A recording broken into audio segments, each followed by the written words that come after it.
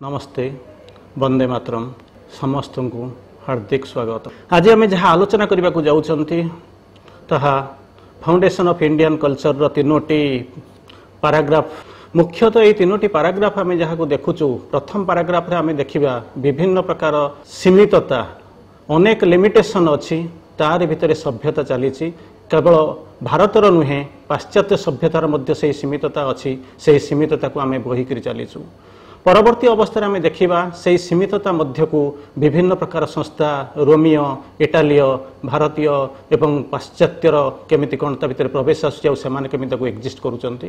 Third ଫେଜ୍ରେ ଆମେ ଦେଖିବା mister ଅର୍କର ଯିଏକି ଜଣେ କ୍ରିଟିକ୍ ସମାଲୋଚକ ତାଙ୍କର ଯେଉଁ ତୀବ୍ର ସମାଲୋଚନା ଅଛି ଏବଂ ତାର ତାଙ୍କର ଯେଉଁ ଅସହାୟତା ବୋଧ ମଧ୍ୟ ପ୍ରତୀୟମାନ ହେଉଛି ତାକୁ ଶ୍ରୀ ଅରବିନ୍ଦ କେମିତି ସୁନ୍ଦର ଭାବରେ ଖଣ୍ଡନ କରୁଛନ୍ତି ଏବଂ ଭାରତୀୟ ସଂସ୍କୃତିର ମହାନତା ଅଛି ତାକୁ ପ୍ରତିପାଦନ କରିବାକୁ ଚେଷ୍ଟା କରୁଛନ୍ତି। ଏଇ ଯେଉଁ ପାରାଗ୍ରାଫର ଚତୁର୍ଥ ପାରାଗ୍ରାଫର ପ୍ରଥମ ଲାଇନ୍ କହୁଛନ୍ତି ସୀମିତତା ଥିଲା। কেবল ভারতীয় সংস্কৃতি নুহে সবুড়ে সীমিততা অছি। শ্রী অরবিন্দ প্রথম লাইনে লেখুছেন কিন্তু আমি খালি যদি সংস্কৃতির প্রাণ সংস্কৃতির তত্ত্ব তার পদ্ধতি ভিতরে থাকা ভাবধারা এবং লক্ষ্যর ব্যাপকতা দেখলে হব না কিন্তু আমি তার বাস্তব ক্রিয়াধারা এবং জীবনর মূল্যবাদ উপরে মধ্যে প্রভাব উপরে নিশ্চয় দৃষ্টি দেওয়া পড়ব পুঁ পরবর্তী লাইনে কৌন আমি নিশ্চিত ভাবে স্বীকার করা হব যে এ ক্ষেত্রে ভারতর বিরাট সীমার বন্ধন এবং বিরাট ବିରାଟ ଅପୂର୍ଣ୍ଣତା ଥିଲା। ସୀମିତତା ସବୁ ସଂସ୍କୃତିର ଏକ ସ୍ୱାଭାବିକ ଥାଏ। ପ୍ରାଚୀନ ହେଉ ବା ନୂତନ ହେଉ ଏମିତି କୌଣସି ସଭ୍ୟତା ନାହିଁ ସଂସ୍କୃତି ନାହିଁ ଯାହାର ବିଧି ବ୍ୟବସ୍ଥା ଏବଂ ମଣିଷର ପୂର୍ଣ୍ଣତାର ପ୍ରୟୋଜନ ମେଣ୍ଟାଇବା ପାଇଁ ପୂର୍ଣ୍ଣ ରୂପେ ସନ୍ତୋଷଜନକ। କିଛି ନା କିଛି ଲାକୁନା ଅଛି କିଛି ନା କିଛି ପିଟଫଲ ଅଛି କିଛି ନା କିଛି ସମସ୍ୟା ଅଛି। ତେଣୁ ଆ ଦ୍ୱାରା ସମସ୍ତେ କ୍ଷତିଗ୍ରସ୍ତ ହୋଇଛନ୍ତି କେବଳ ଗୋଟିଏ ସଂସ୍କୃତି ନୁହେଁ ଅନେକ ସଂସ୍କୃତି ସବୁ ସଂସ୍କୃତି ତା ଦ୍ୱାରା କ୍ଷତିଗ୍ରସ୍ତ ହେଉଛନ୍ତି। ଯାହା ତାହାର କର୍ମର ପ୍ରଭାବ ଭିତରେ ଏମିତି କୌଣସି ସଂସ୍କୃତି ନାହିଁ ଯାହାର ତାହାର କର୍ମର ପ୍ରଭାବ ଭିତରେ ସୀମାର ବିପୁଳତାର ବନ୍ଧନ ଏବଂ ଅପୂର୍ଣ୍ଣତା କ୍ଷତିଗ୍ରସ୍ତ ହୋଇନି ୱି ଅଲ୍ ଆର୍ ଆଫେକ୍ଟେଡ୍ ଆମେ କଲଚରାଲି ସମସ୍ତେ ଆଫେକ୍ଟେଡ୍ ହେଇଛୁ ତେଣୁ ଶ୍ରୀ ଅରବିନ୍ଦ ସୁନ୍ଦର ଭାବରେ ତାକୁ କନକ୍ଲୁଡ୍ କରୁଛନ୍ତି ଯେତିକି ମହାନ ହେବ ସଂସ୍କୃତିର ଲକ୍ଷ୍ୟ ଯେତିକି ବିଶାଳ ହେବ ସଭ୍ୟତାର କଳେବର ଏହି ସକଳ ଦୋଷ ତୃଷ୍ଟି ସେତିକି ଅଧିକ ପରିମାଣରେ ଦୃଷ୍ଟିକୁ ଆଚ୍ଛନ୍ନ କରି ରଖିଥିବ। ପୁଣି ଶ୍ରୀ ଅରବିନ୍ଦ କହୁଛନ୍ତି ସ୍ୱୀକାର କରୁଛନ୍ତି ଏବଂ ବାସ୍ତବରେ ଦେଖାଇ ଦେବାକୁ ଚାହୁଁଛନ୍ତି ଆମେ ସମସ୍ତେ ପ୍ରପୀଡ଼ିତ କାହିଁକି ପ୍ରପୀଡ଼ିତ ହେଇଛୁ ପ୍ରତ୍ୟେକ ସଂସ୍କୃତି ଭିତରେ ତାର ନିଜ ଗୁଣରେ ଥିବା ଦୋଷ ତ୍ରୁଟି ଆଉ ସୀମା। ଗୋଟିଏ ହେଉଛି କ'ଣ? ତାର କିଛି ଏରର ଅଛି ଆଉ ତାର କିଛି ଲିମିଟେସନ୍ ଅଛି। ଯାହାଦ୍ୱାରା ସବୁଯାକ ସଂସ୍କୃତି କେବଳ ଭାରତୀୟ ସଂସ୍କୃତି ନୁହେଁ ୟୁରୋପିଆନ ସଂସ୍କୃତି ନୁହେଁ ସବୁ ସଂସ୍କୃତି ତା ଦେହରେ ପ୍ରପୀଡ଼ିତ ହୋଇଛନ୍ତି। ଆଉ ଶେଷ ଆଡ଼କୁ ପ୍ରାୟ ତାର ଅପରିହାର୍ଯ୍ୟ ଫଳର ରୂପେ ଦେଖାଯାଏ ଯେ ତାହାର ଗୁଣର ମଧ୍ୟ ଅତିରଞ୍ଜନ ତାଙ୍କୁ ଭୋଗ କରିବାକୁ ପଡ଼େ। It has the limitation it has the error ତେଣୁ ତାକୁ କେହି ଓଭରଲୁକ୍ କରିପାରିବେ ନାହିଁ। ତେଣୁ ସେଥିପାଇଁ କହୁଛନ୍ତି ତାକୁ ସ୍ୱୀକାର କରିବାକୁ ପଡ଼ିବ ଦେଖିବାକୁ ପଡ଼ିବ। କାରଣ ସବୁଯାକ ସଂସ୍କୃତି ଭିତରେ ଯେଉଁ ସୀମିତତା ଅଛି ଶ୍ରୀ ଅରବିନ୍ଦ ଭାରି ସୁନ୍ଦର ଭାବରେ କହୁଛନ୍ତି men are not free in their souls ପ୍ରଥମ ସମସ୍ୟା ହେଉଛି men are not free in their souls ଆତ୍ମାରେ ସେମାନେ ପରିପୂର୍ଣ୍ଣ ଭାବରେ ମୁକ୍ତ ନୁହନ୍ତି। Nobly rhythmical with their appointments not are not civilised ତେଣୁ ଏହି ଦୃଷ୍ଟିରୁ ବିଚାର କଲେ all in the sense all the societies are semi civilised ପ୍ରତ୍ୟେକ ଭାବରେ କେହି ସିଭିଲାଇଜ୍ଡ ନୁହନ୍ତି। ତେଣୁ ଆମେ କ'ଣ କରୁଛୁ? କମ୍ପ୍ରମାଇଜ୍ କରିବା ଆରମ୍ଭ କରୁଛୁ। ତେଣୁ ଶ୍ରୀ ଅରବିନ୍ଦ ଲେଖୁଛନ୍ତି କମ୍ପ୍ରମାଇଜ୍ ଉପରେ compromise is not a solution ଆମେ ଯେଉଁ ତା ସହିତ ଆମେ ଯେଉଁ କମ୍ପ୍ରମାଇଜ୍ କରି ଚାଲିଛୁ ଏହା କୌଣସି ସଲ୍ୟୁସନ୍ ନୁହେଁ ସମାଧାନ ନୁହେଁ। ଇଟ୍ ଓନ୍ଲି ସେଲ୍ଫସ୍ ଦ ଡିଫିକଲ୍ଟିଜ୍ ଯାହାକୁ ନେଇ ଆମେ ଗୋଟେ ପ୍ୟାଚଅପ୍ କରିକି ଆସିଛୁ। ସମସ୍ତଙ୍କ ଭିତରେ ଆମକୁ ସେଇ ଅପରିହାର୍ଯ୍ୟ ଫଳ ରୂପେ ଦେଖାଯାଏ। ଆମେ ଅତିରଞ୍ଜନ ଆମକୁ ଭୋଗ କରିବାକୁ ପଡୁଛି। ତାପରେ କହୁଛନ୍ତି ଆମେ ନିଜ ନିଜ ମଧ୍ୟରେ ନିଜ ଭାବି ଭାବଦ୍ୱାରା ମଧ୍ୟରେ ଆମେ ରହିଛୁ ଏବଂ ତାରି ଭିତରେ ପ୍ରପୀଡ଼ିତ ହେଉଛୁ। ଶ୍ରୀ ଅରବିନ୍ଦଙ୍କର ଭାଷାରେ প্রত্যেক সংস্কৃতি ও ভাবধারা কেতেগুড়ি প্রধান ভাবধারা উপরে কেন্দ্রীভূত হওয়া চাহে অন্য ভাবধারা গুড়ি তার দৃষ্টি এড়াই চালি যায় সেগুড়ি সে অযথা দমন করি রখি থাকে সপ্রেস করে রই থাকে নহলে তাকে আড়াই দিয়ে নচে তাকে ন নদেখিলা ভালো প্রয়াস করে তেমন তাপরে কৌন বালান্স হারমোনি সঙ্গতি দরকার যা এপর্যন্ত আসি না ভারসাম্যর এই অভাব যোগ for the lack of this harmony balance তার ভাবগুড়ি একদর্শদর্শী হয়ে রহে তাহা যথার্থ ভাবে নিয়ন্ত্রিত হয়ে ହୁଏ ନାହିଁ ପ୍ରଥମ କଥା ଯଥାର୍ଥ ଭାବରେ ନିୟନ୍ତ୍ରିତ ହୁଏ ନାହିଁ ଏକଦର୍ଶ ଦେଶଦର୍ଶୀ ରହେ ତୃତୀୟ କଥା ହେଉଛି ଠିକଣା ସ୍ଥାନରେ ରହେ ନାହିଁ। ଯାହାକୁ କି ଗୋଟିଏ ଲାଇନରେ ଶ୍ରୀ ଅରବିନ୍ଦ କନକ୍ଲୁଡ କରିବାକୁ ଚେଷ୍ଟା କରୁଛନ୍ତି ତାହା ଦେଖାଦିଏ ଅତିରଞ୍ଜିତ ହେଇ ଏକ ଅସୁସ୍ଥ ରୂପରେ। ବଡ଼ ସୁନ୍ଦର ଭାବରେ କହୁଛନ୍ତି ଅସୁସ୍ଥ ରୂପରେ ଏବଂ ଉମ୍, ଏମିତି ଆମକୁ ପ୍ରତୀୟମାନ ହୁଏ। ଯାହା ଆମେ କ'ଣ କରୁଛୁ ନା ଅତିରଞ୍ଜନ ଭାବକୁ କେବଳ ଲକ୍ଷ୍ୟ କରୁଛୁ।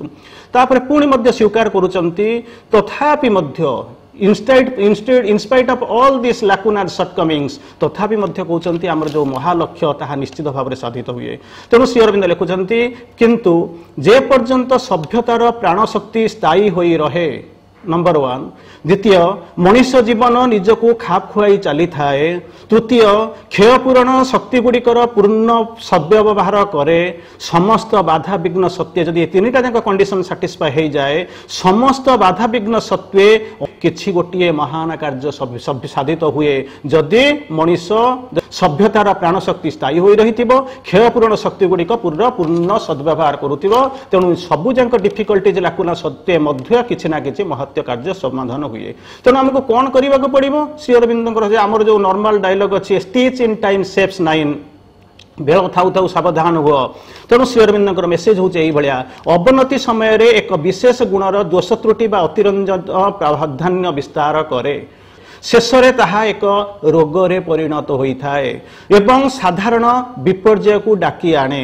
ବେଳ ଥାଉ ଥାଉ ତାହାର ଗତିରୋଧ ଯଦି ନ କରାଯାଏ ତାହେଲେ ଶେଷରେ ତାହା କ୍ଷୟ ଏବଂ ମୃତ୍ୟୁର କାରଣ ଦିଗରେ ଆଗେଇ ନିଏ। ଏଇ ଯେଉଁ ରୋଗ ଯଦି ଆମେ ତାକୁ ନବରୁ prevention is better than cure a stitch in time saves nine ସେଇ ମାପରେ ସେଇ ତତ୍ତ୍ୱ ଅନୁସାରେ ଆମକୁ ବେଳ ଥାଉ ଥାଉ ସାବଧାନ ହେବାକୁ ପଡ଼ିବ। ତାପରେ କହୁଛନ୍ତି ଗୋଟେ ଗ୍ୟାପ୍ ରହିଯାଉଛି। ଦୁଇ ଜଣଙ୍କ ଭିତରେ ଗୋଟିଏ ଫାଟ ରହିଯାଉଛି। ତାକୁ ଶ୍ରୀ ଅରବିନ୍ଦ କହୁଛନ୍ତି ଏଗେନ୍ ତାପରେ ଭାରତୀୟ ସଂସ୍କୃତିର ଶ୍ରେଷ୍ଠ ଯୁଗରେ ଏପରି ଘଟିଥିଲା। ଯେଉଁ ଇଣ୍ଡିଆନ କଲଚର ହେଇଥିଲା ତାର ଯେଉଁ ଶ୍ରେଷ୍ଠ ଯୁଗରେ ଥିଲା ସେତେବେଳେ ମଧ୍ୟ ଏହିପରି କିଛି ଘଟିଥିଲା। ଅର୍ଥାତ୍ ସାମୟିକ ଭାଗରେ ଏକ ଏକ ପ୍ରକାର ପୂର୍ଣ୍ଣତା ମିଳିଥିଲା। ପରଫେକ୍ସନ ଆସିଥିଲା କିନ୍ତୁ ଭାରି ଗୋଟେ ସାମୟିକ ଭାରି ଲିମିଟେଡ୍ ପିରିୟଡ଼ ପାଇଁ। ପରିପୂର୍ଣ୍ଣ ସମୟ ନେବା ପାଇଁ ଚେଷ୍ଟା ଚାଲିଥିଲା କିନ୍ତୁ ଆସିନଥିଲା। ତାପରେ କହୁଛନ୍ତି ଆଦର୍ଶ ଗୁଡ଼ିକ ସେ ହୁଏତ ବିରାଟ ହେଇପାରେ କିନ୍ତୁ ସେହି ଆଦର୍ଶ ଏବଂ ଜୀବନର ବାସ୍ତବତା ମଧ୍ୟରେ ବିରାଟ ଗ୍ୟ- ବ୍ୟବଧାନ। There is a big gap between the ideology and the reality of life ତାରି ଭିତରେ ରହିଯାଏ ଆରି ଭିତରେ ଯେଉଁ ବ୍ୟବସ୍ଥାନ ରହିଛି ସେହି ଗ୍ୟାପ୍କୁ ଯୋଡ଼ିଦେବା ଏବଂ ତାକୁ ପାରୁ ପର୍ଯ୍ୟନ୍ତ କମେଇ ଦେବା ମଣିଷ ପକ୍ଷରେ ଅତ୍ୟଧିକ କଠିନ କଷ୍ଟସାଧ୍ୟ ଇଟ୍ ଇଜ୍ ହାଇଲି ଡିଫିକଲ୍ଟ ଶେଷରେ କହୁଛନ୍ତି ଏଇ ଯେଉଁ ଲାଇନରେ କହୁଛନ୍ତି ଆମେ ଯଦି ଯୁଗ ଯୁଗାନ୍ତର ପାର ହେଇ ଦୃଷ୍ଟିପାତ କରୁ ଏବେ ନୁହେଁ ନିୟର ଫ୍ୟୁଚର ନୁହେଁ ଯୁଗ ଯୁଗାନ୍ତର ପାର ହେଇକି ଯଦି ଦୃଷ୍ଟିପାତ କରୁ ତେବେ ଅନୁଭବ କରିବା ଯେ କି ବିସ୍ମୟକର ଏ ଜାତିର ପରିଣତି। କହୁଛନ୍ତି ପ୍ରତ୍ୟେକ ଯୁଗ ପ୍ରତ୍ୟେକ ସଭ୍ୟତା ଆମ ଦୁର୍ବଳତାର ଗୁରୁଭାର ବହନ କରି ଆସିଛି। ଖାଲି ଏଇ ଯୁଗରେ ନୁହେଁ ଆମ ଯୁଗରେ ନୁହେଁ ଶ୍ରୀ ଅରବିନ୍ଦଙ୍କ ଯୁଗରେ ନୁହେଁ ପ୍ରତ୍ୟେକ ଯୁଗ ପ୍ରତ୍ୟେକ ସଭ୍ୟତା ଏହି ଦୁର୍ବଳତାର ଗୁରୁଭାର ବହନ କରି ଆସିଛି। ତାର ପରବର୍ତ୍ତୀ ଯୁଗ ଆସି ସେହି ଭାରକୁ କିଛି ପରିମାଣରେ ଫିଙ୍ଗି ଦେଇଛି କିନ୍ତୁ ସମ୍ପୂର୍ଣ୍ଣ ଭାବରେ ହରେଇ ଦେଇଛି ଅତୀତର ତାର ଗାରିମା ଗୌରବ ଏବଂ ସୃଷ୍ଟି କରିଛି ଆଉ ଏକ ନୂଆ ଫାଙ୍କ। ଗୋଟିଏ ଫାଙ୍କକୁ ବନ୍ଦ କରିବା ପୂର୍ବରୁ ଆଉ ଗୋଟିଏ ଆଉ ଗୋଟିଏ ଆଉ ଗୋଟିଏ ଅନେକ ଫାଙ୍କ ତିଆରି ଚାଲିଛି କିନ୍ତୁ ସମ୍ପୂର୍ଣ୍ଣ ଯାଇନାହିଁ। ପୁରୁଣା ଯୁଗ ଚାଲି ଯାଇଛି ଏ ଯୁଗ ଆସିଛି। ତଥାପି ମଧ୍ୟ ସେହି ଯୁଗ ଗୁଡାକ ଭିତରେ ଫାଙ୍କ ରହିଛି। ଦ୍ୟାଟ୍ ଗ୍ୟାପ୍ ଇଜ୍ ଅନଆବ୍ରିଜ୍ଡ ତାପରେ କହୁଛନ୍ତି ସୁନ୍ଦର ଭାବରେ ତେଣୁ କ'ଣ କରିବାକୁ ପଡ଼ିବ? ସେଇ ପାରାଗ୍ରାଫର କନକ୍ଲୁଜନ ଆଡ଼କୁ ଯାଉଛନ୍ତି। କହୁଛନ୍ତି ହାରମୋନି ଗୋଟେ ସଙ୍ଗତି ଦରକାର। ଗୋଟେ କ'ଣ କରିବାକୁ ପଡ଼ିବ? ଗୋଟେ ବାଲାନ୍ସ ହେବା ଦରକାର। କହୁଛନ୍ତି ଆମକୁ ପହଞ୍ଚିବାକୁ ହେବ ଏକ ଭାରସାମ୍ୟରେ ପ୍ରଥମ କଥା ଆମକୁ ପହଞ୍ଚିବାକୁ ହେବ ଏକ ଭାରସାମ୍ୟରେ ଯେଉଁଠି ଆମେ ଦେଖିବୁ ସମଗ୍ର ଦୃଷ୍ଟି ନେଇ ଲକ୍ଷ୍ୟ କରିବୁ ଆମର ଗତି କୁଆଡ଼େ ଏବଂ ପ୍ରୟୋଗ କରିବୁ ଆମର ବିଶାଳ ବ୍ୟବହାରିକ ଦୃଷ୍ଟି। ତେଣୁ ଏଇ ଜିନିଷ କରିବା ପାଇଁ ଆମ ପାଇଁ ଗୋଟିଏ ହାରମୋନି ଗୋଟେ ବାଲାନ୍ସ ଦରକାର। ତାକୁ ଶ୍ରୀ ଗୋଟିଏ ଲାଇନରେ କହୁଛନ୍ତି ଜାତିର ନିୟତିରେ ଅଟଳ ବିଶ୍ୱାସ ସ୍ଥାପନ କରିବା କଷ୍ଟକର ହୋଇପଡ଼ିବ।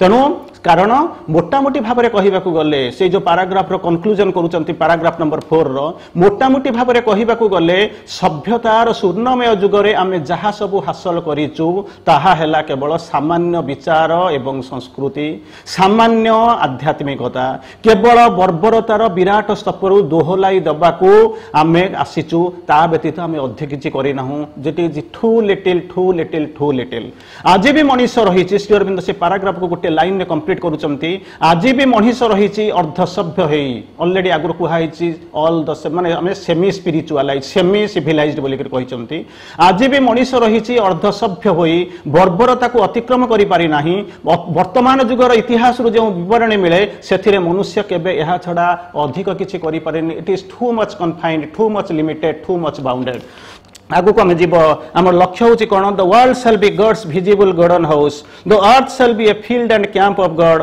man shall forget consent to mortality ତେଣୁ ଆରି ଭିତରେ ଆମକୁ ଯିବାକୁ ପଡ଼ିବ ଏବଂ ଅଗ୍ରଗତି ହେବାକୁ ପଡ଼ିବ। ତାପରେ ଆମେ ପାଞ୍ଚକୁ ଆସିବା।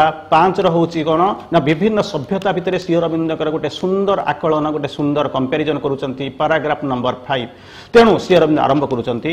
ପ୍ରତ୍ୟେକ ସଭ୍ୟତାରେ ଭଲ ମନ୍ଦ ସବୁ କଥା ମିଳିମିଶି ରହିଛି। ଏଠି ଯେ ମିକ୍ସଡ କଲଚର ଭଲ ଅଛି ମନ୍ଦ ଅଛି ଅନ୍ଧାର ଅଛି ଆଲୁଅ ଅଛି ଏ ଜିନିଷ ରହିଛି। ନାନା ଅବ୍ୟବସ୍ଥା ମଧ୍ୟ ଅଛି ତାକୁ ମଧ୍ୟ ଦେଖିବାକୁ ମିଳେ। ଏକ ବିରୋଧୀ ଭାବ ନେଇ ସହାନୁଭୂତ୍ୟ ଶୂନ୍ୟ ଦୃଷ୍ଟି ନେଇକରି ଯଦି ସମାଲୋଚନା ସମାଲୋଚକ ବିଚାର କରି ବସେ ଖାଲି ଉକ୍ତ ସଭ୍ୟତାର ଦୋଷ ଦୁର୍ବଳତା ଗୁଡ଼ାକୁ ଲକ୍ଷ୍ୟ କରେ ଅତିରଞ୍ଜିତ କରେ ଅସଲ ପ୍ରାଣ ଏବଂ ବୈଶିଷ୍ଟ୍ୟକୁ ବାଦ ଦେଇ ତା ମଧ୍ୟସ୍ଥ ଆଲୋକକୁ ବାଦ ଦେଇ ଯଦି କେବଳ ଅନ୍ଧକାର ଦିଗକୁ ଦେଖେ ତାହେଲେ କ'ଣ ହବ? ନା ତ ତଳ ଯାହାକୁ କହନ୍ତି ଇଟ୍ ଇଜ୍ ଏ ଡିଜାଷ୍ଟର ତେଣୁ ରୋମାରୋଲାଙ୍କ ସେଇ ଯେଉଁ ଭାଷା ମୋର ମନେ ପଡ଼ୁଛି ଅନ୍ଧାରକୁ ଅଭିଶାପ ଦେବା ଅପେକ୍ଷା ଆଲୋକଟିଏ ବରଂ ଜାଳି ଦେବା ଭଲ ନ୍ୟାୟରେ। ତେଣୁ ଶ୍ରୀ ଅରବିନ୍ଦ ଲେଖୁଛନ୍ତି ଆଟଲାସ ସେ ସେଥିପାଇଁ କ'ଣ କରେ ତାର ଦୃଷ୍ଟି ପାଇଁ ଗୋଟିଏ ସଭ୍ୟତା ମନ ହୁଏ ବର୍ବରତାର ଏକ ସ୍ତୂପ। କାରଣ ତା ଆଖିକୁ ଦେଖାଯାଏ ନାହିଁ ଆଖି ଜାଣିପାରେ ନାହିଁ। ତାର ଧର୍ମ ହେଉଛି କ୍ରିଟିସାଇଜିଂ ଫର କ୍ରିଟିସାଇଜିଂ ସେଲ୍ଫ ତେଣୁ ଶ୍ରୀ ଅରବିନ୍ଦ କହୁଛନ୍ତି ଯେଉଁମାନଙ୍କ ପାଖରେ ଏହାର ଉଦ୍ଦେଶ୍ୟ ଗୁଡ଼ିକର କିଛି ବିରାଟ ବା ଯଥାର୍ଥ ମର୍ମ ରହିଛି ସେମାନେ ବିସ୍ମିତ ହୁଅନ୍ତି କ୍ଷୁବ୍ଧ ହୁଅନ୍ତି ଏହା ସ୍ୱାଭାବିକ ତାପରେ ପୁଣି ଆସୁଛନ୍ତି। କାରଣ ଏଇ ଯେଉଁ ଜିନିଷ ହେଉଛନ୍ତି ବେସ୍ ଗୋଟେ ତିଆରି ହେଇଛି ଯାହା ବି ହୁଅନ୍ତୁ ଆପଣ ସମାଲୋଚନା କରନ୍ତୁ ସମାଲୋଚନାକୁ ଗ୍ରହଣ କରନ୍ତୁ ନ ଗ୍ରହନ୍ତୁ ଆପଣ ଯାହା ବି କୁହନ୍ତୁ କିନ୍ତୁ ଅନ୍ତତଃ ଏତିକି ହେଇଛି କ'ଣ? ଆଗକୁ ଯିବା ପାଇଁ ଗୋଟିଏ ବେସ୍ଟା ତିଆରି ହେଇଛି ଗୋଟେ ଆଧାର ତିଆରି ହେଇଛି। ଯାହା ଶ୍ରୀଅରବିନ୍ଦଙ୍କର ଭାଷାରେ ପ୍ରତ୍ୟେକ ସଭ୍ୟତା ତାହାର ସାଂସ୍କୃତିକ ପ୍ରୟାସ ମଧ୍ୟରେ ଏପରି କିଛି ହାସଲ କରିପାରିଛି ଯାହା ମଣିଷ ଜାତି ପାଇଁ କିଛି ନା କିଛି ବିଶେଷ ମୂଲ୍ୟ ରହିଛି। It has got its own value ତାର ତାକୁ ନେଇକରି ଆଗକୁ ଯିବ। ଆମ କାହାର ତାହାର ଏକ ମଣିଷ ଜାତିଙ୍କ ପାଇଁ କିଛି ନା କିଛି ବିଶେଷ ମୂଲ୍ୟ ରହିଛି। ଆମ ପ୍ରକୃତିର କୌଣସି ସୁପ୍ତ ସୃଜନୀ ଶକ୍ତିକୁ ଅନେକ ପରିମାଣରେ ଜାଗ୍ରତ କରିଛି ଶୋଇ ରହିଥିଲୁ ଆମକୁ ଜାଗ୍ରତ କରୁଛି ଠିକ୍ ଶୋ- କିଛି କରୁନଥିଲୁ ଅନ୍ତତଃ କରିବାକୁ ଆସିଛୁ। ତାର ଭବିତବ୍ୟ ପୂର୍ଣ୍ଣତା ପାଇଁ ଗଢ଼ି ଦେଇଛି ଏକ ପ୍ରାରମ୍ଭିକ ଆଧାର। All he had done was to prepare a field his small beginning asked for a mighty end ଗୋଟିଏ ସ୍ତୂପ କେବଳ ତିଆରି ହେଇଥିଲା ଆଗକୁ ଯିବା ପାଇଁ ପଡ଼ିବ ଏଇଆ ଜିନିଷ। ବର୍ତ୍ତମାନ ଶ୍ରୀ ଅରବିନ୍ଦ ଚାରୋଟି ସଂସ୍କୃତି ଭିତରେ ଗୋଟେ କମ୍ପାରିଜନ ଆଣୁଛନ୍ତି କ'ଣ ପାଇଁ ସେମାନେ ଯାଉଥିଲେ? ପ୍ରଥମେ ହେଉଛି ग्रीस सभ्यता। ତାର କ'ଣ ହେଇଛି? ଗ୍ରୀସର ବୌଦ୍ଧିକ ବିଚାରକୁ ଅତି ଉନ୍ନତ କରି ଗଢ଼ିଥିଲା ନମ୍ବର ୱାନ୍ ନମ୍ବର ଟୁ ତାର ବିକାଶ ସାଧନ କରିଥିଲା। ନମ୍ବର ଥ୍ରୀ ରୂପ ଏବଂ ସୁସଙ୍ଗତ ସୌନ୍ଦର୍ଯ୍ୟ ବୁଦ୍ଧକୁ ପୂର୍ଣ୍ଣ ରୂପେ ପ୍ରକାଶ କରିଥିଲା। ଇଏ ହେଉଛି ଗ୍ରୀସ ସଂସ୍କୃତି। ଦ୍ୱିତୀୟରେ ଶ୍ରୀ ଅରବିନ୍ଦ ଆସୁଛନ୍ତି ରୋମାନ ସଭ୍ୟତାକୁ ଅତି ଦୃଷ୍ଟ ଦୃଢ଼ ଭାବରେ ପ୍ରତିଷ୍ଠା କରି ଚାଲିଥିଲା ଶକ୍ତି ଏବଂ ସାମର୍ଥ୍ୟ ନମ୍ବର ୱାନ୍ ନମ୍ବର ଟୁ ଦେଶାତ୍ମବୋଧ। ନମ୍ବର ତିନି ନିୟମ ଏବଂ ଶୃଙ୍ଖଳା। ତାପରେ ଆମେ ଆସିବା ମଡର୍ଣ୍ଣ ୟୁରୋପକୁ ଆନ୍ସିଏଣ୍ଟ ୟୁରୋପ ନୁହେଁ ମଡର୍ଣ୍ଣ ୟୁରୋପକୁ ତା ଦେହରେ କ'ଣ ହେଇଥିଲା ନା ୟୁରୋପ ବିପୁଳ ପରିମାଣରେ ନମ୍ବର ୱାନ୍ ବ୍ୟବହାରିକ ବିଚାର ଥିଲା। ନମ୍ବର ଟୁ ବିଜ୍ଞାନ। ନମ୍ବର ନମ୍ବର ଥ୍ରୀ କର୍ମକୁଶଳତା ନମ୍ବର ଫୋର ଅର୍ଥନୈତିକ ସାମଗ୍ରୀକୁ ସିଏ ଉନ୍ନତି କରିସାରିଛି ସେତିକି ବେଳେ ଗ୍ରୀକ୍ ଆଉ ରୋମ ଆଉ ମଡର୍ଣ୍ଣ ୟୁରୋପକୁ ସାଙ୍ଗରେ ଭାରତର କ'ଣ ସମସ୍ୟା ଥିଲା ଭାରତର ମଣିଷର ଅନ୍ୟ ସକଳ ଶକ୍ତି ଉପରେ କ୍ରିୟାଶୀଳ ଆଧ୍ୟାତ୍ମିକ ମନର ବିକାଶ କରିବା ଘଟାଇ ପାରିଛି ସ୍ପିରିଚୁଆଲିଜିମ୍ ଡେଭଲପ୍ କରିଛି କିନ୍ତୁ ମେଟେରିଆଲିଜିମ୍ରେ ଟିକେ ଦୁର୍ବଳତା ରହିଛି ଆଗରୁ ମଧ୍ୟ ଆମେ ଜାଣିଛୁ ଇଷ୍ଟ ଆଉ ୱେଷ୍ଟର ପ୍ରୋବ୍ଲେମ କ'ଣ ନା ଇଷ୍ଟଟା ସ୍ପିରିଚୁଆଲିଜିମ୍କୁ ଗ୍ରହଣ କରିଥିଲା ଅଲମୋଷ୍ଟ ଇଣ୍ଡିଆ ଆଜ୍ ରିପ୍ରେଜେଣ୍ଟେଟିଭ ତେଣୁ ଭାରତର ପ୍ରଗତିରେ ଇଷ୍ଟର ଉନ୍ନତି ହେବ ଆଉ ପୃଥିବୀ ମଧ୍ୟ ଅନେଇଛି ଭାରତର ପ୍ରୋଗ୍ରେସ ହଉ India will be the spiritual guru of the world ତେଣୁ କହୁଛନ୍ତି କ'ଣ? ସ୍ପିରିଚୁଆଲିଜିମ୍ ଥିଲା କିନ୍ତୁ ମ୍ୟାଟରକୁ ନେଗ୍ଲେକ୍ଟ କରିଥିଲା। ସେତିକିବେଳେ ୱେଷ୍ଟ କ'ଣ କରୁଥିଲା? ନା ମ୍ୟାଟରକୁ ପ୍ରାଧାନ୍ୟ ଦେଇଥିଲା ସ୍ପିରିଚୁଆଲିଜିମ୍କୁ ସେ କ'ଣ କରୁଥିଲା? ନେଗ୍ଲେକ୍ଟ କରିଥିଲା। ତେଣୁ ଦୁଇଟା ଯାକ ସଂସ୍କୃତି ପରସ୍ପର ଭୋଗୁଥିଲେ ଯନ୍ତ୍ରଣା ଭୋଗୁଥିଲେ। The spirits look out through the matter's gaze and matters reveal the spirit's face ତେଣୁ ତାରି ଭିତରେ ଲୁଚିକି ରହିଛି ମ୍ୟାଟର ତଳେ ସ୍ପିରିଟ୍ ଅଛି ନିଜକୁ ଲୁଚେଇକି ରହିଛି। Spirits look out through matter's gaze and matters reveal the spirit's face conceal କରି ରଖିଛି ଲୁଚେଇ ଲୁଚେଇ ଦବ ବାହାର କରିଦବ ଯେତେବେଳେ କ'ଣ ହବ ଦେନ୍ ଆମର ଯୋଉ ସମ- ଯୋଉଥିପାଇଁ ଆମେ ସାଧନା କରୁଛୁ ଇଣ୍ଟିଗ୍ରାଲ ଯୋଗ ସୁପ୍ରାମେଣ୍ଟାଲ ଯୋଗର ଯୋଉ ପର୍ପସଟା ଫୁଲଫିଲ୍ ହବ man and superman shall be at one and all nature a single plan ତେଣୁ ଏଠି ବର୍ତ୍ତମାନ କହୁଛନ୍ତି କ'ଣ ନା ଶ୍ରୀ- ଯେତେବେଳେ ଇଣ୍ଡିଆ ତାର ଆଧ୍ୟାତ୍ମ ମନର ବିକାଶ ଘଟାଇ ସାରିଥିଲା ଏବଂ ସକଳ ବୃତ୍ତିକୁ ଅତିକ୍ରମ କରି ସୃଷ୍ଟି କରିଥିଲା ଏକ ବୁଦ୍ଧିଦୀପ୍ତ ବିଚାର ନମ୍ବର ୱାନ୍ ଆଧ୍ୟାତ୍ମ ଭାବରେ ଅନୁପ୍ରାଣିତ ଦର୍ଶନକୁ ନେଇ ଧର୍ମ ମଧ୍ୟରେ ପ୍ରତିଷ୍ଠା କରିଥିଲା ସମନ୍ୱୟ balance harmony between the religions ବିଶ୍ୱାସ କରିଥିଲା ଶାଶ୍ୱତ ଏବଂ ଅସୀମର ବୋଧ ଇଟର୍ନିଟି ଆଉ ଇନଫାନିଟିର ବୋଧ ତିଆରି କରିଥିଲା। ଏହି ସମସ୍ତ ବିଷୟରେ ଆହୁରି ପୂର୍ଣ୍ଣ ଏବଂ ବ୍ୟାପକ ଉନ୍ନତି ସାଧନ କରି ତାପରେ ନୂଆ ଶକ୍ତି ସାମର୍ଥ୍ୟ ଉଦ୍ଦୀପନାକୁ ତୋଳି ଧରି ଭବିଷ୍ୟତ ପାଇଁ ଚାଲିବା ଯାତ୍ରା ପଥରେ କିନ୍ତୁ ଅତୀତକୁ ନିନ୍ଦା କରିବା ଏବଂ ଉଦ୍ଧତ ଏବଂ ଅସହିଷ୍ଣୁ ଭାବରେ ଏକ ସଂସ୍କୃତି କରିବା ଆମ ସଂସ୍କୃତିର ବ୍ୟତୀତ ଅନ୍ୟ ସବୁ ସଂସ୍କୃତିକୁ ହିଲ ବୋଲି କରି ବର୍ଷନା କରିବା ଆମ ପକ୍ଷରେ ଠିକ୍ ନୁହେଁ ସମାଲୋଚନାରେ ଏକ ଶାନ୍ତ ଏବଂ ସ୍ଥିର ଭାଙ୍ଗ ସଙ୍ଗେ ସଙ୍ଗେ ସମ୍ବେଦନଶୀଳ ବୁଦ୍ଧି ଆମର ଦରକାର ଯାହାଦ୍ୱାରା କି ଅତୀତ ଗର୍ଭରୁ ଏବଂ ମଣିଷ ଜାତିର ବର୍ତ୍ତମାନ ଅଧ୍ୟବସାୟ ଭିତରୁ ଆମେ ସଂଗ୍ରହ କରିପାରିବୁ ଯାହା କିଛି ସବୁଯାକ ହେବ ଉତ୍ତମ ଆମର ପାରୁ ପର୍ଯ୍ୟନ୍ତ ଆମେ ତାକୁ ବ୍ୟବହାର କରିପାରିବା ଏବଂ ଆମର ଫ୍ୟୁଚର ପ୍ରୋଗ୍ରେସ ପାଇଁ ମଧ୍ୟ ଆମେ ତାକୁ ପ୍ରତିଷ୍ଠା କରିପାରିବା ଏବଂ କାମରେ ଲଗେଇ ପାରିବା। ଦେହ ଓ ପ୍ରାଣର ଗୋଟେ ହେଉଛି ଦେହ ଓ ପ୍ରାଣର କୃତଦାସ ହେବା ନାହିଁ। ମ୍ୟାଟ୍ରିଆଲ ଆଉ ସ୍ପିରିଚୁଆଲିଜିମ୍ ଭିତରକୁ ଶ୍ରୀ ଅରବିନ୍ଦ ଆସୁଛନ୍ତି। ଦେହ ଓ ପ୍ରାଣର ସ୍ଲେବ୍ ଏକ ବିରାଟ ଯନ୍ତ୍ରର ଚକା ସ୍ପ୍ରିଙ୍ଗ କିମ୍ବା ଦାନ୍ତିରେ ପରିଣତ କରିବା ବା ଅର୍ଥନୈତିକ ଗଠନର ଏକ କ୍ଷୁଦ୍ର କୋଷରେ ଉଇ ହୁଙ୍କା ବା ମଇ- ମହୁ ଫେଣାର ଆଦର୍ଶରେ ମଣିଷ ଜୀବନକୁ ଗଢ଼ିବାକୁ ଚେଷ୍ଟା କରିବା ଏହି ସବୁ ଜିନିଷ ହେଉଛି କ'ଣ? ନା ମ୍ୟାଟ୍ରିଆଲ ସଂସ୍କୃତିର ଲକ୍ଷ୍ୟ। ତାହେଲେ ସତ୍ୟର ସ- ଶ୍ରୀ ଅରବିନ୍ଦ କୋଶ୍ଚିନ୍ ପଚାରୁଛନ୍ତି what is the truth of the being ସତ୍ୟ ହେଉଛି କ'ଣ? ସତ୍ତାର ସତ୍ୟ କ'ଣ? ତାହା ବର୍ତ୍ତମାନ କହୁଛନ୍ତି କ'ଣ? ଆମ ସତ୍ତାର ସମୁଦାୟ ସତ୍ୟ? ଶ୍ରୀ ଅରବିନ୍ଦ କୋଶ୍ଚିନ୍ ଟ୍ୟାଗ ମାରୁଛନ୍ତି ଆମ ସବୁ ସଭ୍ୟତାର ସମ୍ପୂର୍ଣ୍ଣ ପରିପୂର୍ଣ୍ଣ ଆଦର୍ଶ ତାପରେ ପୁଣି କହୁଛନ୍ତି କମ୍ପାରିଜନ୍ ଭାରି କରୁଛନ୍ତି। ଯଦି ବା ନାନା ବାଧା ଏବଂ ପ୍ରତିବନ୍ଧକ ରହିଛି ଇଟ୍ ଇଜ ଦେୟାର ଅବଭିୟସ୍ ରହିବ। ତେଣୁ ତଥାପି ସଂସ୍କୃତିର ଆଦର୍ଶକୁ କୌଣସି ପ୍ରକାର ହେଲେ ଅତିମାତ୍ରାରେ ଉନ୍ନତ ଲକ୍ଷ୍ୟାଭିମୁଖୀ ବୋଲି କୁହାଯାଇ ପାରିବ ନାହିଁ। ପୁରାତନ ସଭ୍ୟତା କଥା କହୁଛନ୍ତି ତେଣୁ ପୁରାତନ ସଭ୍ୟତା ଭିତରେ କହୁଛନ୍ତି ଭାରତ କଥା କହୁଛନ୍ତି ଦୁରୁହ ଆଧ୍ୟାତ୍ମ ଆଦର୍ଶ ଅପେକ୍ଷା ତାହା ଯଥେଷ୍ଟ ସହଜ। କିନ୍ତୁ ପ୍ରକୃତରେ ୟୁରୋପୀୟର ମନ ଏବଂ ଜୀବନର କେତେ ଭାର ବିଚାର ବୃଦ୍ଧି ଦ୍ୱାରା ପରିଚାଳିତ ହୁଏ। ଇଟ୍ ଇଜ ମାନେ କ'ଣ ରିଜିନ୍ ଦ୍ୱାରା ପରିଚାଳିତ। ଶେଷରେ ଏହା ବାସ୍ତବ କର୍ମକୁଶଳତା ଏବଂ ବିଚାରରେ ପରିଣତ କ'ଣ ହୁଏ କି? ଶ୍ରୀ ଅରବିନ୍ଦ ପୁଣି କୋଶ୍ଚିନ୍ଟା କରୁଛନ୍ତି ତେଣୁ ସେତିକିବେଳେ କହୁଛନ୍ତି ତାହେଲେ ଏଇ ଯୋଉ ଜିନିଷ ୟୁରୋପିଆନ୍ ଫେଲିଓର ଯୋଉଥିପାଇଁ ସେ ହାରିଛି ତାର ଯୋଉ ଫେଲିଓର ହେଇଛି ତା ପଛରେ କାରଣ ଅଛି କ'ଣ? ଶ୍ରୀ ଅରବିନ୍ଦ କହୁଛନ୍ତି ମଣିଷର ମନ ଆତ୍ମା ଜୀବନରେ ଏହା କି ପରିପୂର୍ଣ୍ଣତା ଆଣି ଦେଇଛି ଏପର୍ଯ୍ୟନ୍ତ ପରିପୂର୍ଣ୍ଣତା ନାହିଁ। ମଡର୍ଣ୍ଣ ୟୁରୋପିଆନ ଲାଇଫର ଉଗ୍ର ବିଭତ୍ସ ରୂପ ଶ୍ରୀ ଅରବିନ୍ଦ ଲେଖୁଛନ୍ତି ଉଗ୍ର ବିଭତ୍ସ ରୂପ ତାର କାରଣ ହେଉଛି କ'ଣ? ନା ଏକ ତାର ଦାର୍ଶନିକ ବିଚାର। ଦ୍ୱିତୀୟ କଥା କହୁଛନ୍ତି ସୌନ୍ଦର୍ଯ୍ୟବୋଧ ଏବଂ ଧର୍ମଗତ ଆସ୍ପୃହାରେ ନ୍ୟୁନତା ତାର ନିରବଚ୍ଛିନ୍ନ ଅସ୍ଥିରତା ତାର ସ୍ୱାଧୀନତାର ଅଭାବ ଆନ୍ତର ସ୍ୱାଧୀନତାର ଅଭାବ ଯାନ୍ତ୍ରିକ ଗୁରୁ ଭାବରେ ତୀବ୍ର ଉତ୍ପୀଡ଼ନ ନିକଟରେ ସଂଗଠିତ ହୋଇଥିବା ଦାରୁଣ ବିପର୍ଯ୍ୟୟ ଭୟାବହ ଶ୍ରେଣୀ ସଂଘର୍ଷ ଏହି ସବୁର ହିସାବକୁ ନେଲେ ଜଣାଯାଏ ୟୁରୋପିଆନ ସଂସ୍କୃତିରେ କେବଳ ଫେଲିଓର ଆସିଛି ସମ୍ପୂର୍ଣ୍ଣ ସର୍ଫ- ଯାଇନାହିଁ। ଅବଶ୍ୟ ଆମଠାରୁ କିଛି ପରିମାଣରେ ଆଗକୁ ଚାଲିଗଲା ଭଳି ପ୍ରତୀୟମାନ ହେଉଥିଲେ ମଧ୍ୟ ତାହା ହେଉଛି ମାତ୍ର ଦୁଇ ପାଦେ କିନ୍ତୁ ବାସ୍ତବରେ ସେ ଯାଇନାହିଁ। ତାପରେ କହୁଛନ୍ତି ଏହି ସବୁ ବିଚାର ନେଇକରି ବର୍ତ୍ତମାନ ଶ୍ରୀ ଅରବିନ୍ଦ ଆସୁଛନ୍ତି ଆର୍କରଙ୍କର ଯୋଉ ଆର୍ଚରଙ୍କର ଯୋଉ ଶୈଳୀ ଉପରେ ତାଳ ମିଳାଇ ସମାଲୋଚନା କଲେ ସିଏ ଆସି କ'ଣ କରୁଛନ୍ତି ନିଜ ୟୁରୋପିଆନ ସଭ୍ୟତା ନିଜର ନାନା ଫେଲିଓରକୁ ଲୁଚେଇକରି ସିଏ କ'ଣ କଲେ? ନା ଅନ୍ୟ ସଭ୍ୟତାକୁ କ୍ରିଟିସାଇଜ କରିବା ଆରମ୍ଭ କଲେ। ତାକୁ କହୁଛନ୍ତି ମଡର୍ଣ୍ଣ ଆଦର୍ଶର ଉଜ୍ଜଳ ଦିଗକୁ ବାଦ ଦେଇଲେ ଅନ୍ୟାୟ ହବ। ଅନ୍ଧକାରକୁ ଦେଖିବାଟା ଭୁଲ। ତେଣୁ ତାକୁ ବାସ୍ତବତା ଭିତରକୁ ଯାଇ ହୃଦୟଙ୍ଗମ କରିବାକୁ ହେଉଛି ସର୍ବାଧିକ ନ୍ୟାୟୋଚିତ କାର୍ଯ୍ୟ। ତାପରେ କହୁଛନ୍ତି ଅନେକ ବର୍ଷ ପୂର୍ବରୁ କମ୍ପେୟାର କରୁଛନ୍ତି ୟୁରୋପ ସଂସ୍କୃତିର ପ୍ରଶଂସା ଗାଇଲା ବେଳେ ମୋର ମନେ ହେଉଥିଲା ଯେ ଇଣ୍ଡଷ୍ଟ୍ରି ଉପରେ ପ୍ରତିଷ୍ଠିତ ମଡର୍ଣ୍ଣ କଲଚର ବା ସମାଜର ରୂପରେଖ ଏକ ବୃଦ୍ଧି ରସାଣିତ ପ୍ରଚଣ୍ଡ ବର୍ବରତା ଏବଂ ଜର୍ମାନୀ ହେଉଛି ବୋଧହୁଏ ତାହାର ସଫଳ ନେତା ଏବଂ ଆଦର୍ଶର ନିଦର୍ଶନ। ତାପରେ ପୁଣି ଆସିଛନ୍ତି ସତ୍ୟ ହେଉଛି କ'ଣ? ଜଗତ ମଧ୍ୟରେ ଚିତ୍ ପୁରୁଷଙ୍କର ପ୍ରକାଶ ଧାରା The unfelt self within who is our guide, the unknown self above who is our goal. ପ୍ରକାଶ ଧାରା ସମ୍ବନ୍ଧରେ ଏକ ଉଦାର ଦୃଷ୍ଟି ନେଇ ମୋର ଏହି ଧାରଣାରେ ଏକ ଏକଦର୍ଶଦର୍ଶିତାକୁ ସଂଶୋଧନ କରିଦେଉଛି କିନ୍ତୁ ଏହା ମଧ୍ୟରେ ଏମିତି ଏକ ସତ୍ୟ ଅଛି ଯାହାକୁ ইউরোপ তার দুর্দিনরে স্বীকার করেছিল যদিও তাহা বর্তমান সাময়িক ভাবে মিলিছিল সেই জ্ঞানক অতি সহজরে সে ভুলি গলা পরি মনে হুয়ে ইউরোপ তার ভুলি যাই তাপরে শ্রী অরবিন্দ কৌন মাই ক্রিটিসিজিম মু যে সমালোচনা করুছি কোণ তেমন যদি কৌন তুমর যদি সমালোচনা করু থাকে every action has equal and opposite reaction Newton third law প্রত্যেক ক্রিয়ার সমান ও বিপরীত প্রতিক্রিয়া অছি শ্রী অরবিন্দ কৌন তম ক্রিটিসিজিম পাই মোর মধ্যে ক্রিটিসিজিম করিবার মোর মধ্যে সমালোচনা করিবার অধিকার অছি প্রোভাইডেড କ'ଣ? ଏଇ କଥା ସତ୍ତ୍ୱେ ଯଦି ଭାରତୀୟ ସଂସ୍କୃତି ଏକ ଅର୍ଦ୍ଧ ବର୍ବରତାର ସଂସ୍କୃତି ମିଷ୍ଟର ଆର୍ଚରଙ୍କର ଲକ୍ଷ୍ୟରେ ଯୋଉ କହୁଛନ୍ତି ବୋଲି ଯଦି ଆପଣମାନେ ସମାଲୋଚକ ମାନେ ଜିଦ୍ ଧରନ୍ତି ତେବେ ମୁଁ ସେ ପର୍ଯ୍ୟନ୍ତ ଆପତ୍ତି କରିବି ନାହିଁ ଯେ ପର୍ଯ୍ୟନ୍ତ ମୋର ଅନୁରୂପ କ୍ରିଟିସିଜିମ୍ ଦବାର ଅଧିକାର ରହିଛି କାରଣ ଆଇ କ୍ୟାନ୍ ଅଲସୋ କ୍ରିଟିସାଇଜ୍ କାରଣ ମୁଁ ଜାଣିଛି ତୁମରି ଅସ୍ତ୍ରରେ ତୁମକୁ ମାରିବା ମୁଁ ଜାଣିଛି ତୁମରି ପାଠରେ ମୁଁ ତମକୁ ସ୍ୱୀକାର କରୁଛି। Continental system is like a double edged sword it hurt the other more than for whom it was designed rather ତେଣୁ ଇଏ ହେଉଛି ନେପୋଲିୟନଙ୍କର ଫେଲିଓରର କାରଣ। ତେଣୁ ତୁମରି ଭାଷାରେ ତୁମରି ଲକ୍ଷ୍ୟରେ ତୁମରି ପାଠରେ ମୁଁ ମଧ୍ୟ କ୍ରିଟିସିଜିମ୍ ଦେଇପାରିବି। ତାହା ଯୁକ୍ତିଯୁକ୍ତ ହେଉ ବା ଅଯୌକ୍ତିକ ହେଉ। ଧଉ- ଯେତେବେଳେ ଆମ କଲଚର ଉପରେ ୟୁରୋପିଆନ କଲଚରକୁ ନଦୀ ଦେବାକୁ ଚାହିଁବେ ସେତେବେଳେ ଏ ପ୍ରତ୍ୟୁତ୍ତରମୂଳକ କଟୁକ୍ତି ଦ୍ୱାରା ଆକ୍ରାନ୍ତ ହେବାର ଯଥେଷ୍ଟ ଅବକାଶ ରହିଛି।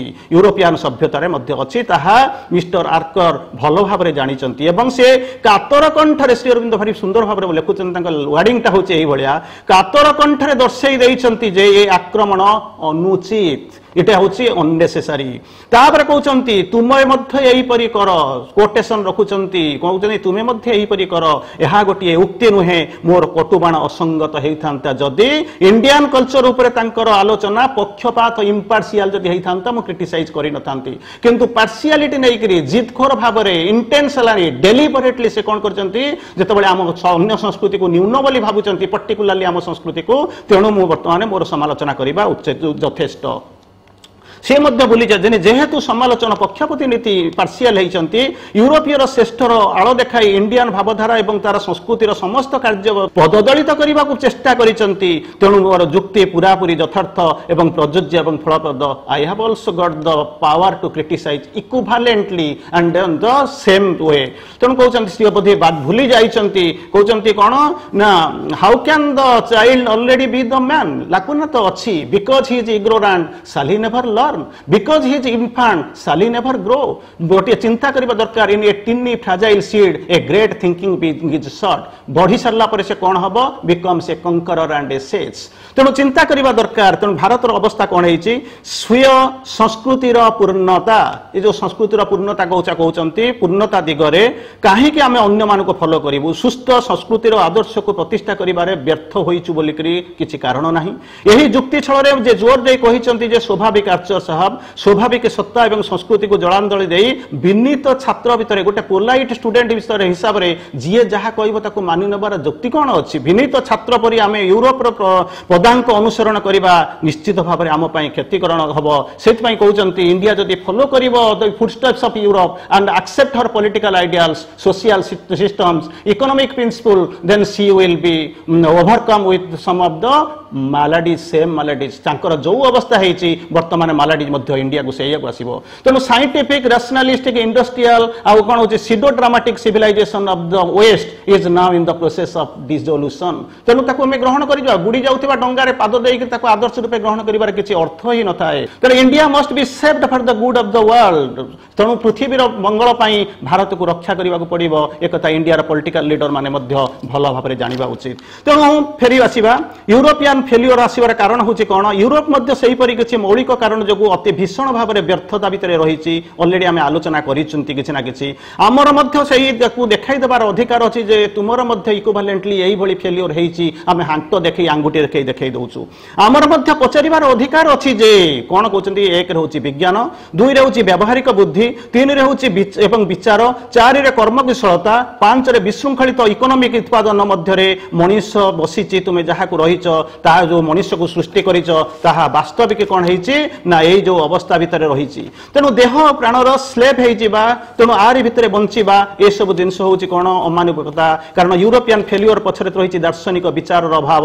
ତେଣୁ ସୌନ୍ଦର୍ଯ୍ୟବୋଧ ଏବଂ ଧର୍ମଗତ ଆସ୍ପୃହାର ନ୍ୟୁନତା ତାହାର ନିରବଚ୍ଛିନ୍ନ ଅସ୍ଥିରତା ଆନ୍ତର ସ୍ୱାଧୀନତାର ଅଭାବ ଯାନ୍ତ୍ରିକ ଗୁରୁଭାରର ତୀବ୍ର ଉତ୍ପୀଡ଼ନ ଏବଂ ଭୟାବହ ଶ୍ରେଣୀ ସଂଘର୍ଷ ଇଣ୍ଡଷ୍ଟ୍ରିଆଲ ଫେଲିଓର ତାରି ଭିତରେ ରହିଛି ସଂଘଟିତ ହେଉଥିବା ଦାରୁଣ ବିପର୍ଯ୍ୟୟ। ସେସବୁକୁ ଭୁଲିକରି ଆମେ ଯଦି କନକ୍ଲୁଡ କରିବା ତାହା ଭିତରେ ହେଉଛି ଶେଷ ଆଡ଼କୁ ଆସି ପହଞ୍ଚିବା। ମିଷ୍ଟର ଆର୍କର ଯୋଉ ଯୁକ୍ତି ଦର୍ଶାଇଛନ୍ତି ଅନ୍ତତଃ ୱେଷ୍ଟର୍ଣ୍ଣ ସିଭିଲାଇଜେସନ ତାର ବର୍ବରତା ମଧ୍ୟରୁ ଉଦ୍ଧାର ପାଇଁ ସଂଗ୍ରାମ ଚଲେଇଛି ଦେ ଆର୍ ଷ୍ଟ୍ରଗଲିଂ ହାର୍ଡ ସେ ପର୍ଯ୍ୟନ୍ତ ଆସୁନି କିନ୍ତୁ ଇଣ୍ଡିଆ ରହିଛି କ'ଣ କମ୍ପେୟାର କଲେ କ'ଣ ହବ ତାର ସ୍ୱଭାବ ତାର ଦୁର୍ବଳତା ଗୁଡ଼ିକ ମଧ୍ୟରେ ବେଶ ନିଶ୍ଚିନ୍ନ ରହିଛି ସେ ବେଶ ଆରାମରେ ରହିଛି ନିଶ୍ଚିତ ରହିଛି ହିଜ୍ ସଟନ ତାର ଆଗକୁ ଯିବ କାରଣ ଇଣ୍ଡିଆକୁ ଯିବାକୁ ପ- ବଡ଼ ସୁନ୍ଦର ଭାବରେ ଶ୍ରୀ ଅରବିନ୍ଦ ଯୁକ୍ତି କରନ୍ତି ମିଷ୍ଟର ଆର୍କରଙ୍କୁ ଦେ- ଆଙ୍ଗୁଠି Mr. Arker ଯୁକ୍ତି କରିଛନ୍ତି ଯେ ଅନ୍ତତଃ ୱେଷ୍ଟର୍ଣ୍ଣ ସିଭିଲାଇଜେସନ ତାର ବର୍ବରତା ମଧ୍ୟରୁ ଉଦ୍ଧାର କରିବା ପାଇଁ ସଂଗ୍ରାମ ଚଳାଇଛି। ସେ ବର୍ବରତା ମଧ୍ୟରୁ ଏପର୍ଯ୍ୟନ୍ତ ଉଦ୍ଧାର ପାଇପାରି ନାହିଁ କିନ୍ତୁ ତାରି ପାଖରେ ଭାରତ ହେଇଛି କ'ଣ? ତାର ସ୍ୱଭାବ ଏବଂ ଦୁର୍ବଳତା ମଧ୍ୟରେ ମଧ୍ୟ ବେଶ ନିଶ୍ଚିତ ରହିଛି ଆଗକୁ ଯିବ। କାରଣ ପଡ଼ିଯିବା ଥରେ ପଡ଼ିଗଲା ମାନେ ଉଠିବାର ସମ୍ଭାବନା ନାହିଁ। କିନ୍ତୁ ଜଣେ ବିଶ୍ରାମ ନେଇଛି ଆଗକୁ ଯିବ। ସେ ତାର ବାଟକୁ ଦେଖୁଛି ନିଜକୁ ଚିହ୍ନାଉଛି କାରଣ ଲକ୍ଷ୍ୟ ହେଉଛି ଜୀବନର ଲକ୍ଷ୍ୟ ହେଉଛି ନିଜକୁ ଡିସ୍କଭର କରିବ ନିଜକୁ ରିଅଲାଇଜ୍ କରିବ ଏବଂ ଆଗକୁ ଯିବ। ତେଣୁ ଭାରତ ବେଶ ନିଶ୍ଚିତ নিশ্চিত রয়েছে ইন্ডিয়া অতি নিকটরে ঘটি যাই ঘটনা পাই তাহা সত্য হয়েপরে আমি বুঝিপারুছু কারণ অতি নিকটরে কিছু বিসম্বাদ বাদ বিসম্বাদ অসহায়তা মধ্যে ভারত সংঘর্ষ করেছি কিন্তু তাপরে কোণ কোশ্চিন হচ্ছে তাপরে কোণ যে পড়ি যাই মরি যাই সে বঞ্চি পারিব না উঠি পারিব না কিন্তু ভারত আগুক যা অছি দ ডেস্টিনি অফ ইন্ডিয়া ହେଉଛି ଭାରତ ପୃଥିବୀର ଡେଷ୍ଟିନି ସହିତ ସମ୍ପୃକ୍ତ। ତେଣୁ ଶ୍ରୀ ଅରବିନ୍ଦ ଲେଖୁଛନ୍ତି ତଥାପି ଏହି ପ୍ରଶ୍ନଟି ରହିଯାଇଛି ଯେ ୟୁରୋପ ଯେଉଁ ମାର୍ଗ ବାଛି ନେଇଛି ତାହାର ମଣିଷ ସାଧନା ପାଇଁ ଉନ୍ମୁକ୍ତ ଥିଲା ସବୁଠାରୁ ବେଶୀ ଶ୍ରେଷ୍ଠ ଏବଂ ପୂର୍ଣ୍ଣ ମାର୍ଗ ଶ୍ରୀ ଅରବିନ୍ଦ କହୁଛନ୍ତି କ୍ୱେଶ୍ଚିନ୍ ମାରୁଛନ୍ତି। Is it the greatest is the best policy ତାପରେ କହୁଛନ୍ତି ତିନିରେ ଶେଷ ଲାଇନ୍ ଶ୍ରୀ ଅରବିନ୍ଦଙ୍କର ଏଇଭଳିଆ।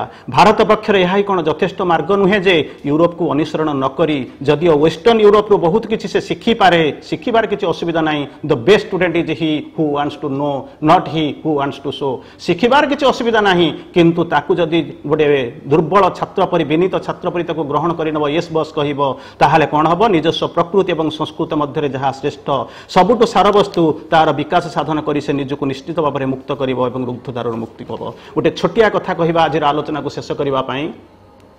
ସେଇ ଯେଉଁ କାହାଣୀ ଆପଣମାନଙ୍କୁ ବାରମ୍ବାର ମଧ୍ୟ କୁହାଯାଏ ସେଇ କାହାଣୀର ଯେଉଁ ଅସୁବିଧା ଅଛି ଗୋଟେ ସନ୍ନ୍ୟାସୀ ଥାନ୍ତି ଗୋଟେ ଗଛ ମୂଳେ ଗୋଟେ ଛୋଟିଆ ଆଶ୍ରମ କରିକି ଗୋଟେ ଘର କରିକି ବଞ୍ଚିଥାନ୍ତି।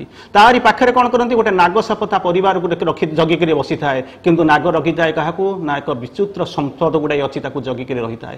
ଅନେକ ଦିନ ସେ ବାବାଜୀ ଦେଖନ୍ତି ସନ୍ନ୍ୟାସୀ ଦେଖନ୍ତି ସେଇ ବାଟ ଦେଇ ନାଗ ଯିବା ଆସିବା କରୁଛି। ଗୋଟାଏ ଦିନ ଡାକିଲେ କଲେ ବାବୁରେ ଆମେ ଏଠି ରହିଛୁ। ଆଉ ତ ତୋର କେହି ନାହାନ୍ତି ଆଗକୁ କି ମୋର କେହି ନାହାନ୍ତି ଦୁଇ ଜଣଙ୍କର ବନ୍ଧୁତା କରିପାରନ୍ତେ ନାହିଁ?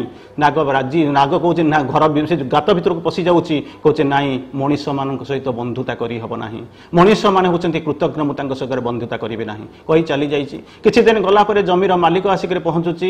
ଦେଖିଲା ବେଳକୁ ଆଶ୍ରମକୁ ଆଶ୍ୱାସ କରିଥିବା ବାବୁ କହୁଛି ସାଧୁ କହୁଛନ୍ତି ବାବୁ ତମକୁ ମୁଁ ଆଉ ଗୋଟେ ଜାଗା ଦେବି ଏ ଗଛଟା ଘଣା ହେବ ତୁମେ ଚାଲିଯାଅ। କିନ୍ତୁ ଯେତେ ବୁଝାଇଲେ ବି ସାଧୁ ରାଜି ହେଉନାହାନ୍ତି ଏବଂ ସେ ଶେଷକୁ ସନ୍ୟା ଜମିଦାର ଫେରି ଯାଉଛନ୍ତି। ସେ ଫେରିଗଲା ପରେ ଯେତେବେଳେ ଗଳିକିରି ସେଇ ନାଗସାପ ଅନଉଛି କାରଣ ଯଦି ଗଛ କଟା ହେଇଥାନ୍ତା ତାପରେ ଘର ହେଇଥାନ୍ତା ତାର ସପରିବାର ଧ୍ୱଂସ ହେଇଥାନ୍ତେ।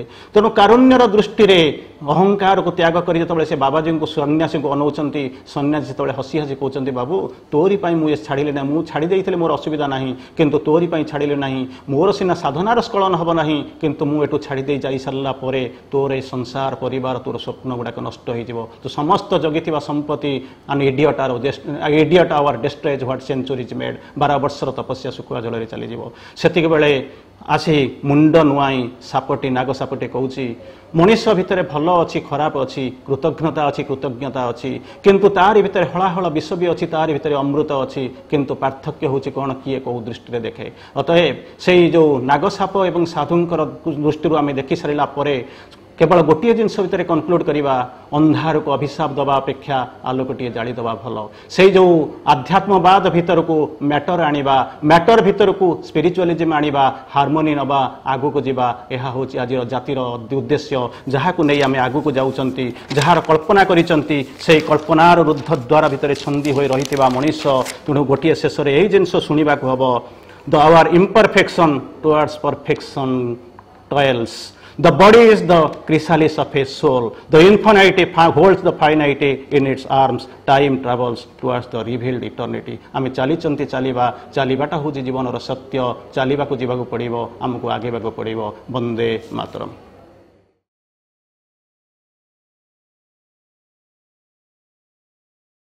ଦିବ୍ୟ ଜନନୀ ମା ପରମ ପ୍ରଭୁ ଶ୍ରୀ ଅରବିନ୍ଦ ଆଜିର ଆଲୋଚନା ପ୍ରସଙ୍ଗ ହେଉଛି ଶ୍ରୀ ଅରବିନ୍ଦଙ୍କର ଭାରତୀୟ ସଂସ୍କୃତିର ଆଧାରର ଧର୍ମ ଓ ଆଧ୍ୟାତ୍ମିକ ଅଧ୍ୟାୟର ଚତୁର୍ଥ ଉପ ଅଧ୍ୟାୟ ପୃଷ୍ଠା ଦୁଇଶହ ଚଉରାଳିଶ ପଇଁଚାଳିଶ ଛୟାଳିଶ। ଶ୍ରୀ ଅରବିନ୍ଦଙ୍କ ନିଜସ୍ୱ ପରିଭାଷାରେ ଶୈତାନର ଓକିଲ ମିଷ୍ଟର ଆର୍ଚର ଭାରତୀୟ ମହାନ ସଂସ୍କୃତିକି ନେଇ ଯେଉଁ ସତ୍ୟର ଅପଳାପ କରିଛନ୍ତି ବ୍ରିଟିଶ ଚାଲବାଜର ଜାଲରେ ପୁଣି ମୋହଗ୍ରସ୍ତ କରିବାକୁ ଯେଉଁ ହୀନ ପ୍ରୟାସ କରିଛନ୍ତି ଆମ ସଂସ୍କୃତିର ସତ୍ୟକୁ କିପରି ଅସ୍ୱୀକାର ପୂର୍ବକ ଉଗ୍ର କୁତ୍ସାରଟନ କରିଛନ୍ତି ଯେଉଁ କେତୋଟି ଅସଫଳ ଯୁଦ୍ଧ କୌଶଳ ଅସଙ୍ଗତ ପଦ୍ଧତି ପ୍ରୟୋଗ କରିଛନ୍ତି କୃତକୁ ଅକୃତ ବା ଶ୍ରୀ ଅରବିନ୍ଦ ଭାଷାରେ ବଙ୍ଗଲିଂ କରିଛନ୍ତି ଏହିସବୁ ଅପଚେଷ୍ଟା କରିଛନ୍ତି ଏବଂ ଓଷ ବିକଳରେ ତାଟିଆ କାମୁଡ଼ିଲା ଭଳି ନିଜ ଭାଷାର ଚାତୁରୀରେ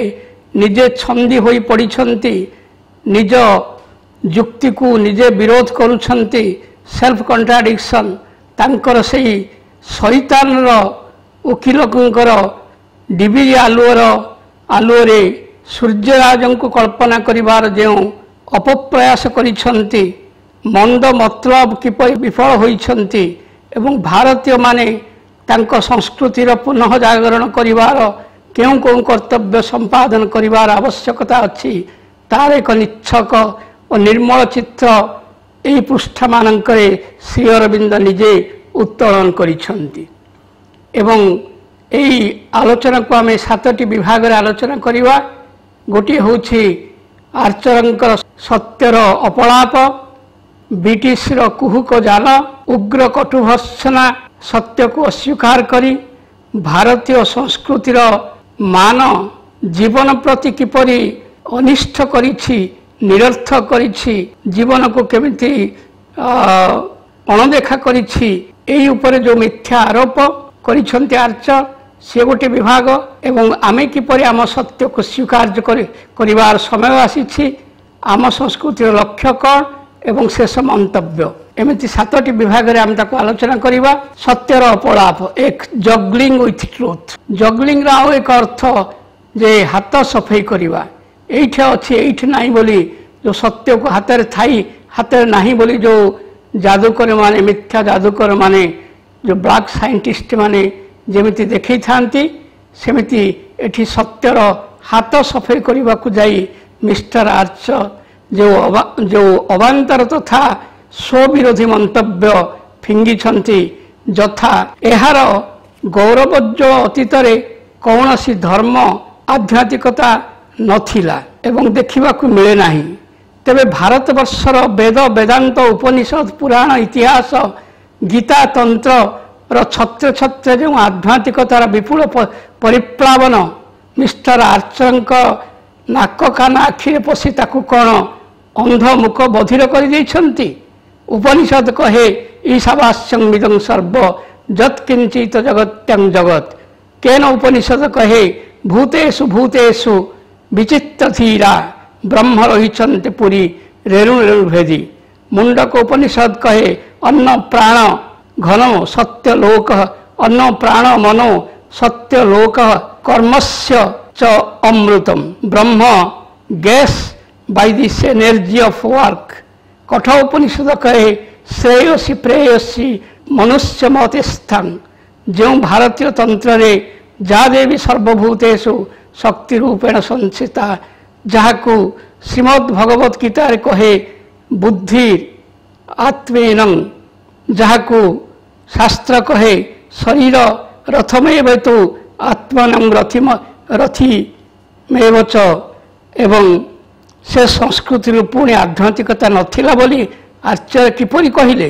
ସେ କ'ଣ ଏତେ ଅନ୍ଧ ହୋଇଗଲେ? ସେଥିପାଇଁ କୁହାଯାଏ ବାହାପିଆଙ୍କର ବାରବାଟୀ ଚାଷ। ଦ୍ୱିତୀୟ ଆକ୍ଷେପଟି ଥିଲା ଯେ ଯାହାର ଗୌରବମୟ ଅତୀତର କୌଣସି ଧର୍ମ ନଥିଲା। ଯାହାର ଧର୍ମ ସନାତନ ଧର୍ମ ଯାହାର ଧର୍ମ ବୌଦ୍ଧ ଧର୍ମ ଯାହାର ଧର୍ମ ଜୈନ ଧର୍ମ ଶିଖ ଧର୍ମ ଶୈବ ଧର୍ମ ଶାକ୍ତ ଧର୍ମ ଗାଣପତ୍ୟ ଧର୍ମ ସେଇ ଭାରତବର୍ଷରେ କେମିତି ଧର୍ମ ନଥିଲା।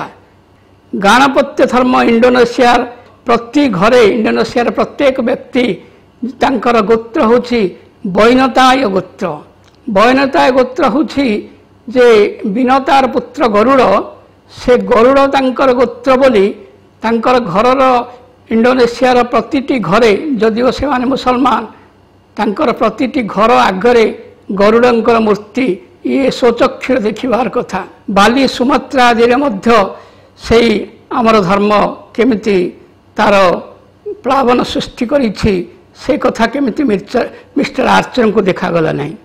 ତୃତୀୟ ଅପଳାପ ହେଉଛି ଯାହାର କୌଣସି ଦର୍ଶନ ନଥିଲା ଭାରତବର୍ଷ କାଳେ କିଛି ଦର୍ଶନ ନଥିଲା। ୟୁରୋପ ଜଗତର ଦର୍ଶନ ଆରମ୍ଭ ହୋଇଛି ଖ୍ରୀଷ୍ଟପୂର୍ବ ତିନିଶହ ଅନେଶ୍ୱତ ବା ଆଜ- ଆଜକୁ ଦୁଇ ହଜାର ଚାରିଶହ ବର୍ଷ ତଳେ ଯାହାକୁ ଦର୍ଶନର ପିତାମହ ସକ୍ରେଟିସ୍ ବୋଲି କୁହାଯାଉଥିଲା। କିନ୍ତୁ ଭାରତବର୍ଷର ଦର୍ଶନ ଆରମ୍ଭ ହୋଇଥିଲା ପାଞ୍ଚ ହଜାର ବର୍ଷ ତଳୁ। ଏବଂ ଗୀତାର ଯେଉଁ ଷଡ଼ଧର ଷଡ଼ଦର୍ଶନ ଥିଲା ସେ ଷଡ଼ଦର୍ଶନ ହେଉଛି ସମଗ୍ର ବିଶ୍ୱ ଦର୍ଶନର ପ୍ରକୃତରେ ମୂଳ ମୂଳ ଉତ୍ସ ଏବଂ ଭାରତୀୟ ଷଡ଼ଦର୍ଶନରେ କୁହାଯାଇଛି କପିଳସ୍ୟ କଣାଦସ୍ୟ ଗୌତମସ୍ୟ ପତଞ୍ଜଳି ବ୍ୟାସଶ୍ଚ ଜୈମିନିଶ୍ଚୈବ ଷଡ଼ଦର୍ଶନ ଉଚ୍ୟତେ ତେବେ ଏହି ଋଷିମାନେ କିଏ? ତାଙ୍କର ସାଂଖ୍ୟ ବୈଷୟିକ ନ୍ୟାୟ ଯୋଗ ବ୍ରହ୍ମସୂତ୍ର ମୀମାଂସା ଦର୍ଶନ କ'ଣ ମିଥ୍ୟା କେମିତି ଆଚାର୍ଯ୍ୟ ସାହିବ ଏତେ ବଡ଼ ମିଥ୍ୟାର ଅପଳାପ କଲେ ଶ୍ରୀ ଅରବିନ୍ଦ ସେଥିପାଇଁ କହିଛନ୍ତି an Indian peasant knows philosophy better than any philosopher of the world.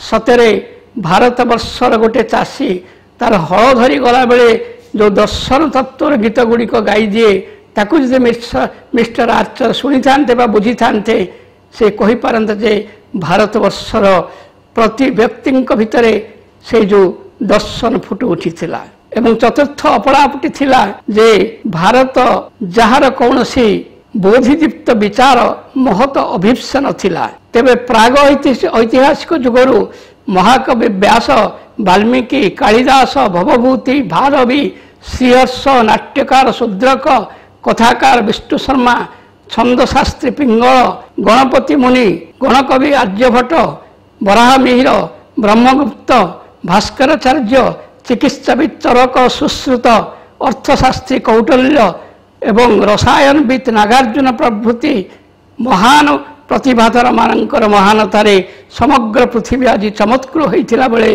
Mister ଆର୍ଚଙ୍କର ଅପଳାପକୁ ଆମେ ବର୍ତ୍ତମାନ ଶୁଣିଯାଏ ଆଜି ଯାଏଁ ଜ୍ଞାନ ଜ୍ଞାନ ବିତରଣ କରୁଥିବା ସମୟରେ ଋଷି ମହର୍ଷିମାନଙ୍କର ବର୍ତ୍ତମାନ ଆର୍ଚର ସେ ଜ୍ଞାନକୁ କ'ଣ ଶୁଙ୍ଘି ପାରିଲେ ନାହିଁ ବା ଶୁଙ୍ଘି ଶୁଙ୍ଘି କ'ଣ କହିଲେ? ଅନ୍ଧ କି ଜାଣିବ? କର୍ପୂର ଗୁଣ ଶୁଙ୍ଘି ଶୁଙ୍ଘି କହିଲା କ'ଣ ନା ସୈନ୍ଧ୍ର ବୋଲି ବଣ। ଏହି ନ୍ୟାୟରେ ସେ ସତ୍ୟର ଅପଳାପ ବାର- ବାରମ୍ବାର କରୁଛନ୍ତି। ଏବଂ ଦ୍ୱିତୀୟ ଦିଗଟି ହେଲା ବ୍ରିଟିଶ କୁହୁକ ଜାଲରେ ପୁଣି ଛନ୍ଦି ଦେବାର ପୁନଃ ପ୍ରୟାସ କରିଛନ୍ତି। ବ୍ରିଟିଶ ସରକାର ଚାକିରିର ଲୋଭରେ ବାନର ପରି ଅନୁକରଣ କରି ବ୍ରିଟିଶଙ୍କର ବାଦ୍ୟଯନ୍ତ୍ରର ତାଳେ ତାଳେ ସଖୀ କଣ୍ଢେଇ ପରି ନାଚିବାକୁ କିନ୍ତୁ ଭାରତର ସେହି ଯେଉଁ ମୋହ ସେ ମୋହ ଭଙ୍ଗ ହୋଇସାରିଥିଲା ପରେ ମଧ୍ୟ ଆଶ୍ଚର୍ଯ୍ୟ କାହିଁକି ଏମିତି ଅପଚେଷ୍ଟା କରୁଛନ୍ତି ଯେ ଚାକିରି ମୋହରେ ସେମାନଙ୍କୁ ଗଦ ଶୁଙ୍ଘେଇ ପୁଣି ତାଙ୍କ ବାଦ୍ୟର ତାଳେ ତାଳେ ସଖୀ କଣ୍ଢେଇ ପରି ନାଚିବାକୁ।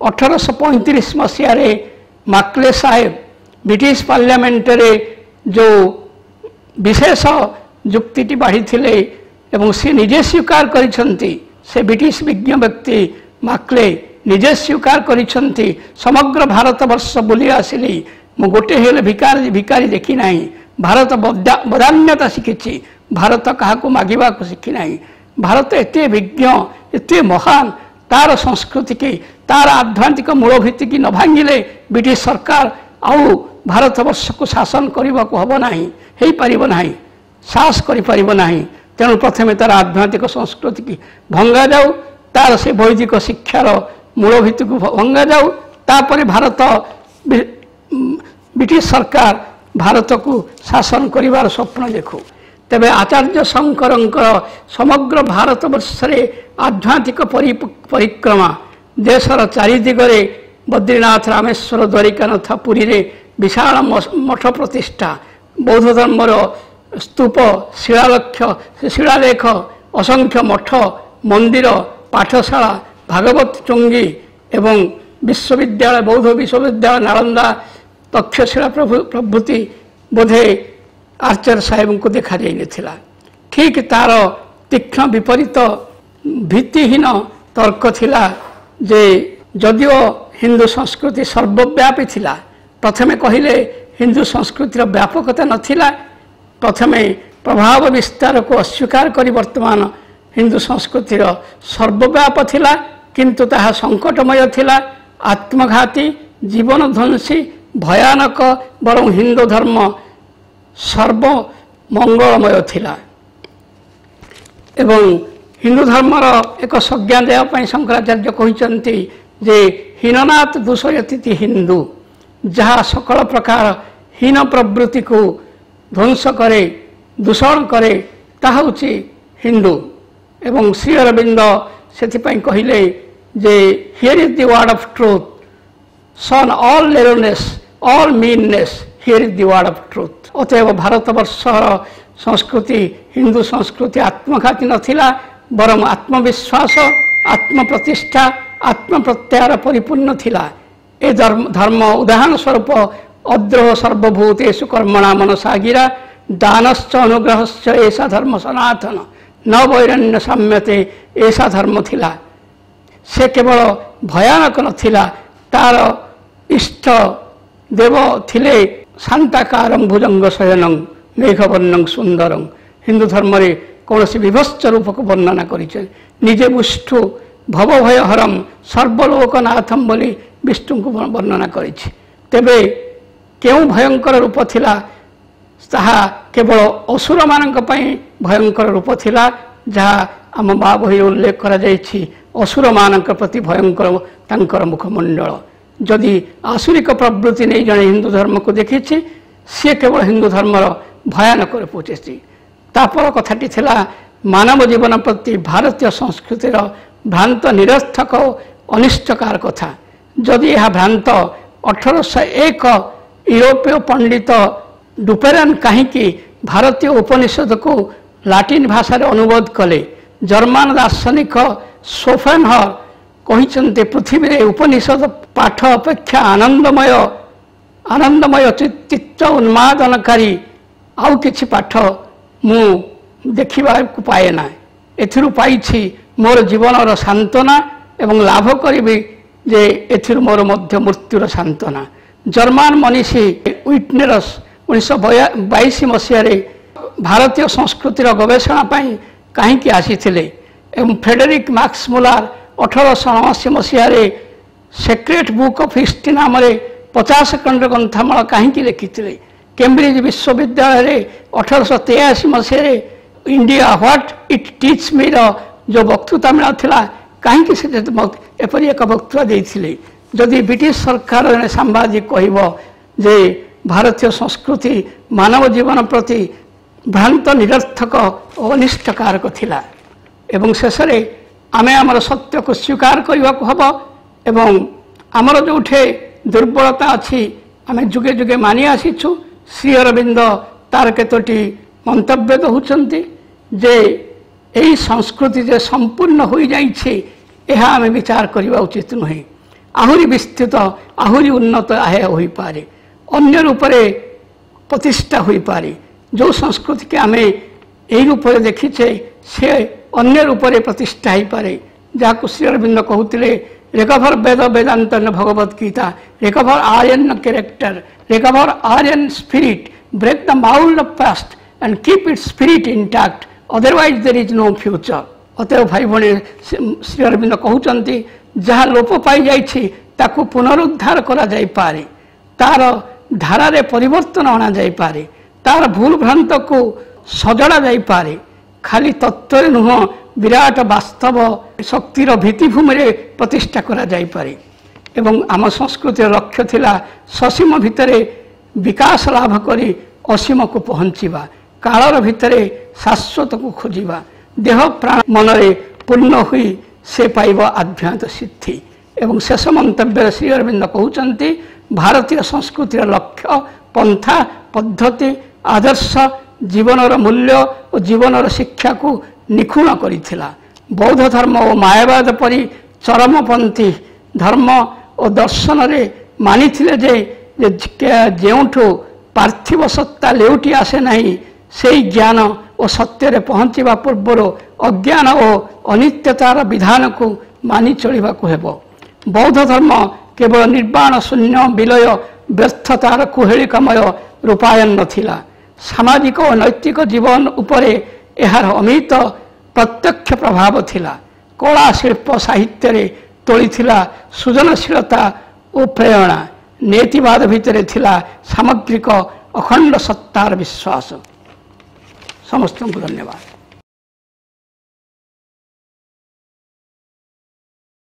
ମଧୁମୟୀ ମା ପରମପ୍ରଭୁ ଶ୍ରୀ ଅରବିନ୍ଦ ଶ୍ରୀ ଅରବିନ୍ଦ ଏ ଧର୍ମ ଓ ଆଧ୍ୟାତ୍ମିକତା ବିଷୟରେ ଯାହା ଉପସ୍ଥାପନ କରିଛନ୍ତି ତାହା କେତେ ଦିନ ଧରି ଆଲୋଚନା ହେଇ ଆସୁଛି ଆଜି ଆମେ ସେହି ବିଷୟର ଚତୁର୍ଥ ଅଧ୍ୟାୟର ପ୍ରାସଙ୍ଗିକତାକୁ ଯିବା ସେଥିରେ ଶ୍ରୀ ଅରବିନ୍ଦ କହୁଛନ୍ତି ଭାରତୀୟ ସଂସ୍କୃତିର ମୂଳ ଆଧାର ଗୋଟିଏ ବିଶାଳ ଚେତନା ଉପରେ ଏବଂ ଉଦାରତା ଉପରେ ପର୍ଯ୍ୟବେସିତ ହେଇକି ରହିଛି। ଯାହାକୁ ଆର୍ଯ୍ୟ ସଂସ୍କୃତି କୁହାଯାଉଛି। ତାର ସଂସ୍କୃତି ସାମାଜିକ ସ୍ଥାପତ୍ୟର ଏକ ବ୍ୟାପକ ଯୋଜନାକୁ ଗ୍ରହଣ କରିଥିଲା। ଖାଲି ଯେ ଗୋଟେ ବଳିଷ୍ଠ ଦାର୍ଶନିକ କିମ୍ବା ବୌଦ୍ଧିକ କିମ୍ବା କଳାତ୍ମକ ସୃଷ୍ଟି ନୈପୁଣ୍ୟତାରେ ତାହା ପ୍ରକାଶିତ କେବଳ ସେତିକି ନୁହେଁ ବରଂ ଏକ ମହାସଞ୍ଜୀବନୀ ଓ ତାର ଫଳପ୍ରସୂ ଜୀବନୀ ଶକ୍ତି ଏହା ସମୃଦ୍ଧ ହୋଇ ଉଠିଥିଲା। ତାର ସତ୍ତାର ଏକ ଉନ୍ନତ ତତ୍ଵର ଭାବଧାରାରେ ତାହା ଚିରଭାସ୍ୱର ପ୍ରକାଶିତ ହୋଇଥିଲା। କେବଳ ଏତିକି ଉକ୍ତି ପ୍ରକାଶ କରିବା ତାର ଯଥାର୍ଥ ଭାରତୀୟ ଭାବଧାରାର ମହତ୍ଵର ଯେ ସଠିକ ବିବରଣୀ ଦେଉଛି ଆମେମାନେ ତାହା ପାଇପାରିବା ନାହିଁ। କାରଣ ଏ ଭାରତୀୟ ସଭ୍ୟତା କେବଳ ଯେ ଗୋଟିଏ ସାଂସ୍କୃତିକ ଧାରା ନୁହେଁ ବରଂ ଏହା ହେଉଛି ମାନବ ଆତ୍ମାର ଏକ ମହାନ ସ୍ୱଧର୍ମତାର ଅଭିନବ ରୂପାୟନ। ବାସ୍ତବରେ ଆମେ ଯେତେବେଳେ ଏଇ କଥାକୁ ଲକ୍ଷ୍ୟ କରୁ ପ୍ରଥମେ ଆମେ ଦେଖୁ ଭାରତୀୟ ସଂସ୍କୃତିର ତତ୍ଵ ତାର ମୂଳ ଉଦ୍ଦେଶ୍ୟ ହେଲା ଅତି ଅସାଧାରଣ ଭାବରେ ଉଚ୍ଚ। ଅନେକ ଆଶା ଆକାଂକ୍ଷାରେ ପରିପୂର୍ଣ୍ଣ। ବାସ୍ତବରେ ଯାହା ମଣିଷର ଆତ୍ମା ହୃଦୟଙ୍ଗମ କରିପାରେ ନାହିଁ ତାହା ମଧ୍ୟରେ ସେ ସର୍ବଶ୍ରେଷ୍ଠ ଆମେମାନେ ଜାଣି ରଖିବା ଉଚିତ ଭାରତୀୟ ସଂସ୍କୃତିର ଅବଶ୍ୟମ୍ଭାବୀ ଆଦର୍ଶର ମୂଲ୍ୟ କଦାପି ଧ୍ୱଂସ ହୁଏ ନାହିଁ କିମ୍ବା ତାହା ଧ୍ୱଂସ ହୋଇବ ବି ନାହିଁ ତାହାକୁ ଆମେ ଅସ୍ୱୀକାର କରିବାର ପ୍ରୟାସ କେବଳ ବୃଥା। କେଉଁ ପ୍ରାଚୀନ କାଳରୁ ଭାରତୀୟ ମାନସ ବୌଦ୍ଧ ଧର୍ମ ଓ ମାୟାବାଦର ଅତିରଞ୍ଜନ କରି ଆସିଥିଲା। ଅବଶ୍ୟ ସେହି ପରିପ୍ରେକ୍ଷୀରେ ଏବଂ ସେହି ଅବସ୍ଥାର ସମୟ ତାର ଆବଶ୍ୟକତା ଥିଲା ବୋଲି ଏହା କାର୍ଯ୍ୟ କରାଯାଇଥିଲା। Our mind does not arrive at the totality of the truth easily ଆମର ମନ ସମସ୍ତ ପ୍ରୟାସ ଦ୍ୱାରା ମଧ୍ୟ ସତ୍ୟର ସମଗ୍ର ରୂପ ପାଖରେ ପହଞ୍ଚି ପାରେ ନାହିଁ। ଯେମିତି ଅସରପା ଦୃଷ୍ଟି ହେଉଛି ବିଖଣ୍ଡିତ ଦୃଷ୍ଟି।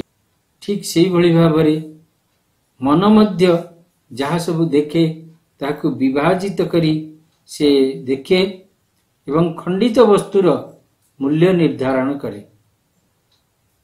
ସତ୍ୟର ବିଭିନ୍ନ ଦିଗରୁ ପରସ୍ପର ବିରୁଦ୍ଧରେ ଛିଡ଼ା କରାଇ ତାକୁ ଅନ୍ୱେଷଣ କରି ଚାଲେ ଯେତେବେଳେ କୌଣସି ଗୋଟିଏ ବିଷୟକୁ ସେ ଉପସ୍ଥାପନ କରେ ତାର ବିରୋଧାତ୍ମକ ଜିନିଷ ମଧ୍ୟ ସେହି ସମୟରେ ତାକୁ ପ୍ରକ୍ଷେପିତ କରିବାକୁ ସେ ସାହାଯ୍ୟ କରେ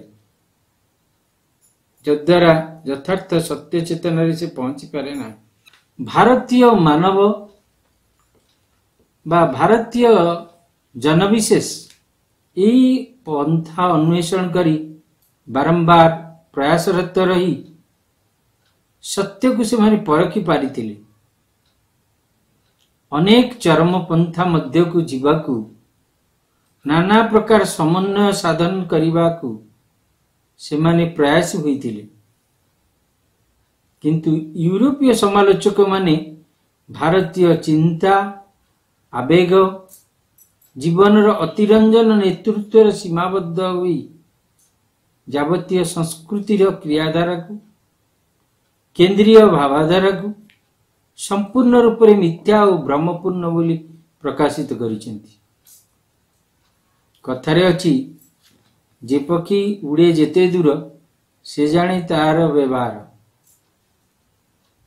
ଭାରତ ଭୂମି ଆଧ୍ୟାତ୍ମିକତାର ଭିତ୍ତିଭୂମି ଉପରେ ପର୍ଯ୍ୟବେସିତ।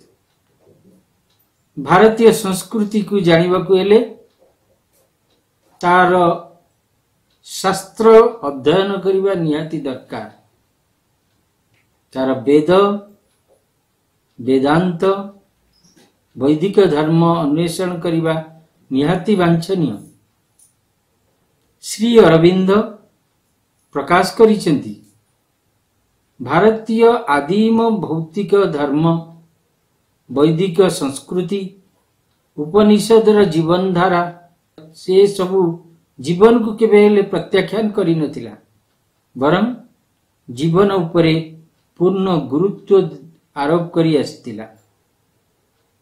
ତାଙ୍କ ଉକ୍ତିରେ ଏ ଜଗତ ଶାଶ୍ୱତ ପରମ ବ୍ରହ୍ମଙ୍କର ପରିପ୍ରକାଶ। ସବୁକିଛି ହିଁ ପରମ ବ୍ରହ୍ମ।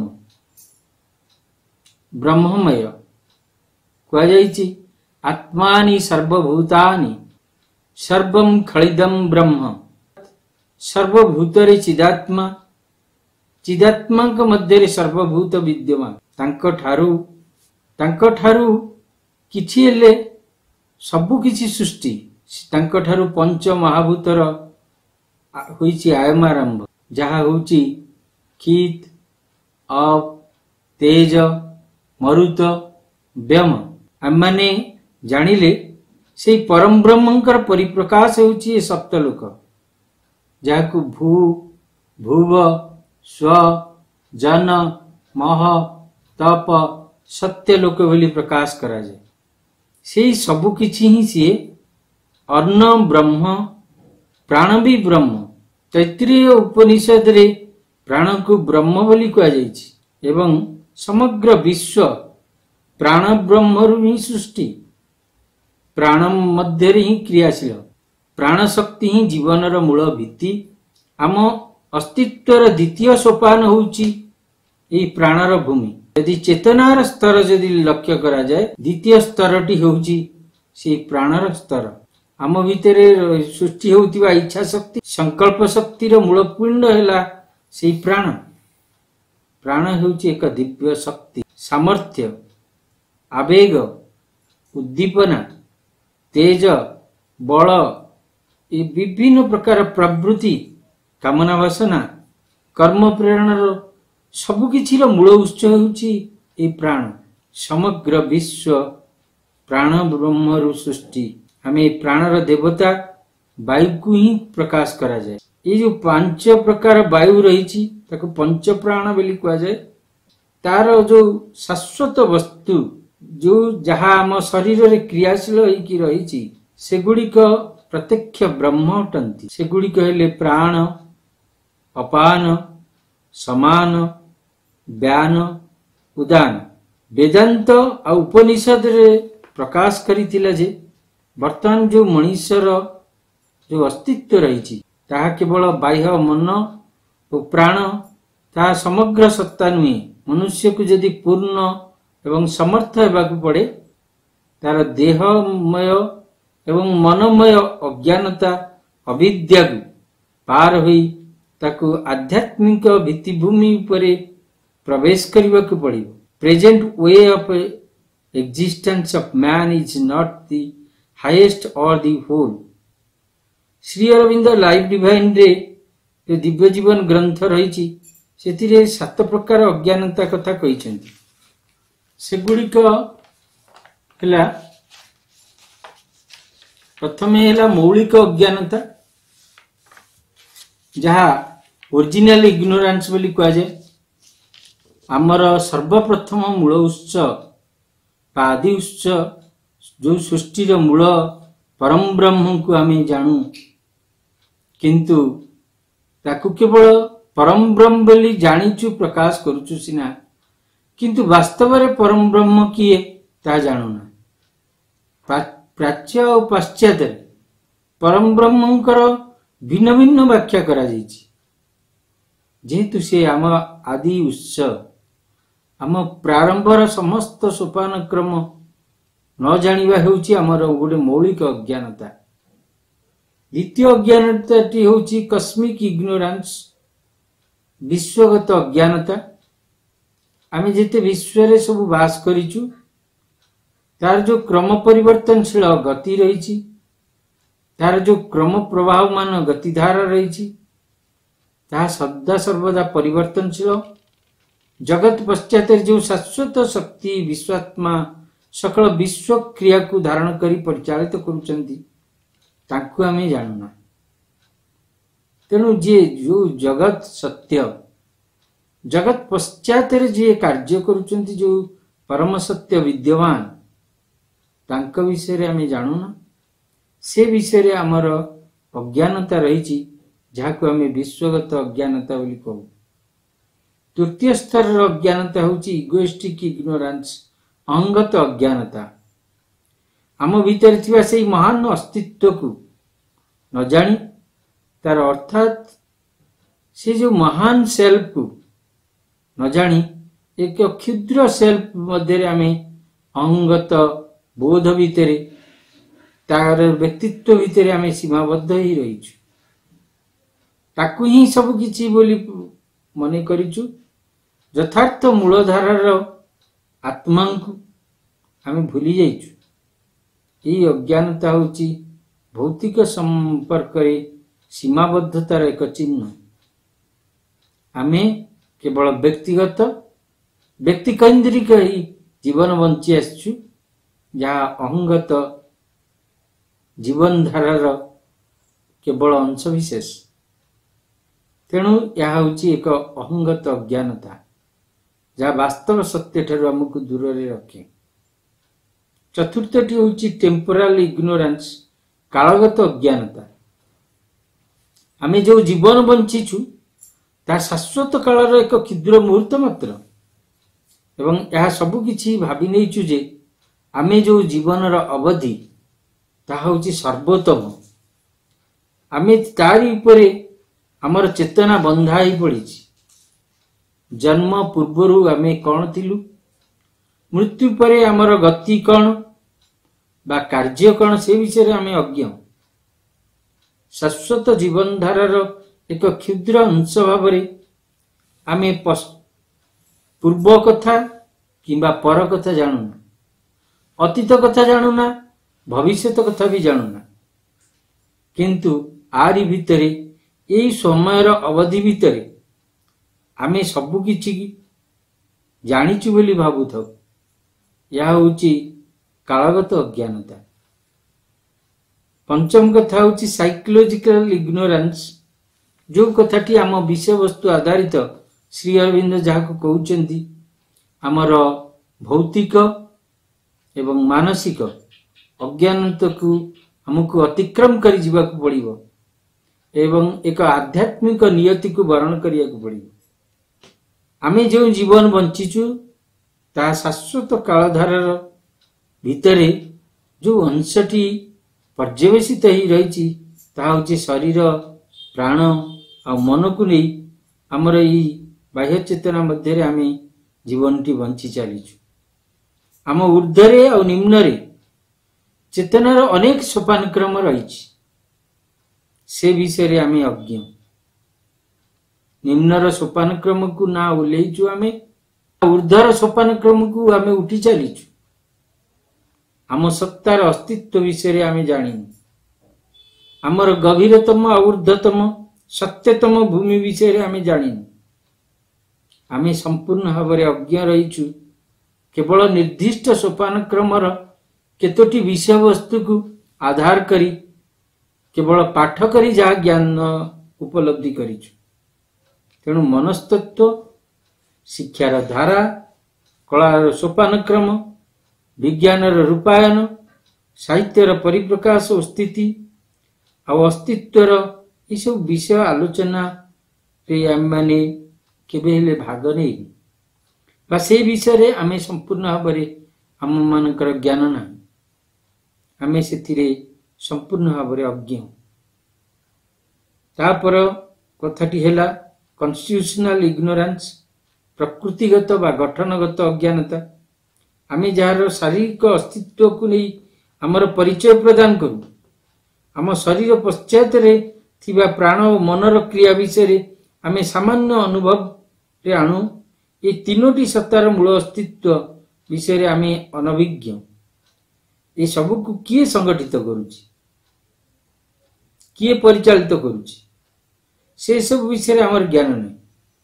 ଆମେ ଭିତରେ ଥିବା ସେଇ ମୂଳ ଅସ୍ତିତ୍ୱ ଯିଏକି ଏଇ ତିନୋଟି ମାଧ୍ୟମରେ ଜ୍ଞାନ ଲାଭ କରୁଛନ୍ତି ଲୀଳା ରଚନା କରୁଛନ୍ତି ତାଙ୍କୁ ଆମେ ଜାଣୁନା। ସେଇ ଚୈତ୍ୟ ବ୍ୟକ୍ତିତ୍ୱକୁ ନ ଜାଣି ତାର ଛାୟା ଅଙ୍ଗ ବ୍ୟକ୍ତିତ୍ୱ ଭିତରେ ଆମେ ଆବଦ୍ଧ ହେଇ ରହିଛୁ। ତେଣୁ ଆମେ ଏଇ ବିଷୟରେ ସମ୍ପୂର୍ଣ୍ଣ ଭାବରେ ଅଜ୍ଞ। ତାହା ହେଉଛି ପ୍ରକୃତିଗତ ବା ଗଠନଗତ ଅଜ୍ଞାନତା। ଶେଷଟି ହେଉଛି ପ୍ରାକ୍ଟିକାଲ ଇଗ୍ନୋରାନ୍ସ ବା ବ୍ୟବହାରିକ ଅଜ୍ଞାନତା। ଏ ଛଅଟି ଯାକ ଅଜ୍ଞାନତାର ସମ୍ମିଶ୍ରଣରେ ସୃଷ୍ଟି ହେଇଛି। ଏ ଷଷ୍ଠ ଅଜ୍ଞାନତା ଆ ଭିତରେ କଳ୍ପନା ଅନୁମାନ ଭାବିବା ବିଚାର କରିବା ଅନୁଭୂତିକୁ ନବା ତ୍ରୁଟିକୁ ପରିଲକ୍ଷିତ କରିବା ବିଭିନ୍ନ ବିଷୟ ଗୁଡ଼ିକ ରହିଛି। ସମସ୍ତ କଷ୍ଟ ଦୁଃଖ ଯନ୍ତ୍ରଣା ଆଶା ନିରାଶା ହତାଶା ଏ ସବୁ ଗୁଡ଼ିକ ଅଜ୍ଞାନତା ଯୋଗୁଁ ଆସିଥାଏ। ତାହା ହେଉଛି ବ୍ୟବହାରିକ ଅଜ୍ଞାନତା। ତେଣୁ ଆମେମାନେ ଆମମାନଙ୍କର ଯୋଉ ବିଷୟବସ୍ତୁର ଯୋଉ ଆଧାରଟି ରହିଛି ଯୋଉ ସତ୍ୟଟିକୁ ଅବଲୋକନ କରିବାକୁ ଆମକୁ ଯିବାକୁ ପଡୁଛି ପଡୁଛି। ପରବର୍ତ୍ତୀ ଯୁଗରେ ଯେତେବେଳେ ଶ୍ରୀ ଅରବିନ୍ଦ ଯାହାକୁ ବର୍ଣ୍ଣନା କରୁଛନ୍ତି ଏ ବୌଦ୍ଧ ଧର୍ମ ଯେତେବେଳେ ଆସିଲା ପ୍ରାଚୀନ ଶିକ୍ଷାର ଗୋଟିଏ ବିଷୟକୁ ଗ୍ରହଣ କରି ଜୀବନ ଅନିତ୍ୟ ଓ ଶାଶ୍ୱତଙ୍କର ଅନିତ୍ୟତା ବିଷୟରେ ତୀବ୍ର ଆଧ୍ୟାତ୍ମ ବୌଦ୍ଧିକତା ବିରୋଧ ସବୁ ସୃଷ୍ଟି କଲା। ବୁଦ୍ଧଦେବ ବେଦ ପ୍ରାତିପାଦିକ କର୍ମକାଣ୍ଡକୁ ଖଣ୍ଡନ କଲେ ତପଶ୍ଚର୍ଯ୍ୟାର ବାର୍ତ୍ତା ଓ ନିର୍ବାଣ ଶିକ୍ଷାର ବାର୍ତ୍ତା ପ୍ରଚାର ହେବା ଦେଖି ସମନ୍ୱୟ ଧର୍ମୀ ହିନ୍ଦୁ ନୀତିବାଦ ସହିତ ସଂଗ୍ରାମ କରି ବୌଦ୍ଧ ଧର୍ମର କଠୋରତା ବିରୁଦ୍ଧରେ ସଂଗ୍ରାମ କରି ବୌଦ୍ଧ ଧର୍ମକୁ ହଟାଇବାକୁ ପଡ଼ିଥିଲା ଏହାପରେ ଶଙ୍କରଙ୍କର ଯୋଉ ମାୟାବାଦ ବା ଅଦ୍ୱୈତବାଦ ସିଦ୍ଧାନ୍ତ ସ୍ଥାପନ କଲେ ଏବଂ ଘୋଷଣା କଲେ ବ୍ରହ୍ମଂ ସତ୍ୟಂ ଜଗତ ମିଥ୍ୟା ଜୀବ ବ୍ରହ୍ମୈବ ନାପରହ ଯାହା ବିବେକ ଚୂଡ଼ାମଣିର କୋଡ଼ିଏତମ ପଦ୍ୟାଂଶରେ ପ୍ରକାଶିତ ହେଇଛି ଯାହାର ଅର୍ଥ ହେଉଛି ଆମେମାନେ ସମ୍ପୂର୍ଣ୍ଣ ଭାବରେ ଏଇ ଯୋଉ ମୂଳ ରଜୁ ରହିଛି ତାହା ସର୍ପ- ସର୍ପବତ୍ ସୁକ୍ତିକା ରଜତବତ୍ ମୃଗତୃଷ୍ଣା ଜଳବତ୍ ଏହି ଉଦାହରଣ ଦେଇ ସଂସାରକୁ ଅସତ୍ୟ ମାନି ଶଙ୍କର ବୁଦ୍ଧଦେବଙ୍କର ସିଦ୍ଧ- ସିଦ୍ଧାନ୍ତକୁ ଖଣ୍ଡନ କଲେ। ଏହା ମଧ୍ୟ ଲକ୍ଷ୍ୟ କରାଯାଇଛି ଦିନେ ଏହି ବ୍ୟକ୍ତି ଚେତନାକୁ ଶୀର୍ଷକୁ ଉଠାଇ ନେବାକୁ ପଡ଼ିବ। ନଚେତ୍ ଆମର ଯଥାର୍ଥ ଜ୍ଞାନ ଆମେ ଅନ୍ୱେଷଣ କରିପାରିବୁ ନାହିଁ। ସେଇ ବିଷୟଟି ଆମ ଭାରତୀୟ ଶାସ୍ତ୍ରରେ ବର୍ଣ୍ଣିତ। ଆମମାନେ ସଦାସର୍ବଦା ସେଇ ପରମ ବ୍ରହ୍ମଙ୍କର ଏକ ଅଂଶ ବିଶେଷ କିନ୍ତୁ ପରବର୍ତ୍ତୀ ମୁହୂର୍ତ୍ତରେ ଇଂଲଣ୍ଡର ମିଷ୍ଟର ୱିଲିୟମ ଆର୍ଚର ସେ ଯେତେବେଳେ ଉଣେଇଶହ ସତର ମସିହାରେ ଇଣ୍ଡିଆନ ଆଣ୍ଡ ଦି ଫ୍ୟୁଚର ପୁସ୍ତକରେ ଭାରତୀୟ ସଂସ୍କୃତି ଏବଂ ତାର ଭବିଷ୍ୟତ ବିଷୟରେ ଏକ ନ୍ୟୁନ ଧରଣର ସମାଲୋଚନା କଲେ ଯେପରି ସମୁଦ୍ର ପାଣିରୁ ଆଞ୍ଜୁଳାଏ ନେଇ ଏଇଟାକୁ ସମୁଦ୍ର ବୋଲି ପ୍ରକାଶ କରିବା ଯାହା ଭାରତର ବାହ୍ୟ ଜୀବନଧାରାକୁ ପର୍ଯ୍ୟାଲୋଚନା କରି ତାକୁ ପ୍ରକାଶ କରିବା ଭାରତୀୟ ସଂସ୍କୃତି ହେଉଛି ଅର୍ଥହୀନ ବୋଲି ପ୍ରକାଶ କରିବା ଯାହା ଠିକ୍ ସେଇଭଳି ଭାବରେ ଭାରତୀୟ ସଂସ୍କୃତିର ଅପବାଦ କରିବା ଏ କାର୍ଯ୍ୟକୁ ବାସ୍ତବରେ ସତ୍ୟର ଅପଳାପ କରିବା ସାଙ୍ଗରେ ସମାନ। ସେଇ ଯୋଉ ନିୟମ ଯେଉଁଥିପାଇଁ ଶ୍ରୀ ଅରବିନ୍ଦ ଉଣେଇଶହ ଅଠରରୁ ଏକୋଇଶ ମସିହା ଭିତରେ ଏଗୁଡ଼ିକ ଏ ଆର୍ଯ୍ୟ ପତ୍ରିକାରେ ଭାରତୀୟ ସଂସ୍କୃତିର ମହାନତାକୁ ଉପସ୍ଥାପନ କଲେ। ସେଇଥିପାଇଁ ୱାଗନ ୱାଗନ ବହି ସେ ମଗଉଥିଲେ ଏବଂ ଭାରତୀୟର ମୂଳ ଐତିହ୍ୟକୁ ସେ ପର୍ଯ୍ୟାଲୋଚନା କରି ତା ଭିତରେ ପ୍ରବେଶ କରିଛନ୍ତି। ଯୋଉ ମନୁଷ୍ୟ ଭାରତୀୟ ସଂସ୍କୃତିକୁ ତା ଭିତରେ ପ୍ରବେଶ ନ କରି ତା ଭିତରେ ଅନେକ କଥା ଅସ୍ୱାଭାବିକ ବୋଲି ଭାବୁଛନ୍ତି ଏବଂ ଏହା ଅଦ୍ଭୁତ ଓ ହାସ୍ୟାସ୍ପଦ ବୋଲି କୁହାଯାଉଛି। ତେଣୁ ଭାରତର ଶ୍ରେଷ୍ଠ ଅବଦାନ ହେଉଛି ତା ଧର୍ମ ଦର୍ଶନରେ ସମୃଦ୍ଧ ସଂସ୍କୃତିରେ ନ୍ୟାୟସଙ୍ଗତ ଏବଂ ଯଦି କିନ୍ତୁ ଯଦି ତଥାପି ତାଙ୍କର ମତବାଦ ଯାହା ଥାଉ ନା କାହିଁକି ବିଶେଷ କରି ଅତିରଞ୍ଜିତ ଭାବରେ ତାକୁ ଯୋଉ କଥାଟିକୁ ପ୍ରକାଶ କରା- କରା- କରିଛନ୍ତି ସେଗୁଡ଼ିକ ଯଦି ଦେଖିବା ମିଷ୍ଟର ଆର୍ଚରଙ୍କର ସମାଲୋଚନା ହେଉଛି ଖୁବ୍ କ୍ଷୁଦ୍ର। ଯେମିତି ନଡ଼ିଆର ଭିତରକୁ ପ୍ରବେଶ ନ କଲେ ତାର ଫଳର ଆସ୍ୱାଦନ କରି ହୁଏନି ବାହା କତାଳିଆ ବାହାରର କତାକୁ ଯଦି ତାର ସର୍ବସ୍ୱ ଭାବି ତାକୁ ତ୍ୟାଗ କରି ଯେମିତି କରିବାକୁ ପଡ଼େ ଠିକ୍ ସେଇଭଳି ଭାବରେ ଭାରତୀୟ ସଂସ୍କୃତି ଭିତରେ ପ୍ରବେଶ ନ କରି ବାହ୍ୟ ବିଷୟବସ୍ତୁକୁ ଲକ୍ଷ୍ୟ କରି ଜଣେ ଭାରତକୁ ନିନ୍ଦା କରିବା ଏଇଟା ହେଉଛି ମହାନ ସତ୍ୟର ଅପଳାପ କହିଲେ ଅତ୍ୟୁକ୍ତି ହେବନି ତେଣୁ ସେ ଯାହା ସବୁ ପ୍ରକାଶ କରିଛନ୍ତି ଏସବୁ ପ୍ରହେଳିକାମୟ ଆଶ୍ଚର୍ଯ୍ୟ ଦେଶ ବୋଲି ଯୋଉ କୁହାଯାଇଛି ବିଶେଷ କରି ସୌନ୍ଦର୍ଯ୍ୟମୟ ସୃଷ୍ଟି ବର୍ବରତା କଥା ଯୋଉ ପ୍ରକାଶ କରିଛନ୍ତି। ଏ ସବୁ ଗୁଡ଼ିକ ଆମେ ଯଦି ଲକ୍ଷ୍ୟ କରିବା ଆମେ ବର୍ତ୍ତମାନ ଦେଖିବା ସମାଲୋ- ସମାଲୋଚନା ଯୋଉ କରାଯାଇଛି ତାର ମର୍ମ ଭିତ୍ତି କାହା ଉପରେ ଦଣ୍ଡାୟମାନ? ଭାରତୀୟ ଜୀବନର ଯୋଉ ସଂକଳ୍ପ ଆଉ ବ୍ୟକ୍ତିତ୍ୱର ଯୋଉ କାର୍ଯ୍ୟକଳାପ ଏବଂ ଭାରତୀୟ ସୃଷ୍ଟି ନୈପୁଣ୍ୟର ଯୋଉ ଭାରତର ଗର୍ବ ସମାଲୋଚକମାନଙ୍କ ଅନୁସାରେ ଯାହା ହିଁ ଭାରତୀୟ ଭାରତର କଳଙ୍କ ବୋଲି ଯାହାକୁ ଦେଖି ସେ ରାଗଜରେ ସଂକୁଚିତ ହୋଇଯିବା ଉଚିତ। ଏହା ଏକମାତ୍ର ପ୍ରଧାନ ପ୍ରଶ୍ନ। ବର୍ତ୍ତମାନ ଆମ ବିଚାରରେ କରିବାକୁ ବାକି ଅଛି। ଯୋଉ ଗୋଟିକ ଭାରତୀୟର ଭାରତର ମୂଳ ଐତିହ୍ୟ ମୂଳ ପର୍ଯ୍ୟବେସିତ ସଂସ୍କୃତି ମୂଳ ଜ୍ଞାନ ଯାହାକୁ ଆମେ ବେଦ ବେଦାନ୍ତ ଗୀତା ଉପନିଷଦ ଭାଗବତ ତଥା ମହାନ ଧାର୍ମିକ ତତ୍ଵ ଜୀବନଧାରା ଉପରେ ପର୍ଯ୍ୟବେସିତ ହେଇ ରହିଛି ସେଥିରୁ ନିଜକୁ ମୁକୁଳାଇ ନେବାକୁ ପଡ଼ିବ ଶ୍ରୀ ଅରବିନ୍ଦ ସେଇଥିପାଇଁ ସମସ୍ତଙ୍କ ଦୃଷ୍ଟିକୁ ଉନ୍ମୋଚିତ କରିଛନ୍ତି ଜ୍ଞାନର ଯଥାର୍ଥ ଧାରାକୁ ଉପସ୍ଥାପନ କରିଛନ୍ତି ବନ୍ଦେ ମାତରମ୍ ଆମେ ଭିତରକୁ ପ୍ରବେଶ କରିବା ଏବଂ ଅନେକ ବିଷୟ ତା ଭିତରେ ଜିଜ୍ଞାସାକୁ ପରିବର୍ଦ୍ଧିତ କରିବା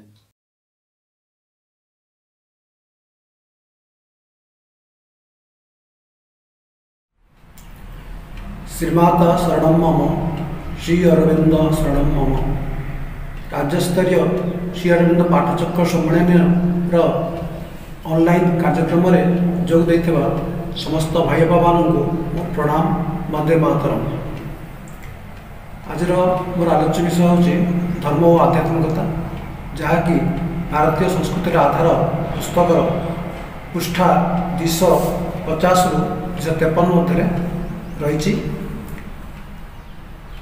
ମୁଁ ବର୍ତ୍ତମାନ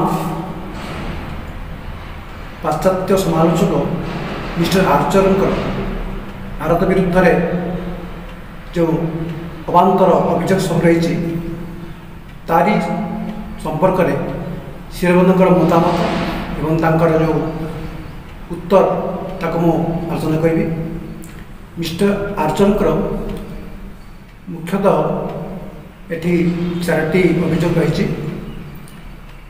ଗୋଟିଏ ଅଭିଯୋଗ ହେଉଛି ଯେ ଭାରତରେ କୌଣସି ମହାନ ଓ ଉଦ୍ଦାମ କର୍ମପ୍ରବଣତା ନଥିଲା।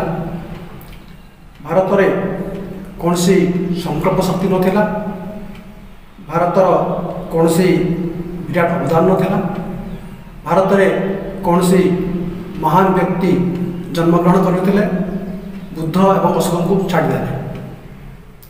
ପ୍ରକୃତରେ ଏହି ଅଭିଯୋଗ ଗୁଡ଼ିକ ନିହାତି କପଡ଼ କଳ୍ପିତ ଭିତ୍ତିହୀନ ଏବଂ ଭ୍ରାନ୍ତିଯୁକ୍ତ। ଏହି ଅଭିଯୋଗ ଗୁଡ଼ିକ ଇତିହାସରେ ଯେଉଁ ତଥ୍ୟ ଦିଆହେଇଛି ତାର ବିରୋଧୀ ଐତିହାସିକ ତଥ୍ୟ ତାକୁ ସମର୍ଥନ କରୁନାହିଁ। ଭାରତର ଭାବଧାରା ଭାରତର ଅନୁଷ୍ଠାନ ବିରୁଦ୍ଧରେ ଯେ ଯାହା କହୁନା କାହିଁକି ଯେଉଁ ପ୍ରକାର ରାୟ ଦେଉନା କାହିଁକି ଭାରତବର୍ଷ ଚିରକାଳ ବଞ୍ଚିଛି ଏବଂ ମହାନ ହୋଇ ବଞ୍ଚିଛି ଭାରତର ଆତ୍ମା ଭାରତର ସଭ୍ୟତା ମୃତ ବୋଲି ମିଷ୍ଟର ଆର୍ଚର ଅଭିଯୋଗ କରିଛନ୍ତି ତାଙ୍କ ସେହି ଭୁଲ ଧାରଣା ରହିଛି ପ୍ରକୃତରେ ଭାରତୀୟ ସମାଜ ହେଉଛି ଏକ ଜୀବନ୍ତ ପ୍ରଗତିଶୀଳ ସତ୍ତା ଭାରତରେ ଏକ ଆତ୍ମା ଅଛି ଭାରତ ଏକ ଦେବୀ ଦେବୀ ଶକ୍ତି ଭାରତକୁ ଆମେ ମା ବୋଲି ପୂଜା କରୁ ଭାରତ ସମଗ୍ର ବିଶ୍ୱର ଗୁରୁ ହେବା ପାଇଁ ଉଦ୍ଦିଷ୍ଟ ରହିଛି ତାହା ବିଧି ନିର୍ଦ୍ଦିଷ୍ଟ ହୋଇଛି କିନ୍ତୁ ମିଷ୍ଟର ଆର୍ଚର ଭାରତ ସମ୍ପର୍କରେ ଅନେକ ଗୁଡ଼ିଏ ଭୁଲ ତଥ୍ୟ ସେ ପରିବେଷଣ କରିଛନ୍ତି ଶ୍ରୀରଙ୍ଗ ତାର ଦୃଢ଼ ଉତ୍ତର ଦେଇଛନ୍ତି ଏଠି ଆମେ ଦେଖିବା ଯେ ଜୀବନ କହିଲେ କ'ଣ जीवन हूँ आत्मार परिप्रकाश आत्मा भितर जो शक्ति सामर्थ्य रही ता ही प्रकाशित होता है जीवन रूपे जीवन आत्मा और हृदय संकल्प सृष्टि होता है किसी गोटे हो उठा संकल्प किसी गोटे चिंता करवा संकल्प सृष्टि करवा संकल्प साधन करवा संकल्प हासिल करवा संकल्प से जीवन सृष्टि होता है ଏବଂ ଭାରତବର୍ଷରେ ଯେଉଁ ଅଧିବାସୀମାନେ ଅଛନ୍ତି ବା ସେହି ସମୟରେ ଥିଲେ ସେମାନେ ତାଙ୍କ ଜୀବନରେ ଅନେକ ସ୍ୱପ୍ନ ଦେଖିଥିଲେ ଅନେକ ଅଭିଶା କରିଥିଲେ ଏବଂ ସେ ଅଭିଶାକୁ ସେମାନେ ସାର୍ଥକ କରିଛନ୍ତି ତାକୁ ପୂର୍ଣ୍ଣ କରିଛନ୍ତି। ତାଙ୍କ ସଂକଳ୍ପକୁ ସେମାନେ ସମ୍ପୂର୍ଣ୍ଣ ଭାବରେ ପରିପୂର୍ଣ୍ଣ ଭାବରେ ତାକୁ ହାସଲ କରିବା ପାଇଁ ସେମାନେ ଚେଷ୍ଟା କରିଛନ୍ତି। ମଣିଷର ଜୀବନ ଅନେକ ଗୁଡ଼ିଏ ଉପାଦାନକୁ ନେଇ ଗଢ଼ା। ଯେମିତି ଧର୍ମ ଦର୍ଶନ ବିଜ୍ଞାନ କାବ୍ୟ କଳା ସ୍ଥାପତ୍ୟ ସଙ୍ଗୀତ ନାଟକ ନୃତ୍ୟ ସମାଜ କ୍ରୀଡ଼ା ରାଜନୀତି ବାଣିଜ୍ୟ ବ୍ୟବସାୟ ଭ୍ରମଣ ଅଭିଯାନ ଯୁଦ୍ଧ ଶାନ୍ତି ଇତ୍ୟାଦି। ଏଇଭଳି ବିଷୟବସ୍ତୁକୁ ନେଇ ଏଇଭଳି ଉପାଦାନକୁ ନେଇ ଜୀବନ ଗଠିତ ହୋଇଥାଏ। ସେକ୍ସପିୟର ତାଙ୍କର ନାଟକ ମ୍ୟାକବେଥରେ ଗୋଟେ ଚରିତ୍ରକୁ ଦେଖାଇଛନ୍ତି ସେ ହେଉଛି ମ୍ୟାକବେଥ ସେ ମ୍ୟାକବେଥ ଚରିତ୍ରଟି କହୁଛି life is a tale told by an idiot full of sound and fury signifying nothing ଏହାର ଅର୍ଥ ହେଉଛି ଜୀବନ ହେଉଛି ଏକ ନିର୍ବୁଦ୍ଧ ଦ୍ୱାରା କଥିତ ହୋଇଥିବା ପ୍ରଳାପ ଏବଂ ଉନ୍ମାଦର କାହାଣୀ ଅଟେ ଯାହା କିଛି ଅର୍ଥ ନାହିଁ କିଛି ତାତ୍ପର୍ଯ୍ୟ ନାହିଁ। ଏହା ହେଉଛି ଜୀବନ ସମ୍ପର୍କରେ ଗୋଟେ ନକାରାତ୍ମକ ଦୃଷ୍ଟିକୋଣ। ଭାରତର ଚିନ୍ତାଧାରା ତାହା ଏହି ପ୍ରକାର ନକାରାତ୍ମକ ଦୃଷ୍ଟିକୋଣକୁ ଗ୍ରହଣ କରେ ନାହିଁ। ଭାରତୀୟମାନେ ସବୁବେଳେ ଜୀବନବାଦୀ ଭାରତୀୟମାନେ ସବୁବେଳେ ଜୀବନ ସମ୍ପର୍କରେ ସକାରାତ୍ମକ ଦୃଷ୍ଟିକୋଣ ରଖିଥାନ୍ତି। ଜୀବନ ହେଉଛି ପ୍ରକୃତରେ ଏକ ଆତ୍ମ ଅଗ୍ରଗତି ଏହା ଏକ ଆତ୍ମକର୍ଷଣ ଏବଂ ତାହା ସବୁବେଳେ ଆତ୍ମବିକାଶ ଦିଗରେ ତାହା ଚାଲିଥାଏ। ଜୀବନ ଦିବ୍ୟ ଉପଲବ୍ଧି ପାଇଁ ଉଦ୍ଦିଷ୍ଟ। ଏବଂ ଜୀବନର ଲକ୍ଷ୍ୟ ହେଉଛି ଆତ୍ମ ପରିପୂର୍ଣ୍ଣତା ଦିବ୍ୟ ପରିପୂର୍ଣ୍ଣତା। ଭାରତୀୟମାନେ ସବୁବେଳେ ଦିବ୍ୟ ପରିପୂର୍ଣ୍ଣତା ପ୍ରାପ୍ତ କରିବା ପାଇଁ ସବୁବେଳେ ଚେଷ୍ଟା କରିଛନ୍ତି। ଏବଂ ତାଙ୍କର ଜୀବନରେ ଯାହା ଅଭିପ୍ସା ରହିଛି ଯେଉଁ ଆଶା ରହିଛି ତାକୁ ପୂର୍ଣ୍ଣ କରିବା ପାଇଁ ସେମାନେ ବହୁତ କର୍ମପ୍ରବଣ ହେଇଛନ୍ତି। ଏବଂ ଜୀବନରେ ଯଦି ବିରାଟ ଆଶା ଅଭିପ୍ସା ଆଉ ଆଦର୍ଶ ନାହିଁ ଜୀବନରେ ଯଦି ଉଚ୍ଚ ଆଦର୍ଶକୁ ନେଇ ଆମେ ଊର୍ଦ୍ଧ୍ୱଗାମୀ ନ ହେଉ ତାହେଲେ ଆମର ସମାଜ ବଞ୍ଚିଛି ବୋଲି ଆମେ କହିପାରିବା ନାହିଁ କିନ୍ତୁ ଭାରତବର୍ଷରେ ସବୁବେଳେ ଲୋକମାନେ ଏକ ଉଚ୍ଚ ଆଦର୍ଶକୁ ନେଇକି ଜୀବନ ବଞ୍ଚିଛନ୍ତି ଭାରତର ପ୍ରାଚୀନ ଆଉ ମଧ୍ୟଯୁଗରେ ମନୁଷ୍ୟମାନେ ବହୁତ ଗୁଡ଼ିଏ ମନୋରମ ଏବଂ ଆକର୍ଷଣୀୟ କର୍ମ ସବୁ ସାଧନ କରିଛନ୍ତି। ସେମାନେ ଅନେକ ଗୁଡ଼ିଏ ଆଗ୍ରହଦୀପକ ମହାନ କର୍ମ ସବୁ କରିଛନ୍ତି ଏବଂ ଭାରତୀୟମାନଙ୍କର ଜୀବନ ବର୍ଣ୍ଣବୈଚିତ୍ର୍ୟମୟ ଏବଂ ବହୁତ ଚିତ୍ତାକର୍ଷକ ମିଷ୍ଟର ଆର୍ଚର ଅଭିଯୋଗ କରୁଥିଲେ ଯେ ଭାରତରେ କେବଳ କଠୋର ତପସ୍ୟାର ଦୃଷ୍ଟାନ୍ତ ରହିଛି। ଜଗତ ମିଥ୍ୟା ଓ ମାୟା ବୋଲି ଏହି ekamaତ୍ର ସିଦ୍ଧାନ୍ତ ରହିଛି। ପ୍ରକୃତରେ ଏହି ଅଭିଯୋଗଟି ସମ୍ପୂର୍ଣ୍ଣ ଭିତ୍ତିହୀନ ଅମୂଳକ ଭାରତରେ ଜୀବନବାଦୀ ଅନେକ ସିଦ୍ଧାନ୍ତ ରହିଛି। କେବଳ ମିଥ୍ୟା ଓ ମାୟାର ସବୁ ସିଦ୍ଧାନ୍ତ ନାହିଁ ଜୀବନରେ ଭାରତବର୍ଷରେ ଜୀବନ ଉପରେ ଅନେକ ଗୁଡ଼ିଏ ସକାରାତ୍ମକ ଦୃଷ୍ଟିକୋଣ ଓ ସିଦ୍ଧାନ୍ତ ରହିଛି। ଭାରତବର୍ଷରେ ଜୀବନ ପ୍ରତି ମମତ୍ୱବୋଧ ରହିଛି ଅଙ୍ଗୀକାରବଦ୍ଧତା ରହିଛି ଏବଂ ଭାରତୀୟମାନେ ସବୁବେଳେ ଜୀବନ ପ୍ରତି ଏକ ସକାରାତ୍ମକ ଦୃଷ୍ଟିଭଙ୍ଗୀ ରଖି ଆସିଛନ୍ତି। ଧର୍ମ ଅର୍ଥ କାମ ମୋକ୍ଷକୁ ନେଇ এই ଯେଉଁ ସମନ୍ୱିତ ଜୀବନ ତାକୁ ସେମାନେ ସାର୍ଥକ କରିବା ପାଇଁ ପରିପୂର୍ଣ୍ଣ କରିବା ପାଇଁ ଭାରତବାସୀମାନେ ସବୁବେଳେ ସଚେଷ୍ଟ ରହିଛନ୍ତି। ଭାରତ ଅନ୍ୟ ଯେକୌଣସି ଗଣ୍ୟମାନ୍ୟ ଦେଶ ପରି ଜୀବନର ବାସ୍ତବତାକୁ ସ୍ୱୀକାର କରିଛି ଏବଂ ଜୀବନର ସମସ୍ୟାଗୁଡ଼ିକୁ ସମାଧାନ କରିବା ପାଇଁ ମଧ୍ୟ ପ୍ରୟାସ କରିଛି। ଭାରତବର୍ଷରେ ସୌଖିନ ଖିଆଲକୁ ନେଇ ଲୋକେ ଜୀବନ ବଞ୍ଚନ୍ତି ନାହିଁ। ଭାରତ ଉଦାସମୟ ଉଦାସମୟ କଳ୍ପନାକୁ ନେଇକରି ଜୀବନ ବଞ୍ଚେ ନାହିଁ। ଭାରତରେ ଅଲୌକିକତାକୁ ନେଇ କେବଳ ଜୀବନ ବଞ୍ଚନ୍ତି ନାହିଁ। ତ ଏସବୁ ଗୁଡ଼ିକ ସୌଖିନ ଖିଆଲ ହେଉ ବା ଉଦାସମୟ କଳ୍ପନା ହେଉ ବା ଅଲୌକିକତା ହେଉ ଏହା କେବଳ ଭାରତବର୍ଷର ଲକ୍ଷ୍ୟ ନୁହେଁ। ଏ ଦେଶରେ ବାସ୍ତବ ଜୀବନର ସୁଖ ଦୁଃଖ ବାଧା ବିପତ୍ତି ସମସ୍ୟା ସଙ୍କଟକୁ ଲୋକମାନେ ସମ୍ମୁଖୀନ ହୁଅନ୍ତି ତା ବିରୁଦ୍ଧରେ ସଂଗ୍ରାମ କରନ୍ତି ତା ଉପରେ ବିଜୟ ଲାଭ ମଧ୍ୟ କରନ୍ତି। ଯୁଦ୍ଧ କ୍ଷେତ୍ରରେ ବି ସେମାନେ ନିଜର ବୀରତ୍ୱ ପରାକ୍ରମ ପ୍ରଦର୍ଶନ କରନ୍ତି ଏବଂ କର୍ମକ୍ଷେତ୍ରରେ ମଧ୍ୟ ସେମାନେ ତାଙ୍କର ଶୌର୍ଯ୍ୟ ଏବଂ ପରାକ୍ରମ ପ୍ରଦର୍ଶନ କରନ୍ତି। ଭାରତରେ ଏକ ସୁପଚାଳିତ ବିଜ୍ଞ ସମାଜ ପ୍ରତିଷ୍ଠିତ ହୋଇଛି। ଭାରତରେ ବିଜ୍ଞମାନେ ଜ୍ଞାନୀମାନେ ସମାଜକୁ ନେତୃତ୍ୱ ପ୍ରଦାନ କରନ୍ତି। এই দেশে সংগঠন সংগঠন শক্তি বহু সুদৃঢ় হয়েছে এবং কর্মর এক বিশাল ক্ষেত্র মধ্যে ভারতবর্ষে সৃষ্টি হয়েছে। ভারতের জীবনর বহুমুখী গতি রয়েছে এবং পূর্ণতা রয়েছে। সৌন্দর্যবোধর বহু বর্ণ বিশিষ্ট এক জীবন ভারতবর্ষে রয়েছে। ভারতীয় মানে সবুলে সৌন্দর্য প্রিয় তাঁর কলা, সাহিত্য, স্থাপত্যের আমি দেখুছু সৌন্দর্যর অতি চমৎকার ପରିସ୍ଫୁରଣ ଭାରତରେ ସ୍ୱପ୍ନ ଦେଖନ୍ତି ଲୋକମାନେ। ତାଙ୍କର ସ୍ୱପ୍ନ ଅତ୍ୟନ୍ତ ମହତ୍। ତାଙ୍କର କଳ୍ପନା ମଧ୍ୟ ଉତ୍ତୁଙ୍ଗ ଏବଂ ଅଲୌକିକ। ଏବଂ ଭାରତୀୟମାନେ ତାଙ୍କ ସ୍ୱପ୍ନ ଏବଂ କଳ୍ପନାକୁ ବାସ୍ତବ କରିବା ପାଇଁ ସବୁବେଳେ ପ୍ରୟାସ କରିଥାନ୍ତି ସବୁବେଳେ କର୍ମପ୍ରବଣ ହୋଇଥାନ୍ତି। ଭାରତବର୍ଷରେ ଜୀବନକୁ ଗଭୀର ଭାବରେ ଅଧ୍ୟୟନ କରାଯାଇଛି। ଭାରତ ଜୀବନର ଅସଂଖ୍ୟ ଦିଗକୁ ଉନ୍ମୋଚିତ କରାଯାଇଛି ଏବଂ ଜୀବନର ଅର୍ଥକୁ ଅନ୍ୱେଷଣ କରିବା ପାଇଁ ଆବିଷ୍କାର କରିବା ପାଇଁ ଅନେକ ନିଷ୍ଠା ଦେଖାଯାଇଛି ଭାରତରେ ବିଶାଳ ସାମାଜିକ ଓ ରାଜନୈତିକ ବ୍ୟବସ୍ଥା ଗଢ଼ି ଉଠିଛି। ଭାରତରେ ରହିଛି ବଳିଷ୍ଠ ନୈତିକ ଜୀବନ। ତା'ର ଅନେକ ଉଦାହରଣ ଆମେ ପାଇପାରିବା। ଯେମିତି ପୌରାଣିକ ଯୁଗରେ ରାମାୟଣ ଯୁଗରେ ମହାଭାରତ ଯୁଗରେ ଆମେ ଦେଖୁଛୁ ଅନେକ ଗୁଡ଼ିଏ ଚରିତ୍ର। ଯେମିତି ଭୀଷ୍ମ ହେଲେ ବିଦୁର ହେଲେ ରାମଚନ୍ଦ୍ର ଭରତ ଏଇ ଯେଉଁ ଚରିତ୍ର ଗୁଡ଼ିକ ଯୁଧିଷ୍ଠିର এই ଚରିତ୍ର ଗୁଡ଼ିକ ବଳିଷ୍ଠ ନୈତିକ ଜୀବନର ଉଦାହରଣ ଦେଇଛନ୍ତି। ଭାରତରେ ଉଭୟ ବ୍ୟଷ୍ଟିଗତ ଏବଂ ସମଷ୍ଟିଗତ ଜୀବନକୁ ଗୁରୁତ୍ୱ ଦିଆଯାଇଛି ମୂଲ୍ୟ ଦିଆଯାଇଛି। ସର୍ବାଙ୍ଗୀନ ପରିପୂର୍ଣ୍ଣତା ହେଉଛି ଜୀବନର ଲକ୍ଷ୍ୟ। ଭାରତବର୍ଷରେ ଦାର୍ଶନିକ ଏବଂ ଆଧ୍ୟାତ୍ମିକ କୀର୍ତ୍ତି ଏତେ ପରିମାଣ ରହିଛି ପ୍ରକୃତରେ ଏ ଦିଗରେ ଭାରତବର୍ଷ ବିଶ୍ୱରେ ଅଦ୍ୱିତୀୟ। ହିମାଳୟ ଯେମିତି ପୃଥିବୀର ମାନଦଣ୍ଡ ରୂପେ ସୁଦୃଢ଼ ହୋଇ ରହିଛି ଠିକ୍ ସେହିଭଳି ଭାରତ କୀର୍ତ୍ତି ସବୁ ମଧ୍ୟ ପୃଥିବୀରେ ଅତି ଦୃଢ଼ ଅଟଳ ଭାବରେ ରହିଛନ୍ତି। ହିମାଳୟ ଯେମିତି ସ୍ୱର୍ଗ ମର୍ତ୍ତ ମଧ୍ୟରେ ସଂଯୋଗ ସ୍ଥାପନ କରିଛି ସେମିତି ଭାରତବର୍ଷ ଅଧ୍ୟାତ୍ମ ସତ୍ତା ଓ ପ୍ରାକୃତିକ ସତ୍ତା ମଧ୍ୟରେ ସଂଯୋଗ ସ୍ଥାପନ କରିଛି ଭାରତବର୍ଷ ପରାଚେତନା ଏବଂ ଅବଚେତନା ମଧ୍ୟରେ ମଧ୍ୟ ସଂଯୋଗ ସ୍ଥାପନ କରିଛି।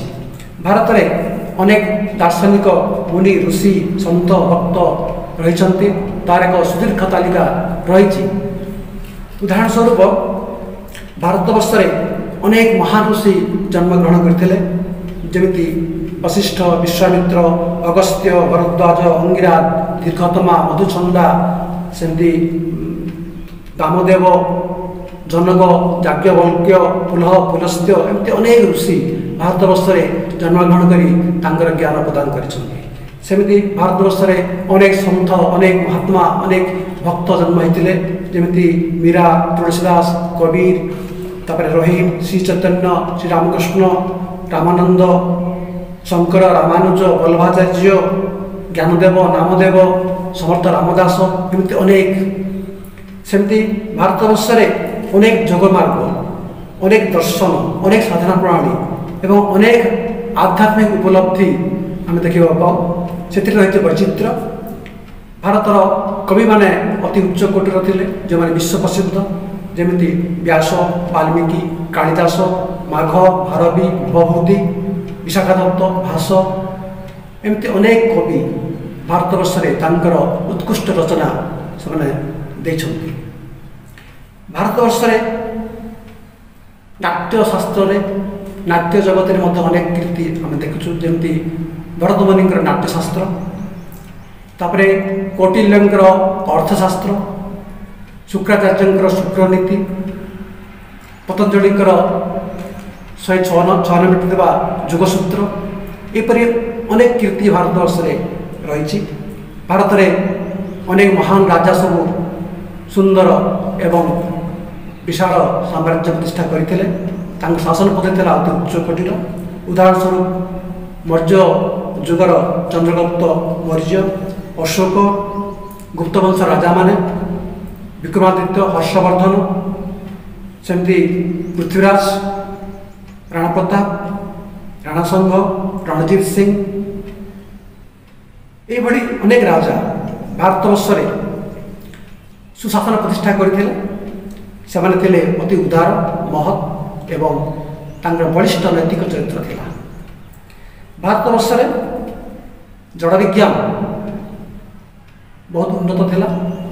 ଆମେ ଜାଣିପାରିବା ଯେ ୟୁରୋପ ମହାଦେଶ ଯେମିତି ଜଡ଼ ବିଜ୍ଞାନ ପାଇଁ ଗ୍ରୀସ୍ ପାଖରେ ଋଣୀ ଅଛି ସେମିତି ଭାରତ ପାଖରେ ମଧ୍ୟ ଋଣୀ। ଭାରତବର୍ଷରେ ଗଣିତ ଜ୍ୟୋତିର୍ବିଜ୍ଞାନ ରସାୟନ ବିଦ୍ୟାରେ ଅନେକ ଉନ୍ନତି ହେଇଥିଲା। ଉଦାହରଣ ସ୍ୱରୂପ ବରାହମୀର ସେ ଜଳତତ୍ତ୍ୱ ଭୂତତ୍ତ୍ୱ ପରିବେଶ ତତ୍ତ୍ୱ ଉପରେ ଜ୍ଞାନ ପ୍ରଦାନ କରିଥିଲେ ଭାସ୍କରାଚାର୍ଯ୍ୟ ମଧ୍ୟ ଜ୍ୟୋତିର୍ବିଦ୍ୟା ଏବଂ ଗଣିତରେ ଅନେକ କଥା କହିଥିଲେ ସେମିତି ଆର୍ଯ୍ୟଭଟ୍ଟ ଗଣିତ ଜ୍ୟୋତିର୍ବିଜ୍ଞାନ ବିଷୟରେ ତାଙ୍କର ଅବଦାନ ଥିଲା ତାଙ୍କର ଆର୍ଯ୍ୟ ସିଦ୍ଧାନ୍ତ ପୁସ୍ତକ ସେଥିପାଇଁ ପ୍ରସିଦ୍ଧ କଣାଦ ଥିଲେ ପଦାର୍ଥ ବିଜ୍ଞାନୀ ସେ ଅଣୁପରମାଣୁ ତତ୍ତ୍ୱ ଏବଂ ଆହୁରି ଅନେକ ଗୁଡ଼ିଏ ତତ୍ତ୍ୱ ସେ ପ୍ରଦାନ କରିଛନ୍ତି ସେମିତି ବ୍ରହ୍ମଗୁପ୍ତ ଗଣିତ ଏବଂ ବ୍ରହ୍ମସ୍ଫୁଟ ସିଦ୍ଧାନ୍ତ ତାଙ୍କର ଗୋଟେ ପୁସ୍ତକ ନାଗାର୍ଜୁନ ଚିକିତ୍ସା ବିଜ୍ଞାନରେ ଥିଲେ ଜଣେ ମହାନ ବ୍ୟକ୍ତି ଯିଏକି ଧାତୁ ନିଷ୍କାସନ ଉପରେ ତାଙ୍କର ଜ୍ଞାନ ପ୍ରଦାନ କରିଥିଲେ ସେମିତି ଚିକିତ୍ସା କ୍ଷେତ୍ରରେ ଚରକ ସୁଶ୍ରୁତଙ୍କ ନାମ ଆମେ ଶୁଣିଛୁ ଚରକ ସଂହିତା ତାଙ୍କର ଏକ ମହାନ କୀର୍ତ୍ତି ସେମିତି ସୁଶ୍ରୁତଙ୍କର ସୁଶ୍ରୁତ ସଂହିତା ମଧ୍ୟ ମହାନ କୀର୍ତ୍ତି। ଚରକ ସଂହିତାରେ ଛଅଶହ ପ୍ରକାରର ଔଷଧ ବିଷୟରେ ସୂଚନା ଦିଆଯାଇଛି ସେମିତି ସୁଶ୍ରୁତଙ୍କର ସଂହିତାରେ ଛଅଶହ ପଚାଶ ପ୍ରକାରର ଔଷଧ ବିଷୟରେ କୁହାଯାଇଛି। ଏଥିରେ ଶହେ ଏକୋଇଶ ପ୍ରକାରର ସର୍ଜିକାଲ ଟ୍ରିଟମେଣ୍ଟ ଇନଷ୍ଟ୍ରୁମେଣ୍ଟ ବିଷୟରେ କୁହାଯାଇଛି। ତିନିଶହ ପ୍ରକାରର ସର୍ଜିକାଲ ଅପରେସନ୍ ବିଷୟରେ କୁହାଯାଇଛି। ଏବଂ ବୟାଳିଶ ପ୍ରକାରର ସର୍ଜିକାଲ ପ୍ରୋସିଜିଓରକୁ ମଧ୍ୟ ସେଥିରେ ଉଲ୍ଲେଖ କରାଯାଇଛି। ତେଣୁ ଭାରତବର୍ଷ ବିଜ୍ଞାନ ଏବଂ ଜଡ଼ ବିଜ୍ଞାନ କ୍ଷେତ୍ରରେ ଚିକିତ୍ସା ବିଜ୍ଞାନ କ୍ଷେତ୍ରରେ ପ୍ରଭୁତ୍ୱ ଉନ୍ନତି ଲାଭ କରିଥିଲା। ଏଥିରେ ସନ୍ଦେହ ନାହିଁ। କେବଳ ଏତିକି ନୁହେଁ ଆଉ ଗୋଟେ ଅଛି ଭେଲ ସଂହିତା ହରିତ ସଂହିତା ଏଗୁଡ଼ିକ ମଧ୍ୟ ଆୟୁର୍ବେଦର ମହାନ ମହାନ କୀର୍ତ୍ତି ଆମେ ଜାଣିଛୁ ଶୁକ୍ରନୀତି ଗୋଟେ ଅଛି। ଶୁକ୍ରନୀତିରେ ଧର୍ମ ଅର୍ଥ କାମ ମୁଖ୍ୟ ସୈନ୍ୟ ବ୍ୟବସ୍ଥା ରାଜକାର୍ଯ୍ୟ ଜୀବନଶୈଳୀ ସମ୍ପର୍କରେ ଅନେକ ଗୁଡ଼ିଏ ନୀତି ଦିଆଯାଇଛି। ସାମାଜିକ ଅର୍ଥନୈତିକ ରାଜନୈତିକ ବିଭିନ୍ନ ବିଷୟରେ ଏଥିରେ ନୀତି ସବୁ ରଖାଯାଇଛି।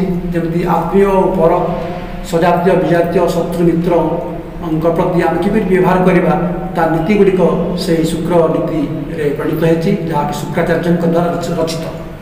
ଭାରତବର୍ଷ ଯେଉଁ ବୈଜ୍ଞାନିକ ଧାରଣା ଓ ଆବିଷ୍କାର ବିଷୟରେ ପୂର୍ବାଭାସ ଦେଇଛି ତାକୁ ନେଇ ପାଶ୍ଚାତ୍ୟ ମାନେ ପାଶ୍ଚାତ୍ୟ ଦେଶମାନେ ତାକୁ ଆଗକୁ ନେଇଛନ୍ତି ତାକୁ ଭିତ୍ତି ରୂପେ ନେଇଛନ୍ତି ଏବଂ ତାକୁ ନୂତନ କରି ଗଢ଼ିଛନ୍ତି। ଭାରତବର୍ଷରେ ଔଷଧ ତତ୍ତ୍ୱ ବିଷୟରେ ମୁଁ କହିଥିଲି ସେମାନେ ରସାୟନ ତାଙ୍କର ଜ୍ଞାନ ଥିଲା ଚେର ପତ୍ର କାଣ୍ଡରୁ ରସ ସଂଗ୍ରହ କରି ସେମାନେ ବିଭିନ୍ନ ପ୍ରକାର ରସାୟନ ଔଷଧ ଅ, ତିଆରି କରୁଥିଲେ ପ୍ରସ୍ତୁତ କରୁଥିଲେ। ଋଗ୍ ବେଦରେ ଔଷଧ ଔଷଧ ସୂକ୍ତ ଗୁଡ଼ିକ ରହିଛି। ଅଥର୍ବ ବେଦରେ ଆଠ ପ୍ରକାରର ଆୟୁର୍ବେଦ ବିଷୟରେ ଜ୍ଞାନ ଦିଆଯାଇଛି। ସେମିତି ଭାରତବର୍ଷ ସ୍ଥାପତ୍ୟ ଥିଲା ଉଚ୍ଚ କୋଟିର। ଭାରତବର୍ଷର ରାଜାମାନେ ଅନେକ ଭବ୍ୟ ବିଶାଳ ମନ୍ଦିର ସ୍ଥାପନ କରିଥିଲେ।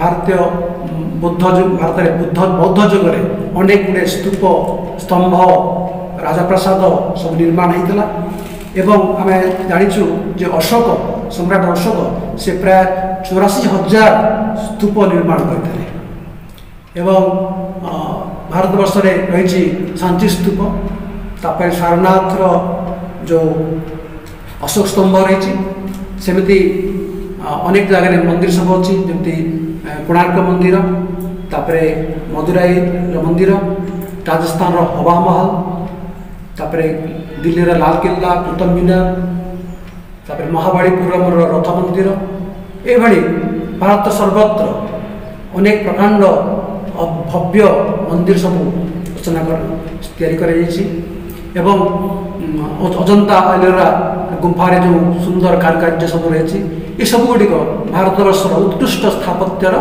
ପରିଚୟ ଭାରତରେ ଏତେ ସବୁ ବିପୁଳ ଜ୍ଞାନ ଏତେ ସବୁ କୀର୍ତ୍ତି ଏତେ ସବୁ ମହାନ କର୍ମପ୍ରବଣତା ଥିବା ସତ୍ତ୍ୱେ ମିଷ୍ଟର ଆର୍ଚର ଭାରତ ବିରୁଦ୍ଧରେ ଏଇ ଯେଉଁ ଅଭିଯୋଗ ଗୁଡ଼ିକ ଆଣିଛନ୍ତି ସେଥିରେ ଆମେ ଜାଣିପାରୁଛୁ ଯେ ପ୍ରକୃତରେ ମିଷ୍ଟର ଆର୍ଚରଙ୍କର କେମିତି ଭାରତ ପ୍ରତି ଗୋଟେ ବିଦ୍ୱେଷ ଥିଲା। ତାଙ୍କର ମୂର୍ଖତା ତାଙ୍କର ଅଭିସନ୍ଧି ତାଙ୍କର ମନ୍ଦ ଉଦ୍ଦେଶ୍ୟ ଏଥିରେ ପ୍ରମାଣିତ ହେଉଛି। ଭାରତ ସମ୍ପର୍କରେ ସେ ଯେଉଁ ସମାଲୋଚନା ଦେଇଛନ୍ତି ତାଙ୍କ ସମାଲୋଚନା ସମ୍ପୂର୍ଣ୍ଣ ଭାବରେ ଅଜ୍ଞାନ ପ୍ରସ୍ତୁତ ଏବଂ ଭ୍ରାନ୍ତ ଶ୍ରୀଅରବିନ୍ଦ ତାଙ୍କର ଯେଉଁ ଲେଖା ଅଛି a defence of Indian culture ସେଥିରେ ଅ, ସେଇ ଶୀର୍ଷକର ସ- ଯେଉଁ ପ୍ରବନ୍ଧ ସବୁ ଅଛି ତାର ଶେଷ ଅଧ୍ୟାୟରେ ଶ୍ରୀଅରବିନ୍ଦ ଓଡ଼ିଆରେ ଉଲ୍ଲେଖ କରୁଛନ୍ତି India of the ages is not date nor has she spoken her create, last creative word. She lives and has still to do for herself and the human peoples. ଅର୍ଥାତ୍ ଯୁଗ ଯୁଗାନ୍ତରର ଭାରତ ମରିନାହିଁ ବା ସେ ଯେ ତାହାର ଅନ୍ତିମ ସୂଜନବାଣୀ ପ୍ରକାଶ କରି ସାରିଛି ଏହା ମଧ୍ୟ ନୁହେଁ ସେ ଏବେ ବି ଜୀବନ୍ତ ଓ ପ୍ରାଣବନ୍ତ ରହିଛି ଏବଂ ନିଜ ପାଇଁ ତଥା ମାନବ ସମାଜ ପାଇଁ ତାର ଅନେକ କିଛି କରିବାର ଅଛି ହଜାର ହଜାର ବର୍ଷ ଧରି ବୈଦେଶିକ ଆକ୍ରମଣ ସତ୍ତ୍ୱେ ଭାରତୀୟ ସଭ୍ୟତା ସଂସ୍କୃତି ତଥାପି ବଞ୍ଚି ରହିଛି ତଥାପି ଅକ୍ଷୁଣ୍ଣ ଅଛି ଭାରତୀୟ ସଂସ୍କୃତି ଭାରତୀୟ ଐତିହ୍ୟ ଏବଂ ମୂଲ୍ୟବୋଧ। କେବେ ମଧ୍ୟ ସରିଯାଏ ନାହିଁ ଭାରତୀୟମାନେ ତାକୁ ହରାଇ ନାହାନ୍ତି ଭାରତର ପ୍ରାଚୀନ ଗଭୀରତମ ଆତ୍ମା ପୁନରୁ ପୁନରୁତ୍ଥିତ ହେଉଛି ପୁନର୍ଜାଗ୍ରତ ହେଉଛି।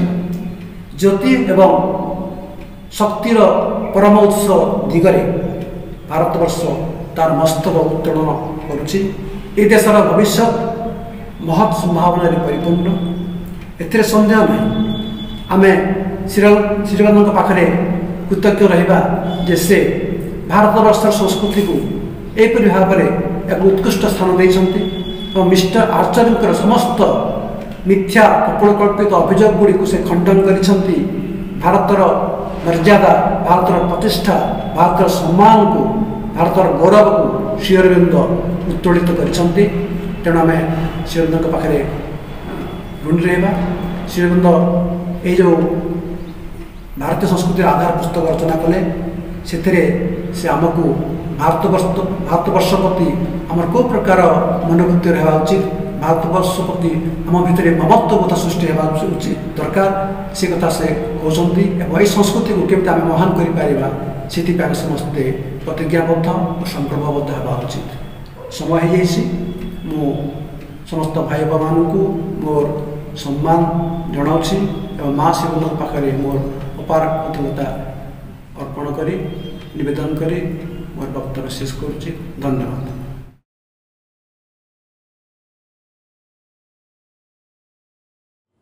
ନମାମି ଶ୍ରୀମାତ୍ର ମୀରାରବିନ୍ଦ ଶ୍ରୀଅରବିନ୍ଦ ଏହି ଭାଗରେ ବର୍ଣ୍ଣନା କରୁଛନ୍ତି ଭାରତୀୟ ସାହିତ୍ୟ କଳା ସ୍ଥାପତ୍ୟ ଋଷି ମନୀଷୀମାନଙ୍କର ବୈଶିଷ୍ଟ୍ୟ ଶାସକମାନଙ୍କର ସୁଶାସନ ଏହି ସବୁ ବିଷୟରେ ବିଶଦ ଭାବରେ ଶ୍ରୀରବିନ୍ଦ ବର୍ଣ୍ଣନା କରୁଛନ୍ତି ଭାରତୀୟ ସାହିତ୍ୟ ଏବଂ ସଂସ୍କୃତି ଯେ କେମିତି ସାରା ପୃଥିବୀର ସାହିତ୍ୟ ଏବଂ ସଂସ୍କୃତିକୁ ସୁ- ସମୃଦ୍ଧ କରିଛି ରୁଦ୍ଧିମନ୍ତ କରିଛି ସେ ବିଷୟରେ କହିବାକୁ ଯାଇ ଶ୍ରୀରବିନ୍ଦ କହୁଛନ୍ତି ଯେ ଭାରତରେ ଯେ କେବଳ ବେଦ ଉପନିଷଦ ଗୀତା ଏଇଭଳି ମହାନ ଗ୍ରନ୍ଥ ସବୁ ରହିଛି ତାହା ନୁହଁ। ତାର ପରେ ପରେ ସେହି ସବୁ ଗ୍ରନ୍ଥ ଗୁଡ଼ିକର ଅନୁସରଣରେ ଆହୁରି ଅସଂଖ୍ୟ ମୂଲ୍ୟବାନ ଗ୍ରନ୍ଥ ସବୁ ରଚିତ ହୋଇଛି।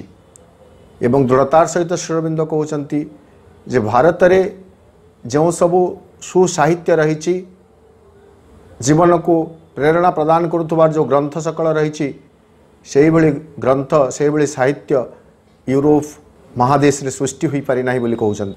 ଏବଂ ଏହି ପ୍ରସଙ୍ଗରେ ବେଦ ଉପନିଷଦ গীতা এসবুক উল্লেখ করে।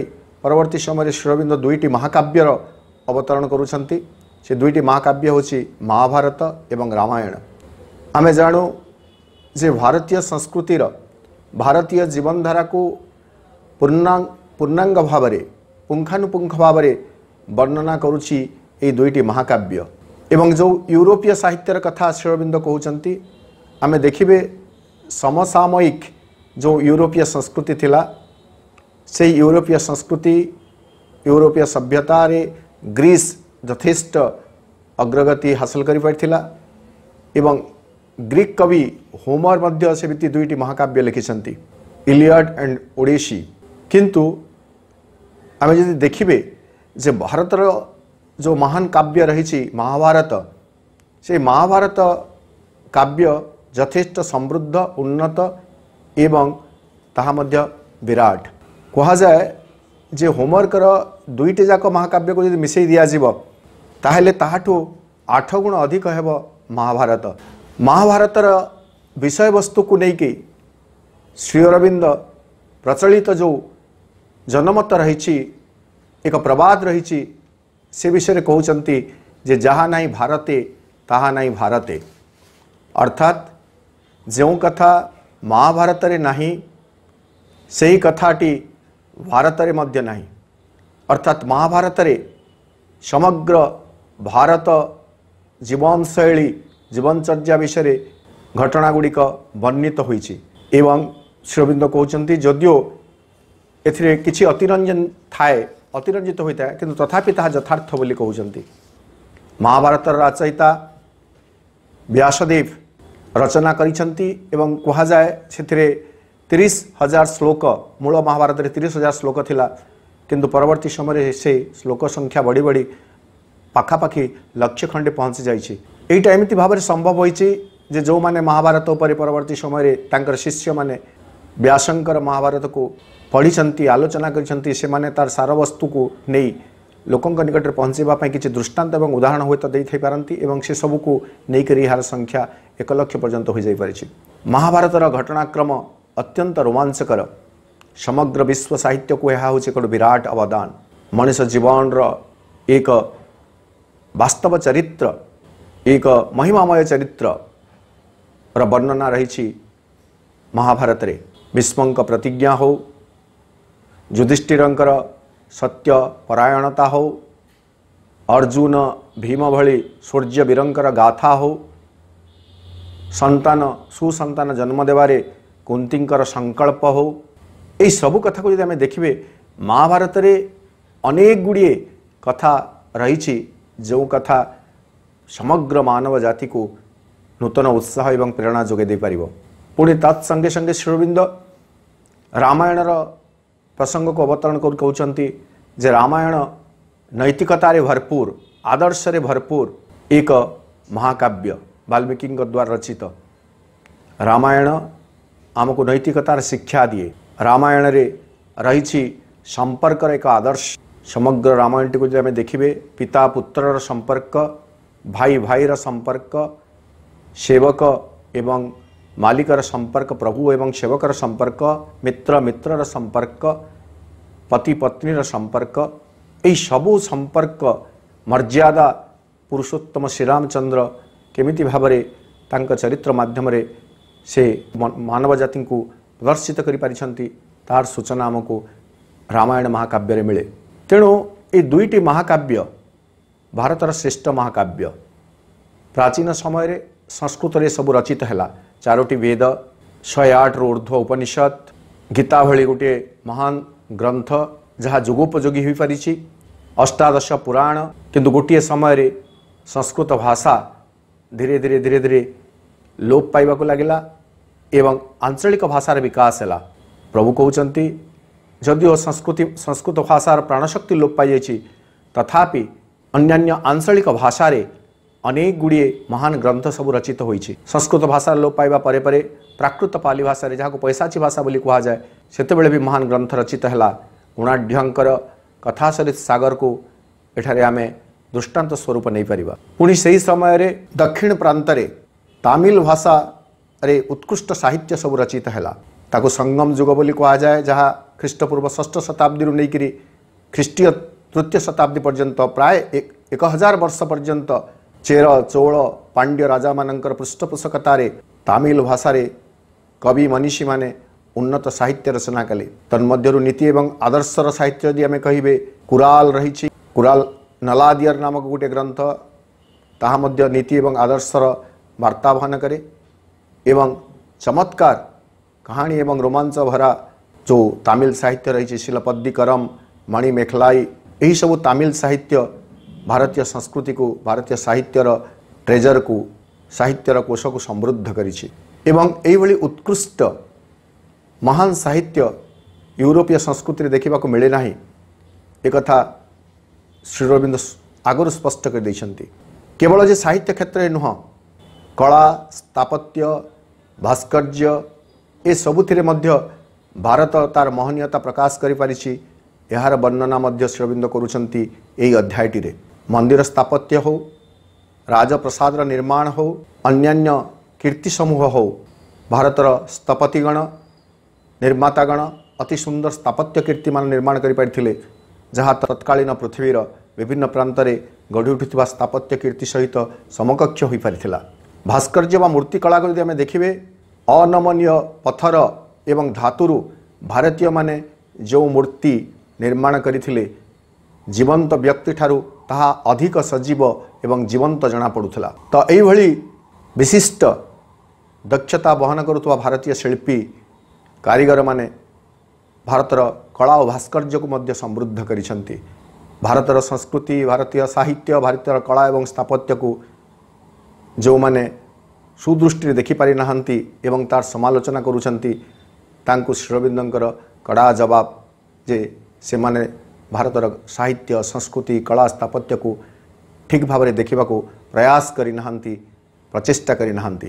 ପୁଣି ନିଜ ଆଡ଼ୁ ଏକ ଯୁକ୍ତିକୁ ଉପସ୍ଥାପନ କରି ଶ୍ରୀରବିନ୍ଦ କହୁଛନ୍ତି ଯେ ସାହିତ୍ୟ କ୍ଷେତ୍ରରେ ହୁଏତ ତାହା ଯେହେତୁ ମନର ବ୍ୟାପାର ଭାରତର ବିଶିଷ୍ଟ ବ୍ୟକ୍ତିବୃନ୍ଦ ସେମାନେ ମନଚେତନାରେ ଯଥେଷ୍ଟ ଆଗୁଆ ଥିଲେ ତେଣୁକରି ସାହିତ୍ୟ ସୃଷ୍ଟି କରିପାରିବାରେ ସେମାନେ ସକ୍ଷମ ହୋଇପାରିଛନ୍ତି। ହେଲେ ତାଙ୍କର ବାହ୍ୟ ଜୀବନ ଅତ୍ୟନ୍ତ ବିଷାଦଗ୍ରସ୍ତ ଥିଲା।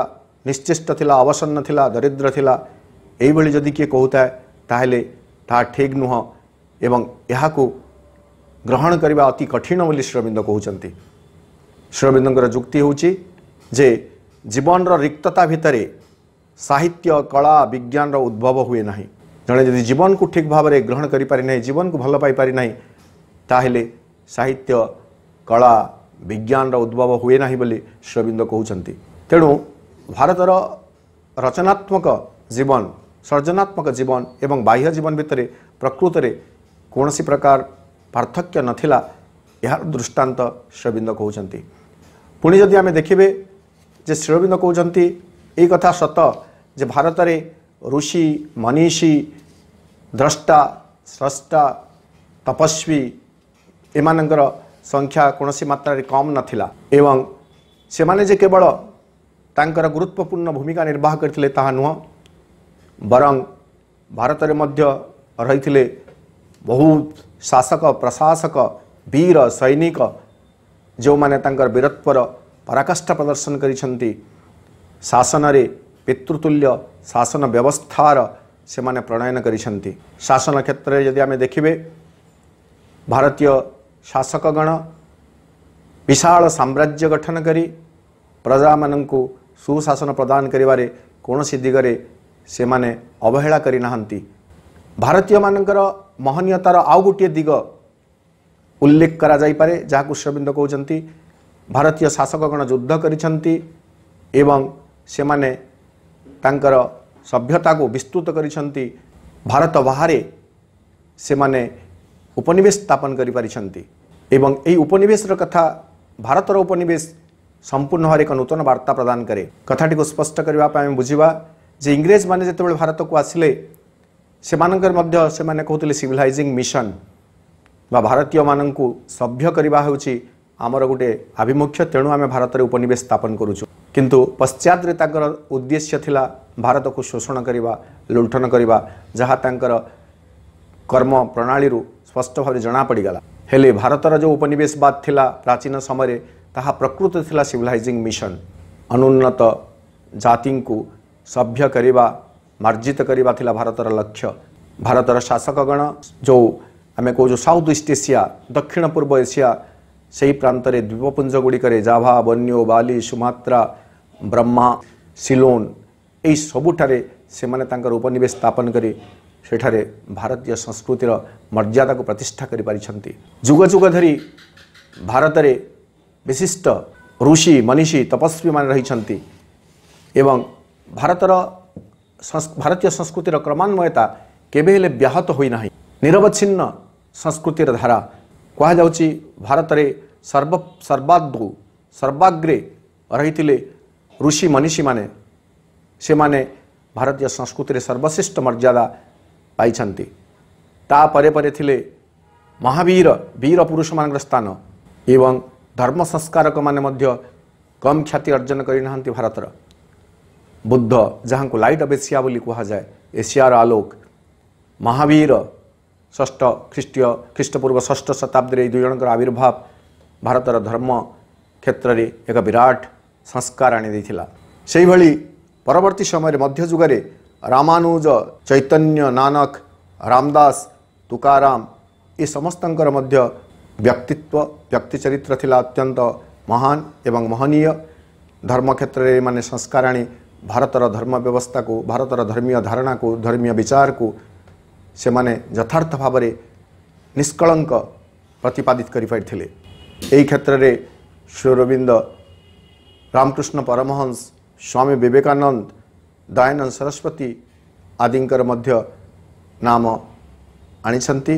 ଏବଂ ସେମାନେ ଧର୍ମ କ୍ଷେତ୍ରରେ ଯେଉଁ ସଂସ୍କାର କଲେ ଯେଉଁ ଆନ୍ଦୋଳନ ଆରମ୍ଭ କଲେ ତାହା ଯେ ଭାରତୀୟ ଧର୍ମ ଏବଂ ସଂସ୍କୃତିକୁ କେତେ ମହାନ କରିଛି ସେ କଥା ସର୍ବଜନ ବିଦିତ ତତ୍ ସଙ୍ଗେ ସଙ୍ଗେ ଭାରତର ରାଜନୈତିକ ବ୍ୟବସ୍ଥା ଯଦି ଆମେ ଦେଖିବେ ଭାରତର ରାଜନୈତିକ ବ୍ୟବସ୍ଥାରେ ପ୍ରାଚୀନ ସମୟରୁ ହିଁ ତିନି ପ୍ରକାରର ଶାସନ ବ୍ୟବସ୍ଥା ଥିଲା ସାଧାରଣତନ୍ତ୍ର ଥିଲା ଗଣତନ୍ତ୍ର ଥିଲା ରାଜତନ୍ତ୍ର ଥିଲା ଶାସକମାନେ ପ୍ରଜାବତ୍ସଳ ଥିଲେ ଶାସକମାନଙ୍କର ବର୍ଣ୍ଣନା କରାଯାଉଛି। ଆମେ ଯଦି ଦେଖିବେ ବିଶିଷ୍ଟ ଶାସକ ବୃନ୍ଦ ଚନ୍ଦ୍ରଗୁପ୍ତ ମୌର୍ଯ୍ୟ ହୁଅନ୍ତୁ ବା ଗୁପ୍ତବଂଶର ଶାସକମାନେ ହୁଅନ୍ତୁ ଅଶୋକ ହୁଅନ୍ତୁ ଏ ସମସ୍ତେ ଏଭଳି ପ୍ରଜାବତ୍ସଳ ଥିଲେ ଯାହାଙ୍କ ଶାସନ ସମୟରେ ଭାରତର ବହୁବିଧ ଉନ୍ନତି ସାଧିତ ହୋଇପାରିଥିଲା ଏବଂ ତାହା ସମଗ୍ର ବିଶ୍ୱକୁ ଏକ ବାର୍ତ୍ତା ପ୍ରଦାନ କରିପାରିଥିଲା।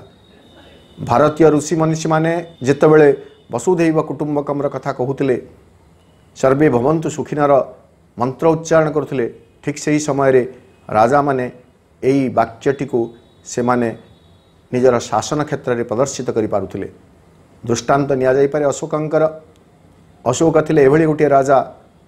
ଯେଉଁ ରାଜା ସେ ପ୍ରଜାବତ୍ସଳ ଥିଲେ ଏବଂ ପ୍ରଜାମାନଙ୍କୁ ତାଙ୍କର ପୁତ୍ରତୁଲ୍ୟ ବିବେଚନା କରୁଥିଲେ ଏବଂ କହୁଥିଲେ ପ୍ରଜାମାନଙ୍କର ମଙ୍ଗଳ ସକାଶେ ସେ ସମସ୍ତ ପ୍ରକାର କାର୍ଯ୍ୟ କରିବାକୁ ସବୁ ସମୟରେ ସଜାଗ ହୋଇ ରହନ୍ତି ସଚେତ ହୋଇ ରହନ୍ତି ପରବର୍ତ୍ତୀ ସମୟରେ ବୈଦେଶିକ ଶକ୍ତିମାନଙ୍କର ଆଗମନ ଘଟିଛି ଭାରତକୁ କିନ୍ତୁ ତାହା ଭାରତର ସାହିତ୍ୟ ସଂସ୍କୃତିକୁ କ୍ଷୁର୍ଣ୍ଣ କରିପାରିନାହିଁ। ଉଦାହରଣ ସ୍ୱରୂପ ମୋଗଲମାନଙ୍କର ଆଗମନ ଘଟିଛି ଭାରତକୁ କିନ୍ତୁ ଭାରତର ସଂସ୍କୃତି କୌଣସି ହିସାବରେ ନ୍ୟୁନ ହୋଇନାହିଁ ବରଂ ଆହୁରି ସମୃଦ୍ଧ ହୋଇଛି। ପୁଣି ଏହି ସମୟରେ ଭାରତୀୟ ବୀରମାନଙ୍କ ଭିତରେ ଜାତୀୟ ଚେତନାର ମଧ୍ୟ ବିକାଶ ହୋଇଛି। ଭାରତରେ ବୀରତ୍ୱର ପାରାକାଷ୍ଠାର ଦୃଷ୍ଟାନ୍ତ କମ୍ ନାହିଁ ରାଜପୁତମାନେ ସାରା ପୃଥିବୀରେ ବିଜୟୀ ଜାତି ବୋଲି ବୀର ଜାତି ବୋଲି ପରିଚିତ ହୋଇଛନ୍ତି ଯେତେବେଳେ ମୁଗଲମାନଙ୍କର ଶାସନର ଦୌରାତ୍ମ୍ୟ ବଢ଼ିଲା ଔରଙ୍ଗଜେବଙ୍କ ଶାସନ ସମୟରେ ସେତେବେଳେ ମହାରାଷ୍ଟ୍ରରେ ଜାତୀୟ ଚେତନାରେ ଉଦ୍ବୁଦ୍ଧ ହୋଇ ଶିବାଜୀ ଗଢ଼ି ଉଠିଥିଲେ ମରାଠୀ ଜାତିର ଏକତ୍ୱକୁ ନେଇ ଏକ ବିରା- ବିଶାଳ ସେନାବାହିନୀ ଏବଂ ମୁଗଲ ବାହିନୀ ବିରୁଦ୍ଧରେ ଲଢ଼ି ସେ ତାଙ୍କର ସ୍ୱାଧୀନତା ବଜାୟ ରଖିପାରିଥିଲେ ଶିଖମାନଙ୍କର ଅଭ୍ୟୁଦୟ ଏହା ମଧ୍ୟ ଏକ ବିରାଟ ଘଟଣା ଥିଲା ଇଂରେଜମାନଙ୍କ ମୋଗଲମାନଙ୍କ ସମୟରେ ଇଂରେଜମାନଙ୍କ ସମୟରେ ତେଣୁ ଭାରତର ଯେକୌଣସି ଦିଗକୁ ଦେଖିବେ ସାହିତ୍ୟ ହେଉ ଧର୍ମ ହେଉ ଆଧ୍ୟାତ୍ମିକ ହେଉ ପ୍ରଶାସନିକ ଦିଗ ହେଉ ଶାସକ ଏବଂ ଶାସିତମାନଙ୍କ ଭିତରେ ସମ୍ପର୍କ ହେଉ ଏସବୁ କ୍ଷେତ୍ରରେ ଯେ ଏକ ବିରାଟ ନିଦର୍ଶନ ପ୍ରତିଷ୍ଠିତ ହୋଇପାରିଛି ବିରାଟ ଆଉ ଗୋଟେ ଆଦର୍ଶ ପ୍ରତିଷ୍ଠିତ ହୋଇପାରିଛି ଏହି କଥା ଶ୍ରୀରବିନ୍ଦ ଏହି ଦୁଇଟି ପାରାଗ୍ରାଫ ଭିତରେ ବର୍ଣ୍ଣନା କରୁଛନ୍ତି ଏବଂ ଭାରତୀୟ ଜାତୀୟର ମହାନତୀୟକୁ ମହନୀୟତାକୁ ବର୍ଣ୍ଣନା କରିବାକୁ ଯାଇ ଶ୍ରୀରବିନ୍ଦ କହୁଛନ୍ତି ଯେ ଭାରତର ମଣିଷ ବା ଭାରତୀୟମାନେ କେବେ ହେଲେ କୁଶପୁତ୍ତଳିକା ନଥିଲେ କୁଟାକ୍ଷର ମଣିଷ ସେମାନେ ନୁହନ୍ତି ସେମାନେ ଅକର୍ମକ ଶିଳା ନୁହଁ ବା ଇଚ୍ଛାଶକ୍ତି ଶୂନ୍ୟ ନିର୍ଜୀବ ବ୍ୟକ୍ତି ନଥିଲେ କିମ୍ବା ସେମାନେ କେବେ ହେଲେ ସ୍ୱପ୍ନାବିଷ୍ଟ ହୋଇ ରହୁନଥିଲେ ବରଂ ଭାରତୀୟମାନେ ଅନେକ ଯୋଜନା ଗଢ଼ିଥିଲେ ଅନେକ ବିଜୟ ହାସଲ କରିଥିଲେ ଶାସନ କ୍ଷେତ୍ରରେ ବିରାଟ ବିରାଟ ବିଧି ବ୍ୟବସ୍ଥା ସବୁ ପ୍ରଣୟନ କରିଥିଲେ। ଯଦି ଆମେ ଦେଖିବେ ଶାସନ ବ୍ୟବସ୍ଥାରେ ଯେଉଁ ଆଦର୍ଶ ଭାରତରେ ପ୍ରତିଷ୍ଠିତ ହୋଇପାରିଛି ତାହା ବର୍ତ୍ତମାନ ପର୍ଯ୍ୟନ୍ତ ଅନ୍ୟତ୍ର କୌଣସି ଦେଖାଯାଏ ନାହିଁ। କୌଟିଲ୍ୟଙ୍କର ଅର୍ଥଶାସ୍ତ୍ରକୁ ଯଦି ଦେଖାଯାଏ ତାହେଲେ ଶାସନ କ୍ଷେତ୍ରରେ ଶାସକଙ୍କର ଭୂମିକା କ'ଣ ହେବା ଉଚିତ ଏବଂ ତାଙ୍କର ମନୋଭାବ କ'ଣ ହେବା ଉଚିତ ସେ କଥାକୁ ଆମେ ଠିକ୍ ଭାବରେ ଠୋରେଇ ପାରିବା।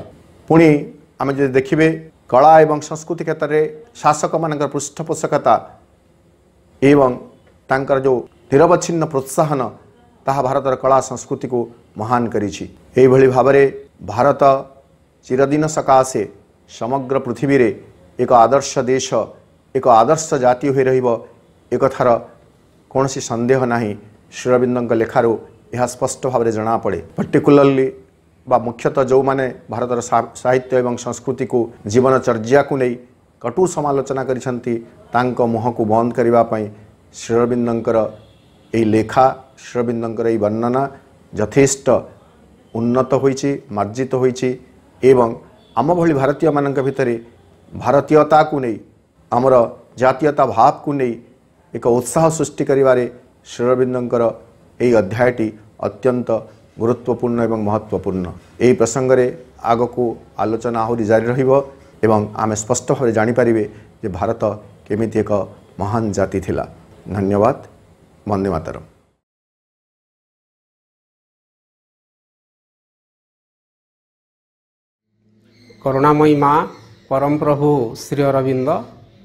ଭାରତୀୟ ଆଧ୍ୟାତ୍ମିକତା ଓ ଜୀବନ ପ୍ରସଙ୍ଗ ଅନ୍ତର୍ଗତ ପଞ୍ଚମ ଭାଗର ଷଷ୍ଠ ଓ ସପ୍ତମ ଅନୁଚ୍ଛେଦ ଆଲୋଚନା କରିବା। ଏ କଥା ସର୍ବଜନ ବିଦିତ ଯେ ଭାରତୀୟ ସଂସ୍କୃତି ଏକ ଅନନ୍ୟ ସଂସ୍କୃତି। ଭାରତୀୟ ସଂସ୍କୃତିର ମହାନତା ଭାରତୀୟ ଭାଷା ଭାରତୀୟ ପରମ୍ପରା ଭାରତୀୟ ଦର୍ଶନ ଭାରତୀୟ ଯୋଗ ସମଗ୍ର ବିଶ୍ୱରେ ଏକ ବିଶେଷ ସ୍ଥାନ ରଖିଥାଏ। ତଥାପି ମିଷ୍ଟର ୱିଲିୟମ ଆର୍ଚନଙ୍କ ଭଳି କିଛି ପାଶ୍ଚାତ୍ୟ ଗବେଷକ ଏବଂ ସମାଲୋଚକ ଭାରତୀୟ ସଂସ୍କୃତିକୁ ଅନ୍ତଃସାର ଶୂନ୍ୟ ଏକ ସଂସ୍କୃତି କହନ୍ତି। ଏହି ସଂସ୍କୃତିର ମହନୀୟତାକୁ ସେମାନେ ହଜମ କରିପାରନ୍ତି ନାହିଁ। ସେମାନଙ୍କର ଯୁକ୍ତିପ୍ରିୟ ମନ ଏହି ସଂସ୍କୃତିକୁ ଏକ ଅସଭ୍ୟ ଅସଂସ୍କୃତ ସଂସ୍କୃତି ବୋଲି କହେ ଏବଂ ଭାରତୀୟ ଜୀବନର ଅସାରତାର ଅସରନ୍ତି ଗାଥା କହେ। ଯେଉଁ ଜୀବନରେ ନା ସତେଜତା ଅଛି ନା ସକ୍ରିୟତା ଅଛି ତପଶ୍ଚର୍ଯ୍ୟାରେ ଭାରଗ୍ରସ୍ତ ଏକ ଦୁଃଖପୂର୍ଣ୍ଣ ଏବଂ ବିଷାଦମୟ ଜୀବନ ସତେ ଯେପରି ଭାରତୀୟ ଜୀବନର ପ୍ରତୀକ ଅଟେ। ଭାରତୀୟ ଜନତାର ଜୀବନରେ କର୍ମରେ ଓ ସଂକଳ୍ପରେ ଘନଘୋର ଅଭାବର କାରଣ ହେଉଛି ଏହି ସଂସ୍କୃତିର ଦୁର୍ବଳତା। ଭାରତୀୟ ଇତିହାସରେ ବର୍ତ୍ତମାନ ସୁଦ୍ଧା କୌଣସି ମହାନ ବ୍ୟକ୍ତିତ୍ୱର ଆବିର୍ଭାବ ଘଟିନାହିଁ।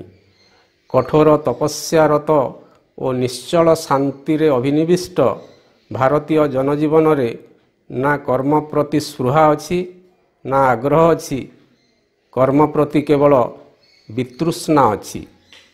ଏହିପରି ଶତସହସ୍ର ଦୋଷ ଦୁର୍ବଳତାର ବର୍ଣ୍ଣନା ପାଶ୍ଚାତ୍ୟ ଜଗତର ସମାଲୋଚକମାନେ ଭାରତୀୟ ସଂସ୍କୃତି ଉପରେ ଯେତେବେଳେ କରନ୍ତି ତାର ଉତ୍ତର ସ୍ୱରୂପ ପ୍ରଭୁ ଶ୍ରୀଅରବିନ୍ଦ ଭାରତୀୟ ସଂସ୍କୃତିର ମହନୀୟତା ଉଲ୍ଲେଖ କରିବାକୁ ଯାଇ ଏକ ଭିନ୍ନ ସତ୍ୟକୁ ପ୍ରକାଶ କରିଛନ୍ତି ଏକ ଭିନ୍ନ ଚେତନାକୁ ଉଜ୍ଜୀବିତ କରିଛନ୍ତି ଯାହାର ଉତ୍ତର ଏହି ପୁସ୍ତକରେ ସନ୍ନିବେଶିତ ହୋଇଛି ଏବଂ ଏଇଠି ଶ୍ରୀ ଅରବିନ୍ଦ କହନ୍ତି ଭାରତୀୟ ସଂସ୍କୃତି ଓ ପଦ୍ଧତି ଏତେ ବଳଶାଳୀ ଥିଲା ଯେ ଏଥିରେ ସମଗ୍ର ଜାତି ସାଧାରଣ ଜୀବନରେ ଅଂଶଗ୍ରହଣ କରିପାରୁଥିଲା। ଅନ୍ୟ ସବୁ ଦେଶମାନଙ୍କରେ ସମଗ୍ର ମାନବ ଜାତି ଜନଜୀବନରେ ଅଂଶଗ୍ରହଣ କରିପାରୁନଥିଲେ। ସେଇଠି ବୈଷମ୍ୟ ଥିଲା। ଅଳ୍ପ କେତେ ଲୋକଙ୍କୁ ବାଦ ଦେଲେ ଅତି କମ୍ ଲୋକମାନେ ବା ସମସ୍ତେ ଏଥିରେ ସକ୍ରିୟ ନଥିଲେ ବା ସତେଜ ଜୀବନଯାପନ କରୁନଥିଲେ। କିନ୍ତୁ ଭାରତୀୟ ସଂସ୍କୃତିରେ ବା ଭାରତୀୟ ଜନଜୀବନରେ ଗୋଟେ ପରିପୂର୍ଣ୍ଣ ସମୃଦ୍ଧ ଜୀବନର ସୂଚନା ଥିଲା। ଯଦିଓ ପ୍ରାଚୀନ ଭାରତବର୍ଷରେ ସମ୍ଭ୍ରାନ୍ତ ବଂଶୀୟ ଲୋକମାନେ ବିପୁଳ ସମ୍ପତ୍ତି ଓ ପ୍ରତିପତ୍ତିର ଅଧିକାରୀ ହୋଇଥିଲେ ତଥାପି ବହୁକାଳ ପର୍ଯ୍ୟନ୍ତ ଶ୍ରୀ ଅରବିନ୍ଦ କହୁଛନ୍ତି ଯେ ଏହି ଭାରତବର୍ଷରେ ସାଧାରଣ ଲୋକେ ସୁସ୍ଥ ସବଳ ଭାବରେ ବସବାସ କରୁଥିଲେ ଏବଂ ସମଗ୍ର ଜୀବନରେ ସେମାନଙ୍କର ଅଂଶଗ୍ରହଣ ଥିଲା। ଭାରତୀୟ ଧର୍ମଗତ ଜୀବନ ଆହୁରି ଗାଢ଼ତର ଥିଲା। ଭାରତରେ ଏଭଳି କିଛି ବ୍ୟକ୍ତି ଥିଲେ ଯେଉଁମାନେ ଅତି ବିସ୍ମୟକର ଦକ୍ଷତାର ସହିତ ଭାରତୀୟ ଦର୍ଶନ ଏବଂ ଚିନ୍ତାଧାରାକୁ ଗ୍ରହଣ କରିନେଇଥିଲେ। ସାଧୁ ସନ୍ଥମାନଙ୍କର ସ୍ୱଭାବକୁ ଗ୍ରହଣ କରିନେଇଥିଲେ। ଗୌତମ ବୁଦ୍ଧଙ୍କ ଅନୁଗାମୀ ହୋଇଥିଲେ। ଦେଶବାସୀ ସମସ୍ତେ ଗୌତମ ବୁଦ୍ଧଙ୍କ ବାଣୀକୁ ଆଗ୍ରହର ସହିତ ଶୁଣିଥିଲେ। ଭକ୍ତ ଏବଂ ବାଉଲମାନଙ୍କର ଗୀତକୁ ସେମାନେ ଗାଇଥିଲେ। ବାଉଲ ଯେଉଁମାନେ ଏକତାରା ଭଜନ ଏବଂ କେନ୍ଦ୍ରା ଭଳି ଗୀତ ଗାଇ ଗାଇ ଭଗବାନଙ୍କର ବାଣୀକୁ ପ୍ରଚାର କରନ୍ତି ତ ସେଇ ବାଉଲମାନଙ୍କର ଗୀତ କଥା ମଧ୍ୟ ଶ୍ରୀ ଅରବିନ୍ଦ ଏଇଠି ଲେଖୁଛନ୍ତି। ଭାରତୀୟମାନେ ସନ୍ନ୍ୟାସୀମାନଙ୍କ ଠାରୁ ଦୀକ୍ଷା ବି ନେଇଛନ୍ତି। ଏଇଭଳି ଭାବରେ ଭାରତୀୟ କାବ୍ୟ ସାହିତ୍ୟର ସୃଷ୍ଟି ହୋଇଛି। ତା ଭିତରେ ଅନବଦ୍ୟ ସୂକ୍ଷ୍ମ ସୁନ୍ଦର କାବ୍ୟ ସାହିତ୍ୟର ପରିପ୍ରକାଶ ହେଇଛି ଏବଂ ଭାରତୀୟମାନେ ଅନ୍ୟ ବିଦେଶୀ ଦେଶମାନଙ୍କ ଭଳି ନ ହୋଇ ସେମାନେ ଆମ ଧର୍ମର ଶ୍ରେଷ୍ଠ ମନୀଷୀ ସେଇ ଜାତିରେ ଜନ୍ମ ନେଇଥିବା ଅନେକ ସାଧୁ ସନ୍ଥମାନଙ୍କ ଦ୍ୱାରା ମାନେ ପୂଜା ପାଇଛନ୍ତି। ପ୍ରାଚୀନ ହିନ୍ଦୁ ଯୁଗରେ ରାଜନୈତିକ ଜୀବନ ଏବଂ କ୍ଷମତାରେ ମଧ୍ୟ ଭାରତୀୟମାନେ ଭାଗ ନେଇଥିବା କଥା ଏଇଠି ଶ୍ରୀ ଅରବିନ୍ଦ ବର୍ଣ୍ଣନା କରୁଛନ୍ତି। ଶ୍ରୀ ଅରବିନ୍ଦ ଅନ୍ୟ ଗୋଟିଏ ଦିଗକୁ ବିଶେଷ ଗୁରୁତ୍ୱ ପ୍ରଦାନ କରୁଛନ୍ତି ଯେଉଁଟା ବେଦରେ ବର୍ଣ୍ଣିତ ହୋଇଛି ବିଷହ ବୋଲିକିରିଟା। ଯେଉଁ ଚାରୋଟି ବର୍ଣ୍ଣର କଥା କୁହାଯାଇଛି ବା ଚାରୋଟି ଜାତିର କଥା କୁହାହେଉଛି ବ୍ରାହ୍ମଣ କ୍ଷତ୍ରିୟ ବୈଶ୍ୟ ଏବଂ ଶୂଦ୍ର। ଏବଂ ଏଇମାନେ ହେଲେ ଏକ ବିଶେଷ ଜାତିର ଲୋକ। ଯେଉଁମାନଙ୍କର ନେତା ଥିଲେ ରାଜା ଏବଂ ସେମାନଙ୍କ ଠାରୁ ବ୍ରାହ୍ମଣ ଏବଂ ଉଚ୍ଚ ରାଜବଂଶରୁ ଋଷିମାନେ ଜନ୍ମଗ୍ରହଣ କରିଥିବା କଥା ଶ୍ରୀ ଅରବିନ୍ଦ କହୁଛନ୍ତି। ଏବଂ ସେଇମାନେ ବା ବୈଶ୍ୟମାନେ ଗ୍ରାମରେ ଯେଉଁ ସ୍ୱୟଂ ଶାସିତ ବା ସ୍ୱାୟତ୍ତ ଶାସିତ ସାଧାରଣତନ୍ତ୍ର ପ୍ରତିଷ୍ଠିତ ହୋଇଥିଲା ସେହି ସାଧାରଣତନ୍ତ୍ର ବ୍ୟବସ୍ଥା ଭିତରେ ସେମାନଙ୍କର ଭୂମିକା ସେମାନେ ନିଭାଉଥିଲେ ଏବଂ ଯେତେବେଳେ ରାଜ୍ୟ ସାମ୍ରାଜ୍ୟ ଗୁଡ଼ିକ ଗଢ଼ି ଉଠିଲା ସାଧାରଣ ଲୋକମାନେ ମଧ୍ୟ ଏଇ ଭାରତବର୍ଷରେ ସେହି ସ୍ୱାୟତ୍ତ ଶାସନ ବା ପୌରସଭାରେ ଯୋଗ ଦେଇପାରୁଥିଲେ ସଭା ଏବଂ ସମିତି ନାମକ ଦୁଇଟି ଅନୁଷ୍ଠାନ ଥିବା କଥା ମଧ୍ୟ ବର୍ଣ୍ଣନା ଅଛି। ଯେଉଁଠି ସମିତି ଅନୁଷ୍ଠାନରେ ସାଧାରଣ ଲୋକ ପ୍ରତିନିଧିମାନେ ମଧ୍ୟ ଅଂଶଗ୍ରହଣ କରିପାରୁଥିଲେ ଏବଂ ରାଜାଙ୍କ ପାଖରେ ସେମାନଙ୍କର ଯାହା କିଛି ଅଳି ଅର୍ଦଳି ଥିଲା ବା ତାଙ୍କର କିଛି ଯାହା ଆବଶ୍ୟକତା ଥିଲା ତାହା ଉପସ୍ଥାପନ କରିପାରୁଥିଲେ ନିଜର ସମସ୍ୟା ଗୁଡ଼ିକୁ ସମାଧାନ କରିପାରୁଥିଲେ। ଏବଂ ଏଠି ଆଉ ଗୋଟେ ସୁନ୍ଦର କଥା ଶ୍ରୀ ଅରବିନ୍ଦ କହୁଛନ୍ତି ଯେ ବହୁ କାଳ ପର୍ଯ୍ୟନ୍ତ ଏହି ସାଧାରଣ ଶ୍ରେଣୀର ଲୋକମାନେ ଏବଂ ବୈଶ୍ୟମାନେ ମଧ୍ୟ ତାଙ୍କର ଇଚ୍ଛା ଏବଂ ପ୍ରଭାବକୁ ରାଜାଙ୍କ ଉପରେ ଲଦି ଦେଇ ପାରୁଥିଲେ ଏବଂ ତାଙ୍କର କୌଣସି ଏକ ଦାବି ପୂରଣ କରିବା ପାଇଁ ସୁଦୀର୍ଘ ସଂଗ୍ରାମର ଆବଶ୍ୟକତା ନଥିଲା କେବଳ ସାମାନ୍ୟ ବିକ୍ଷୋଭ ବା ଅସନ୍ତୋଷ ହିଁ ଯଥେଷ୍ଟ ଥିଲା ବୋଲି ଶ୍ରୀ ଅରବିନ୍ଦ କହୁଛନ୍ତି ସାମାନ୍ୟ ଟିକିଏ ବିକ୍ଷୋଭ କଲେ କିମ୍ବା ତାଙ୍କର ଅସନ୍ତୋଷ ଭାବ ପ୍ରକାଶ କଲେ ରାଜାମାନେ ତାଙ୍କର କଥା ମାନୁଥିଲେ ଏବଂ ତାଙ୍କର ବିଚାରରେ ମଧ୍ୟ ପରିବର୍ତ୍ତନ ଆଣୁଥିଲେ ଏବଂ ହିନ୍ଦୁ ରାଜ୍ୟ ଯେତେଦିନ ପର୍ଯ୍ୟନ୍ତ ବଞ୍ଚିଥିଲା ବୈଶ୍ୟମାନଙ୍କର ଏବଂ ସାଧାରଣ ଜନଜୀବନର ଯେଉଁ ଭୂମିକା ଦେଶର ଶାସନ ବ୍ୟବସ୍ଥାରେ ବା ରାଜ୍ୟର ଶାସନ ବ୍ୟବସ୍ଥାରେ ଏବଂ ଅନ୍ୟାନ୍ୟ କାର୍ଯ୍ୟରେ ଏହା ରହିଥିଲା ଶ୍ରୀ ଅରବିନ୍ଦ ଏହା ବର୍ଣ୍ଣନା କରୁଛନ୍ତି। ଏବଂ ଯେତେବେଳେ ଗୋଟିଏ ସମୟ ଆସିଲା ମଧ୍ୟ ଏସିଆରୁ କିଛି ଯଥେଚ୍ଛାଚାରୀ ଏକଛତ୍ରବାଦ ଶାସନର ଅଭ୍ୟୁଦୟ ହେଲା ଭାରତବର୍ଷକୁ ଆସିଲା ଏବଂ ସେତେବେଳେ ଭାରତୀୟ ଜନଜୀବନରେ ହୁଏତ କିଛି ଅବକ୍ଷୟର ଆରମ୍ଭ ହେଲା। କିନ୍ତୁ ତଥାପି ଶ୍ରୀ ଅରବିନ୍ଦ କହୁଛନ୍ତି ଯେ ଭାରତୀୟ ସଂସ୍କୃତିର ମହନୀୟତା ଥିଲା। କେବଳ ସଂସ୍କୃତି କ୍ଷେତ୍ରରେ ନୁହେଁ କଳା ବିଜ୍ଞାନ ସାହିତ୍ୟ ସମସ୍ତ କ୍ଷେତ୍ରରେ ଭାରତୀୟ ଜନଜୀବନର ସମ୍ପୃକ୍ତି ଥିଲା। ଏଠି କଳା ସମ୍ପର୍କରେ ଶ୍ରୀ ଅରବିନ୍ଦ ବର୍ଣ୍ଣନା କରୁଛନ୍ତି ଯେ ସାଧାରଣ ଲୋକମାନେ କଳା ଏବଂ କାବ୍ୟ କବିତାରେ ମଧ୍ୟ ଭାଗ ନେଉଥିଲେ।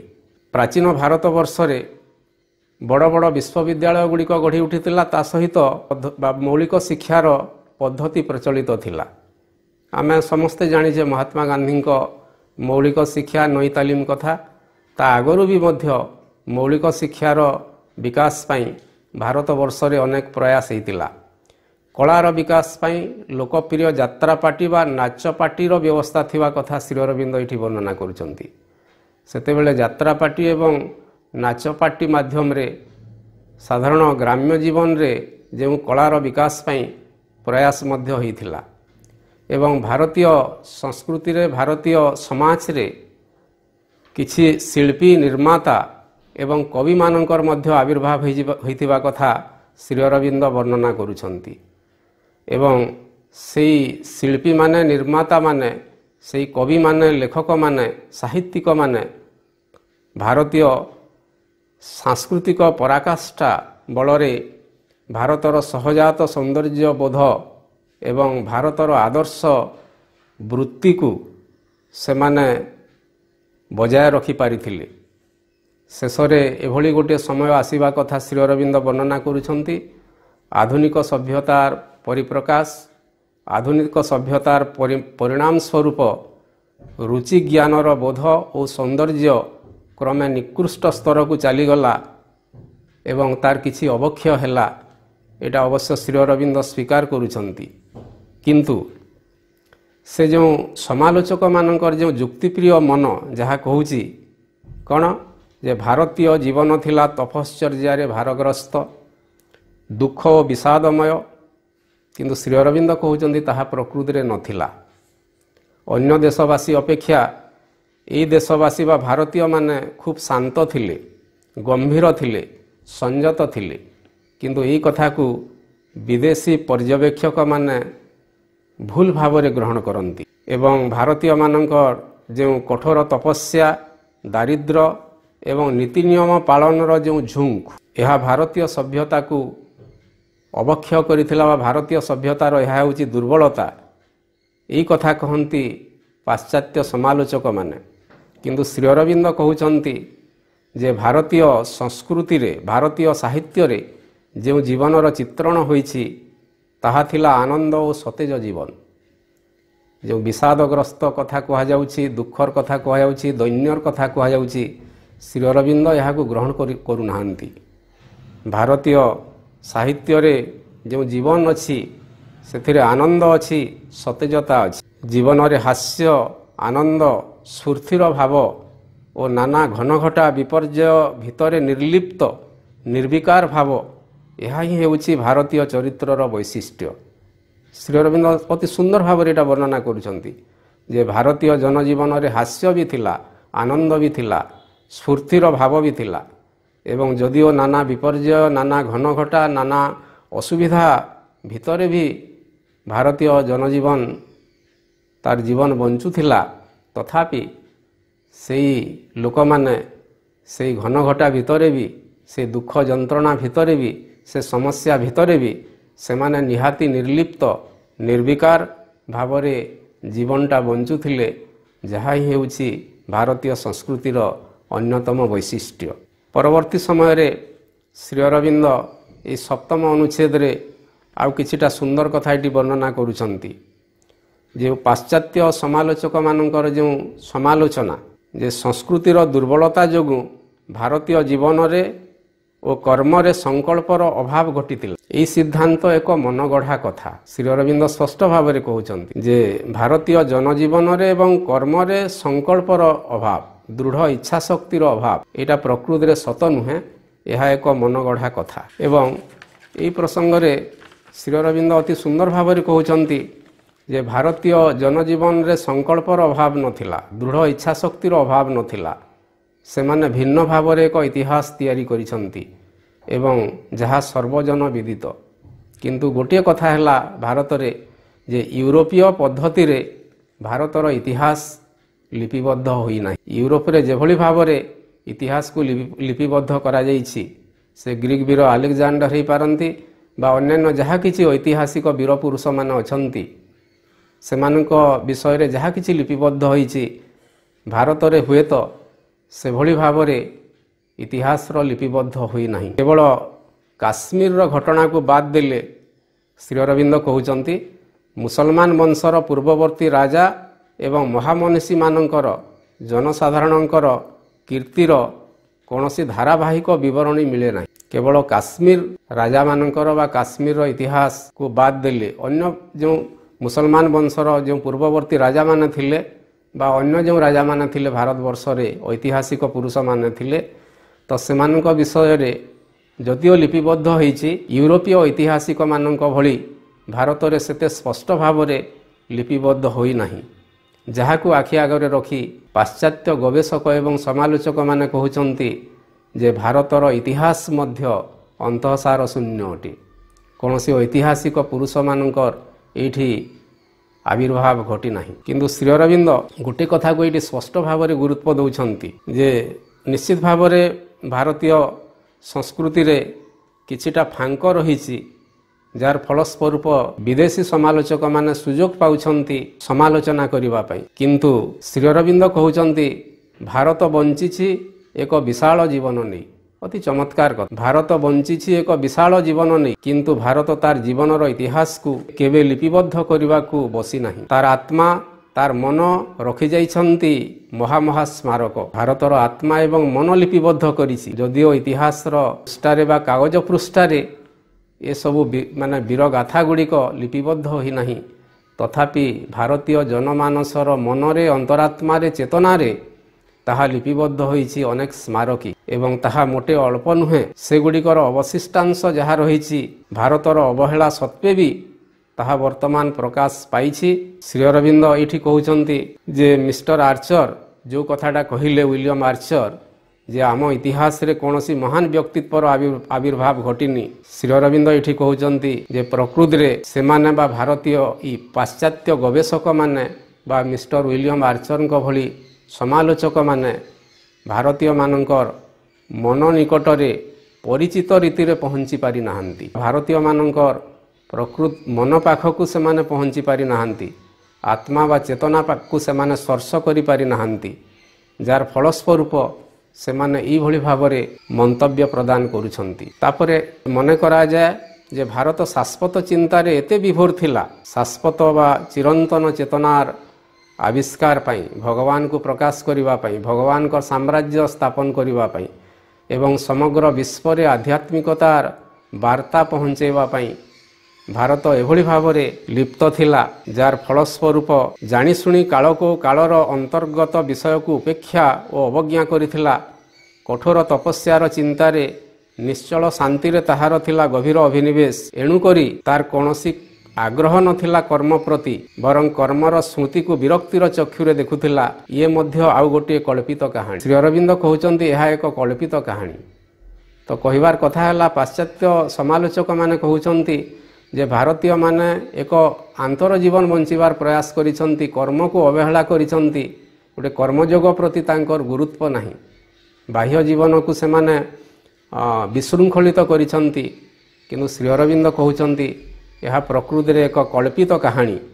ଏଥିରେ କିଛି ସତ୍ୟତା ନାହିଁ। ଏବଂ ଶ୍ରୀ ଅରବିନ୍ଦ ବର୍ଣ୍ଣନା କରୁଛନ୍ତି ଯେ ଭାରତବର୍ଷରେ ଯେଉଁ ପ୍ରତ୍ନତତ୍ତ୍ୱବିଦମାନଙ୍କର ଭାରତର ଯାହା କିଛି ଅଛି ଲୁକାୟିତ ଭାବରେ ଏହି ଐତିହାସିକ କୃତି ଏବଂ ଅନ୍ୟାନ୍ୟ ସବୁକିଛିକୁ ଯୋଗ ଜୀବନର କଥା ତ ସେସବୁକୁ ଆବିଷ୍କାର କରିବାର ଆବଶ୍ୟକତା ରହିଛି ଏବଂ ଶେଷ ପର୍ଯ୍ୟାୟରେ ଏଇଠି ଭାରତୀୟ ସଂସ୍କୃତି ଭାରତୀୟ ସାହିତ୍ୟ ଭାରତୀୟ ଦର୍ଶନ ଭିତରେ ଯେଉଁ ଗଭୀର ବାର୍ତ୍ତା ଅଛି ବାଣୀ ରହିଛି ଚିରନ୍ତନ ଚେତନାର ଯେଉଁ ସ୍ପର୍ଶ ରହିଛି ତ ସେସବୁକୁ ଆବିଷ୍କାର କରିବା ଏବଂ ସେସବୁର ଯଥାର୍ଥତାକୁ ପ୍ରକାଶ କରିବାର ସମୟ ବର୍ତ୍ତମାନ ଆସିଛି ଯଦିଓ ଭାରତୀୟ ସଂସ୍କୃତି ସାହିତ୍ୟ ସବୁ କ୍ଷେତ୍ରରେ ସାମାନ୍ୟତମ କିଛି ନା କିଛି ତ୍ରୁଟି ବା ଅବ- ଅବହେଳା ରହିଥିଲା ତଥାପି ଏ ତ୍ରୁଟି ସତ୍ତ୍ୱେ ଅତୀତର ଯେତିକି ଯେତିକି ଅନୁସନ୍ଧାନ କରାହେଇଛି ସେତିକି ସେତିକି ବିପୁଳ ପରିମାଣର ଉପାଦାନ ମିଳିଛି। ଏବଂ ଭାରତର ଅତୀତ କର୍ମ ଓ ମହାତ୍ମ୍ୟ ଆତ୍ମପ୍ରକାଶ କରିଛି ସ୍ପଷ୍ଟରୁ ସ୍ପଷ୍ଟତର ରୂପରେ। ଏସବୁ ତ୍ରୁଟି ସତ୍ତ୍ୱେ। ଯଦିଓ କିଛି ଅବହେଳା ହେଇଛି ତଥାପି ଯେ ଭାରତ ଅନ୍ତର୍ଚେତନାର ଅନୁସନ୍ଧାନ ଯେତେ ଯେତେ କରାହେଇଛି ଭାରତୀୟ ସଂସ୍କୃତି କାବ୍ୟ ସାହିତ୍ୟ ଏବଂ ଦର୍ଶନର ଅନ୍ତରଙ୍ଗ ଚେତନାକୁ ଯେତେ କିଛି ଆବିଷ୍କାର କରିବାର ବା ଅନୁସନ୍ଧାନ କରିବାର ପ୍ରୟାସ ହେଇଛି ସେତେ ସେତେ ଉପାଦାନ ମିଳିଛି। ସେତେ ସେତେ ରତ୍ନଭଣ୍ଡାର ମିଳିଛି ଏବଂ ନିଶ୍ଚିତ ଭାବରେ ଭାରତ ସୁପ୍ତ ହୋଇନାହିଁ ଭାରତ ଚେତନା ସୁପ୍ତ ହୋଇନାହିଁ ଭାରତ ବଞ୍ଚିଛି India of the ages is not dead Sri Aurobindo କହୁଛନ୍ତି ଯୁଗ ଯୁଗର ଭାରତବର୍ଷ ମରିନାହିଁ ସେ ଅଦ୍ୟାବଧି ତାର ଶେଷ ସୃଜନଶୀଳ ମନ୍ତ୍ର ଉଚ୍ଚାରଣ କରିନାହିଁ ନିଜ ପାଇଁ ଏବଂ ସମଗ୍ର ମାନବ ଜାତି ପାଇଁ ତାର ବହୁତ କିଛି କରିବାର ଅଛି। ଅତଏବ ପାଶ୍ଚାତ୍ୟ ଗବେଷକ ଏବଂ ସମାଲୋଚକମାନଙ୍କର ଏ ଯେଉଁ ପ୍ରହାର ଭାରତୀୟ ସଂସ୍କୃତି ଉପରେ ଭାରତୀୟ ଜୀବନ ଉପରେ ଭାରତୀୟ କଳା ଉପରେ ଭାରତୀୟ ସାହିତ୍ୟ ଉପରେ ଭାରତୀୟ ଜନଜୀବନ ଉପରେ ପ୍ରକୃତିରେ ତାର କିଛି ଯଥାର୍ଥ ନାହିଁ ବା ଯଥାର୍ଥତା ନାହିଁ। ଆମେ ନିଶ୍ଚିତ ଭାବରେ ଭାରତୀୟ ସଂସ୍କୃତିକୁ ପୁଣି ଥରେ ସମଗ୍ର ବିଶ୍ୱର ଶ୍ରେଷ୍ଠ ସଂସ୍କୃତିରେ ପରିଣତ କରିପାରିବା। ଆସନ୍ତୁ ଆମେମାନେ ସମସ୍ତେ ମା ଶ୍ରୀ ଅରବିନ୍ଦଙ୍କର ଅନୁଗାମୀ ହୋଇ ଭାରତ ସମ୍ପର୍କରେ ଶ୍ରୀ ଅରବିନ୍ଦଙ୍କର ଯେଉଁ ମହାନ ସ୍ୱପ୍ନ ଅଛି ଏକ ବୃହତ୍ତର ଭାରତବର୍ଷ ଗଠନରେ ଆମେ ବ୍ରତୀ ହେବା ଏବଂ ପ୍ରଭୁ ଶ୍ରୀ ଅରବିନ୍ଦଙ୍କର ସ୍ୱପ୍ନକୁ ସାକାର କରିବା। ଭାରତ ମାତାର ଜୟ ହେଉ ଭାରତୀୟ ସଂସ୍କୃତିର ଜୟ ହେଉ ଭାରତୀୟ କଳାର ଜୟ ହେଉ ଭାରତୀୟ ସାହିତ୍ୟର ଜୟ ହେଉ। ବନ୍ଦେ ମାତରମ୍।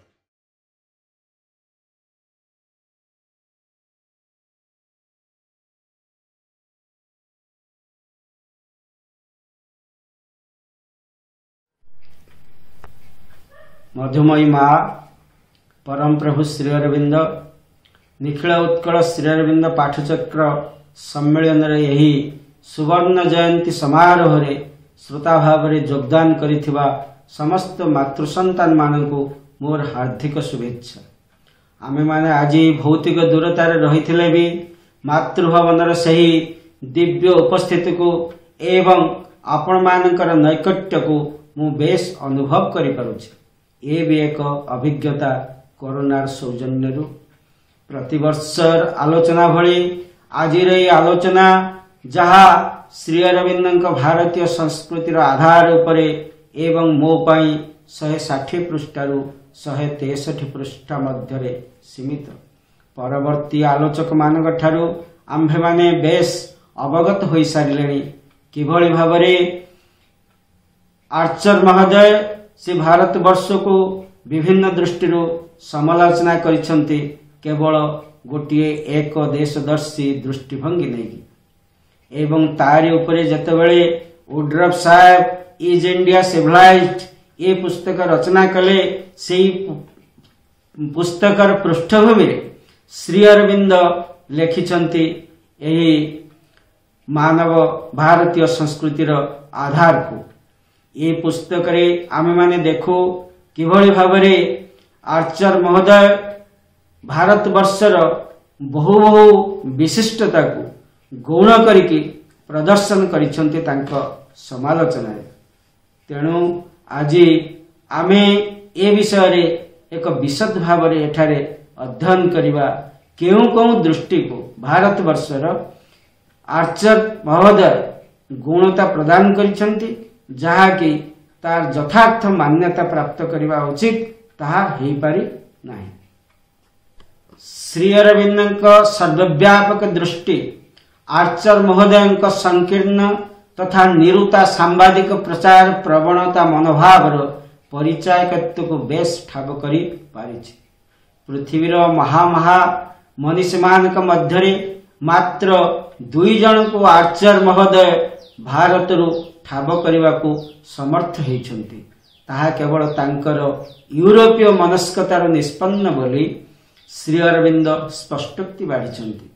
ଯେତେବେଳେ କେହି ବି ନିରପେକ୍ଷ ଚେତନାରେ ନଥାଏ ସେତେବେଳେ ସେ ତା ଦେଶକୁ ସର୍ବାଗ୍ରେ ଅଧିକାର ଦେଇଥାଏ ଏବଂ ଅନ୍ୟ ଦେଶକୁ ଗୌଣ କରି ଦେଖିଥାଏ।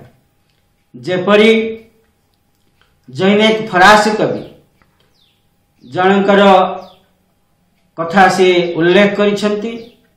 ଯେତେବେଳେ ବିଶ୍ୱର ବିଶିଷ୍ଟ କବିମାନଙ୍କର ଏକ ତାଲିକା ତାଙ୍କୁ ପ୍ରସ୍ତୁତ କରିବା ପାଇଁ କୁହାଯାଇଥିଲା ସେତେବେଳେ ସେ କେବଳ ନିଜ ଦେଶର ବିଶିଷ୍ଟ କବିମାନଙ୍କର ଏକ ଦୀର୍ଘ ତାଲିକା ସେଥିରେ ରଖିଥିଲେ ଏବଂ ଅନ୍ୟ ଦେଶମାନଙ୍କରୁ କତିପୟ କବିମାନଙ୍କର ନାମକୁ ସେଠାରେ ସେ ଉଲ୍ଲେଖ କରିଥିଲେ। ଏ ପ୍ରକାର ମନୋଭାବ ପ୍ରକୃତରେ ଏକ ନିରପେକ୍ଷ ମନୋଭାବର ଦୃଷ୍ଟିଭଙ୍ଗୀ ନୁହେଁ। ମଣିଷ ଯେତେବେଳେ ଗୁଣୀ ଲୋକମାନଙ୍କୁ ଚିହ୍ନିବାକୁ ଆରମ୍ଭ କରେ ସେ ଗୁଣୀ ଲୋକଟି ଯୋଉଠି ବି ଥାଉ ନା କାହିଁକି ସେ ସମଗ୍ର ମାନବ ଜାତିର ନମସ୍ୟ ଏବଂ ପୂଜ୍ୟ। ଜଣେ ନିରପେକ୍ଷ ବ୍ୟକ୍ତି ବା ସମାଲୋଚକ ଏଣୁ ସେ ସମସ୍ତଙ୍କୁ ପ୍ରାଧାନ୍ୟ ଦେବାର ଅଛି। ସମସ୍ତଙ୍କ ଭିତରେ ଯେଉଁ ମହନୀୟତା ଅଛି ତାହାକୁ ସେ ମାନବ ଜାତିର ସମ୍ମୁଖରେ ଉପସ୍ଥାପନ କରିବାର ଆବଶ୍ୟକତା ରହିଛି। କିନ୍ତୁ କେହି ବି ଯଦି କେବଳ ଗୋଟାଏ ପ୍ରାନ୍ତୀୟ ଦୃଷ୍ଟିଭଙ୍ଗୀ ନେଇ ବା ପାଶ୍ଚାତ୍ୟ ଦୃଷ୍ଟିଭଙ୍ଗୀ ନେଇ ସମାଲୋଚନା କରେ ସେ ସାମଗ୍ରିକ ସତ୍ୟକୁ କେବେ ବି ଲୋକ ସମ୍ମୁଖକୁ ଆଣିପାରିବ ନାହିଁ ଏଣୁ ଶ୍ରୀ ଅରବିନ୍ଦ ଏ ପ୍ରଶ୍ନ ଉଠାଇଛନ୍ତି କେଉଁ ମାନଦଣ୍ଡରେ ଆର୍ଚର ମହୋଦୟ ଭାରତର ଏଡ଼େ ବଡ଼ ବଡ଼ ମହାନ ବ୍ୟକ୍ତିତ୍ୱ ମାନଙ୍କୁ ଉପେକ୍ଷା କରି ମାତ୍ର ଦୁଇ ତିନି ଜଣଙ୍କ ନାମ ଉଲ୍ଲେଖ କଲେ ପୁଣି ଦ୍ୱିତୀୟ ଶ୍ରେଣୀରେ ଅନ୍ତର୍ଭୁକ୍ତ କଲେ ସେ ଏକ ତୁଳନାତ୍ମକ ବ୍ୟଞ୍ଜନା ଉପସ୍ଥାପନ କରିଛନ୍ତି।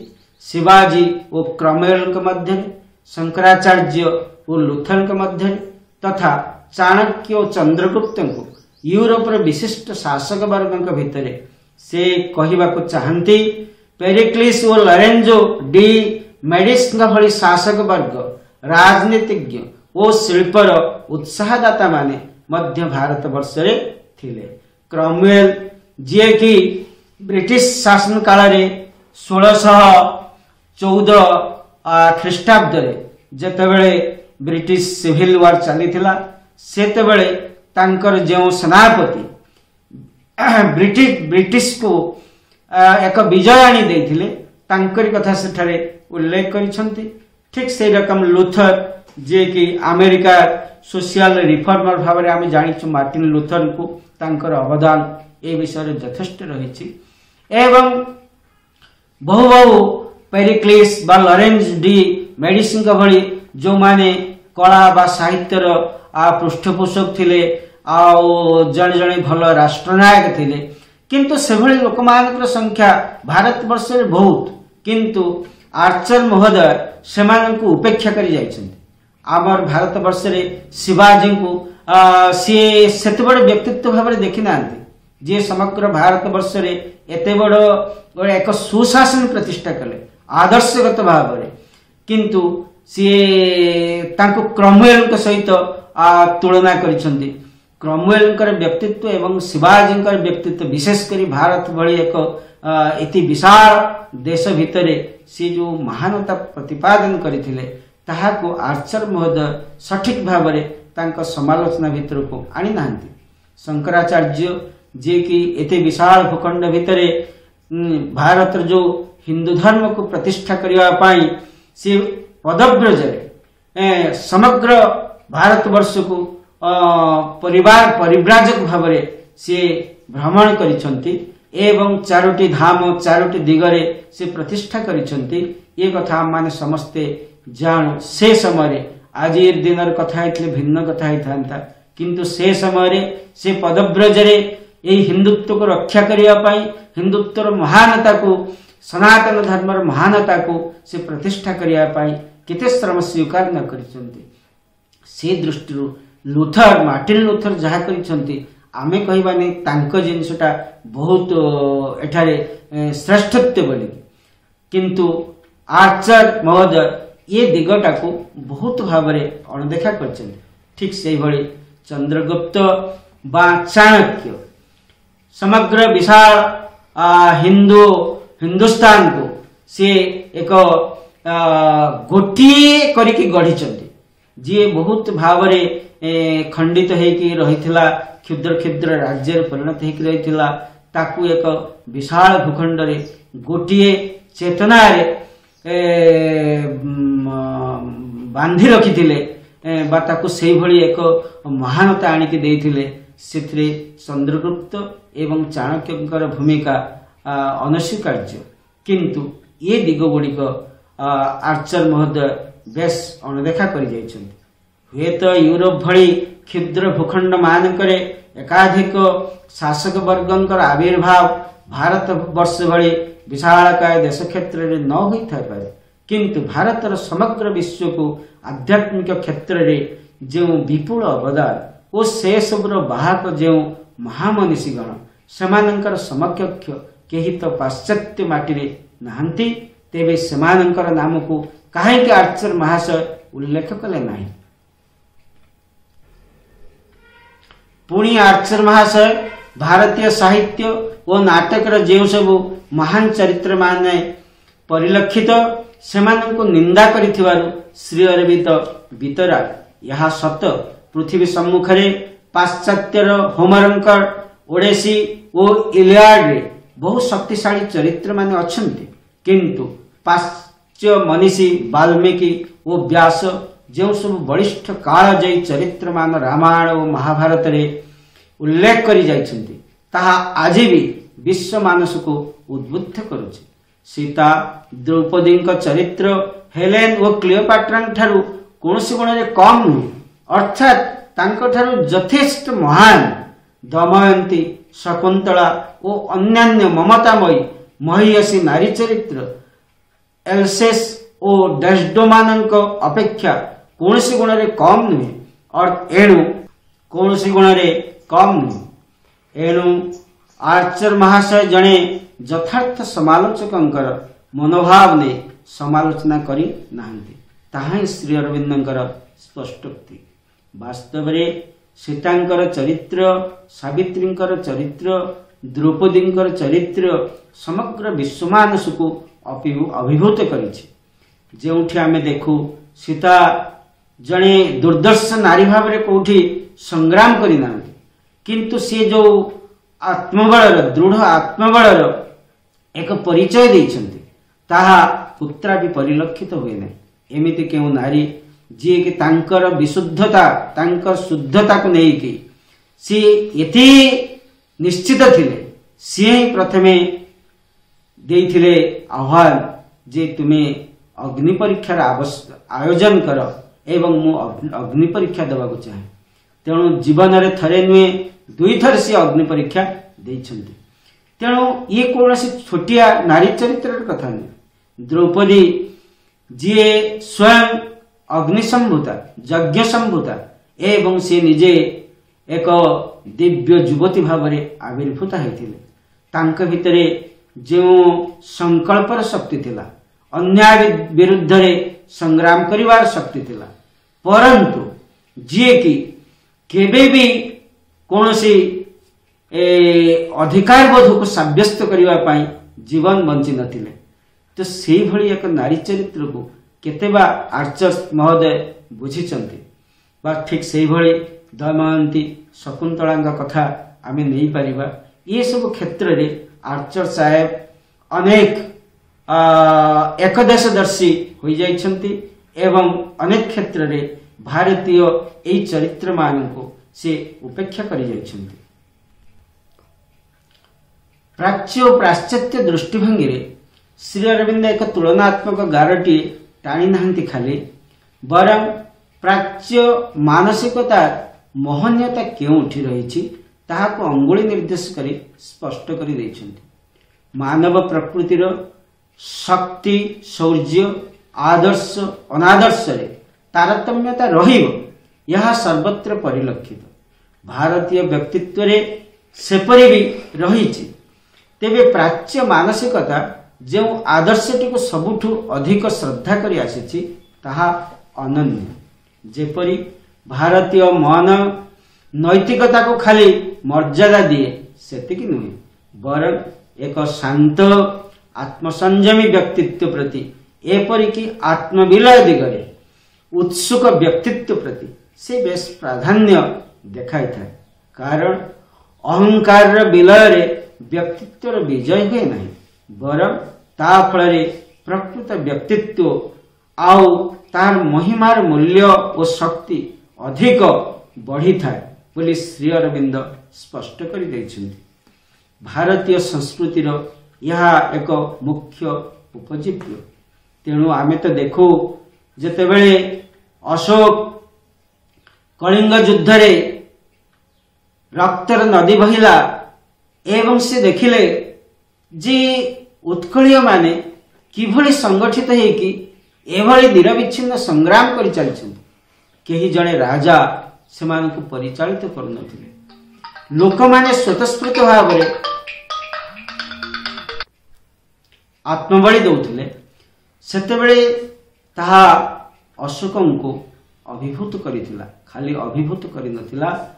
ଅଶୋକ ସେଥିରେ ଦେଖିଥିଲେ ଯେ ଦେଶ ବା ମାତୃକା ପ୍ରତି ଏଇ କଳିଙ୍ଗବାସୀ ମାନଙ୍କର କେତେ ମହାନ ତ୍ୟାଗ। ସେତେବେଳେ ସେ ଚଣ୍ଡାଶୋକରୁ ହେଇଯାଇଥିଲେ ଧର୍ମାଶୋକରେ ପରିଣତ। ଏହି କଳିଙ୍ଗ ମାଟିରୁ ସେ ବୁଦ୍ଧଙ୍କର ଅହିଂସା ଚେତନାକୁ ନିଜେ ସ୍ୱୟଂ ଗ୍ରହଣ କରିଥିଲେ ଏବଂ ବିଶ୍ୱ ଦରବାରରେ ତାକୁ କିଭଳି ଏକ ରାଜଧର୍ମରେ ପରିଣତ କରିବେ ସେଥିପାଇଁ ସେ ଯତ୍ପର ନାସ୍ତି ତାଙ୍କର ପରବର୍ତ୍ତୀ ସମାନ ସମଗ୍ର ଜୀବନ ଆ, ସେ ଉଦ୍ୟମ କରିଛନ୍ତି। ତଥାଗତ ବୁଦ୍ଧଙ୍କର ସେହି ମହତ୍ ବାଣୀକୁ ସିଏ ସ୍ୱୟଂ ଜୀବନ କାଳ ଭିତରେ କେତେ ନିଜେ ଆଚରଣ କରିଛନ୍ତି ତାହା ଆମେ କହିପାରିବା ନାହିଁ। କିନ୍ତୁ ସିଏ ଜୀବନ ବ୍ୟାପୀ ଯେଉଁ ଉଦ୍ୟମକୁ ଅବ୍ୟାହତ ରଖିଥିଲେ। ସେଥିରେ ଆଜି ବୌଦ୍ଧ ଧର୍ମ ବୌଦ୍ଧ ଚେତନା ସମଗ୍ର ବିଶ୍ୱରେ ବହୁଳାଂଶରେ ତାର ପ୍ରଭାବ ପଡ଼ିଛି। ଆର୍ଚର ମହାଶୟଙ୍କ ଦୃଷ୍ଟିରେ ଅଶୋକଙ୍କ ଚରିତ୍ର ନିଷ୍ପ୍ରଭ କୌଣସି ବିଶେଷତ୍ୱ ନାହିଁ। ସେଇଥିପାଇଁ ସାଲମେନ୍ ଓ କନଷ୍ଟାଟାଇନଙ୍କ ତୁଳନାରେ ଅଶୋକଙ୍କ ଚରିତ୍ରକୁ ସେ ମ୍ଳାନ କରି ପକାଇଛନ୍ତି। ସାଲମେନ୍ ସାକ୍ସନ ମାନଙ୍କୁ ନିର୍ମମ ଭାବେ ହତ୍ୟା କରିଥିଲେ ଉତ୍ତମ ଖ୍ରୀଷ୍ଟିଆନରେ ପରିଣତ କରିବା ପାଇଁ। ଏଣୁ ଏମାନେ କିପରି ବୁଝିପାରନ୍ତେ ଅଶୋକ କାହିଁକି ନିର୍ମମ ହତ୍ୟାକାଣ୍ଡରୁ ନିଜକୁ ଅପସାରେଇ ନେଇ ଚଣ୍ଡାଶୋକରୁ ଧର୍ମାଶୋକରେ ପରିଣତ ହେଲେ ବୋଲି। ଶ୍ରୀ ଅରବିନ୍ଦ ପ୍ରତିପାଦନ କରିଛନ୍ତି କନଷ୍ଟାଣ୍ଟାଇନ ଖ୍ରୀଷ୍ଟ ଧର୍ମକୁ ଜୟ କରାଇଥିଲେ ସତ ମାତ୍ର ତାଙ୍କ ବ୍ୟକ୍ତିତ୍ୱରେ ଖ୍ରୀଷ୍ଟ ଧର୍ମର ତିଳେ ମାତ୍ର ଆଭାସ ନଥିଲା। ଅଶୋକ ବୌଦ୍ଧ ଧର୍ମକୁ କେବଳ ରାଜଧର୍ମରେ ପ୍ରତିଷ୍ଠା କରି ସନ୍ତୁଷ୍ଟ ନଥିଲେ ବରଂ ପୂର୍ଣ୍ଣ ସାର୍ଥକତାର ସହିତ ନହେଲେ ମଧ୍ୟ ତଥାଗତଙ୍କ ପ୍ରଦର୍ଶିତ ମାର୍ଗକୁ ଅନୁସରଣ କରିବା ପାଇଁ ନିରନ୍ତର ପ୍ରୟାସ କରିଥିଲେ। ଆମେ ଦେଖୁ କନଷ୍ଟାଟାଇନ ଯିଏକି ଜଣେ ରୋମାନ ସମ୍ରାଟ ଥିଲେ ଏବଂ ସିଏ ହେଉଛନ୍ତି ପ୍ରଥମ ରୋମାନ ସମ୍ରାଟ ଯିଏକି ନିଜକୁ ଖ୍ରୀଷ୍ଟ ଧର୍ମ ଖ୍ରୀଷ୍ଟ ଧର୍ମରେ ଦୀକ୍ଷିତ କରାଇଥିଲେ ଏବଂ ସେ ଚାହୁଁଥିଲେ ସମଗ୍ର ଦେଶର ଲୋକମାନେ ସମସ୍ତେ ଏହି ଖ୍ରୀଷ୍ଟ ଧର୍ମକୁ ଗ୍ରହଣ କରନ୍ତୁ ସେଇଥିପାଇଁ ସେ ସମସ୍ତ ପ୍ରକାର ଉଦ୍ୟମ ଜାରି ରଖିଥିଲେ ଏବଂ ତାଙ୍କରି ସମୟରୁ ହିଁ ଏଇ ଯୋଉ ଚର୍ଚ୍ଚ ପ୍ର- ପ୍ରଥା ଇଏ ସବୁ ଆରମ୍ଭ ହେଇଛି ଏବଂ ଆଜି ଆମେ ସମଗ୍ର ବିଶ୍ୱରେ ତାକୁ ଦେଖୁଛୁ। କେବଳ ଗୋଟିଏ ଧର୍ମକୁ ପ୍ରତିଷ୍ଠା କରିବା ପାଇଁ ତାକୁ ସମଗ୍ର ବିଶ୍ୱରେ ପ୍ରତିଷ୍ଠା କରିବା ପାଇଁ ସେ ଚାହିଁଥିଲେ। କିନ୍ତୁ ନିଜେ ଜିସସ୍ କ୍ରାଇଷ୍ଟଙ୍କର ଯେଉଁ ମହନୀୟତା ରହିଥିଲା ଯେଉଁ ଆଦର୍ଶ ରହିଥିଲା ଯେଉଁ ନୈତିକତା ରହିଥିଲା ତାକୁ ସେ କେତେ ଦୂର ଗ୍ରହଣ କରିଥିଲେ ତା ଉପରେ ଶ୍ରୀଅରବିନ୍ଦ ଏକ ପ୍ରଶ୍ନବାଚୀ ଟାଣିଛନ୍ତି। ତେଣୁ ଅଶୋକଙ୍କ କ୍ଷେତ୍ରରେ ଆମେ ଦେଖିବା ସେହି ପ୍ରକାର ଘଟି ନାହିଁ। ଅଶୋକ ତାଙ୍କର ପୂର୍ବର ସମସ୍ତ ଚଣ୍ଡାଶୋକର ଯେଉଁ ଭାବ ଥିଲା କେବଳ ଦେଶ ଜୟ କରିବାର ଯେଉଁ ମାନସିକତା ଥିଲା ତାକୁ ସେ ସମ୍ପୂର୍ଣ୍ଣ ରୂପେ ପରିହାର କରିଥିଲେ ଯେତେବେଳେ ଏହି ଉତ୍କଳ ମାଟିରୁ ସିଏ ଚଣ୍ଡାଶୋକରୁ ଧର୍ମାଶୋକରେ ପରିଣତ ହେଇଗଲେ। ତାଙ୍କ ହୃଦୟ ପରିବର୍ତ୍ତନ ହେଇଗଲା।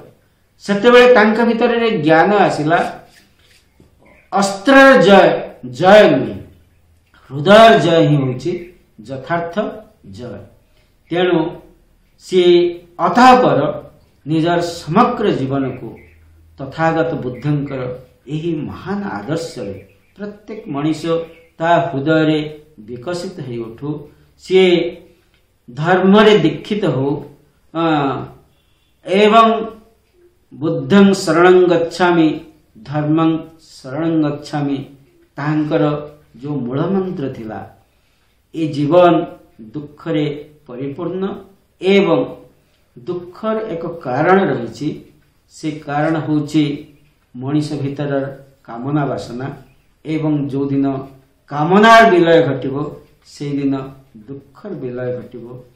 ଏଇ ଯେଉଁ ମୌଳିକ ସତ୍ୟଟି ଉପରେ ଆଧାରିତ ତାଙ୍କର ଜୀବନ ଆଦର୍ଶ ପରବର୍ତ୍ତୀ ସମୟରେ ତାଙ୍କର ସମଗ୍ର ଉଦ୍ୟମ ଏହି ଭାବରେ ସମଗ୍ର ବିଶ୍ୱ ବହୁଳାଂଶକୁ ଅନୁପ୍ରାଣିତ କରିଥିଲା।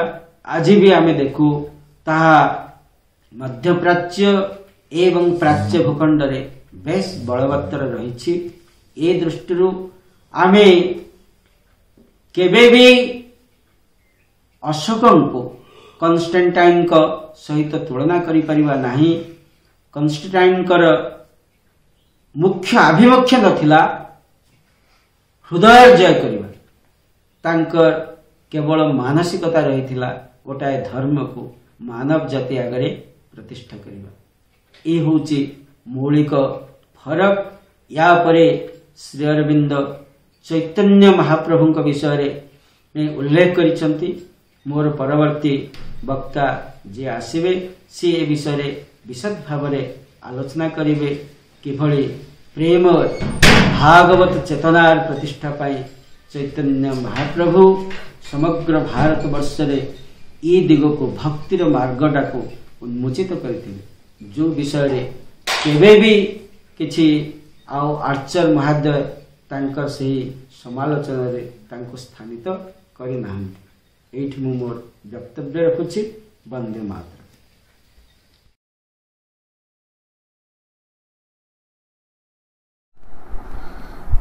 କରୁଣାମୟୀ ମା ପରମପ୍ରଭୁ ଶ୍ରୀ ଅରବିନ୍ଦ ଆଜିର ଅନଲାଇନ୍ ପାଠ୍ୟଚକ୍ରରେ ଉପସ୍ଥିତ ଥିବା ସମସ୍ତ ଭାଇ ବାପାଙ୍କୁ ମୋର ପ୍ରଣାମ। ଶ୍ରୀ ଅରବିନ୍ଦଙ୍କର ଫାଉଣ୍ଡେସନ୍ ଅଫ୍ ଇଣ୍ଡିଆନ୍ କଲଚରର ଧର୍ମ ଓ ଆଧ୍ୟାତ୍ମିକତା ବିଷୟରେ ଯେଉଁ ପାଞ୍ଚଟି ଅଧ୍ୟାୟ ରହିଛି ପଞ୍ଚମ ଅଧ୍ୟାୟର ଶେଷ ଦୁଇ ଅନୁଚ୍ଛେଦକୁ ଆଲୋଚନା କରିବା ପାଇଁ ମୋତେ ଦିଆଯାଇଛି। ପୂର୍ବବର୍ତ୍ତୀ ଅନୁଚ୍ଛେଦ ଗୁଡ଼ିକରେ ମୋର ସମ୍ମାନସ୍ପଦ ଆଲୋଚକ ଭାଇମାନେ ଯାହା ସବୁ ଆଲୋଚନା କରି ଯାଇଛନ୍ତି ସେଥିରେ ଭାରତର ଆଧ୍ୟାତ୍ମିକ ଓ ଧର୍ମୀୟ ଜୀବନର ବାସ୍ତବତାକୁ ୟୁରୋପୀୟମାନଙ୍କର ଯେଉଁ ମନୋବୃତ୍ତି ଠିକ୍ ସେହିଭଳି ଭାବରେ ଭାରତୀୟ ଧର୍ମୀୟ ଓ ଆଧ୍ୟାତ୍ମ ସାହିତ୍ୟ ପୁରାଣ ଓ ଶାସ୍ତ୍ର ପ୍ରତି ମିଷ୍ଟର ୱିଲିୟମ୍ ଆର୍ଚରଙ୍କର ଯେଉଁ ଅସଂଯତ ଔଦ୍ଧତ୍ୟପୂର୍ଣ୍ଣ ବାକ୍ଚାତୁରୀ ବା ସମାଲୋଚନା ଏହା ତାଙ୍କୁ ଏକ ହାସ୍ୟାସ୍ପଦ ପରିସ୍ଥିତିରେ ନେଇ ପହଞ୍ଚାଇ ଦେଇଛି।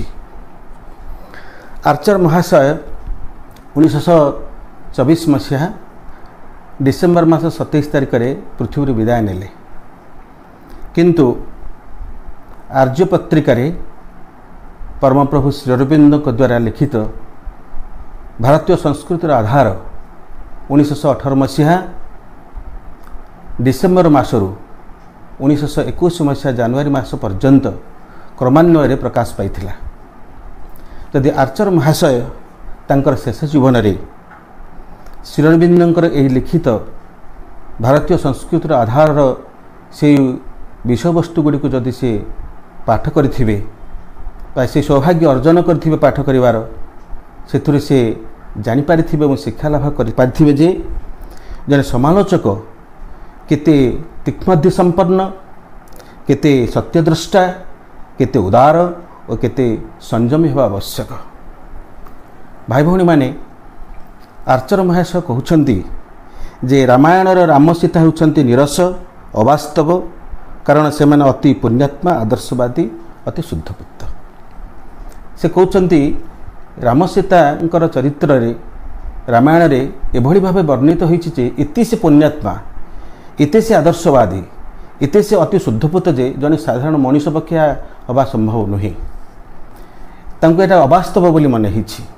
କିନ୍ତୁ ଭାରତୀୟମାନେ ଭାରତୀୟମାନଙ୍କର ହୃଦୟରେ ଶ୍ରୀରାମଚନ୍ଦ୍ର ହେଉଛନ୍ତି ଗଭୀର ସତ୍ୟର ମୂର୍ତ୍ତ ପ୍ରତୀକ।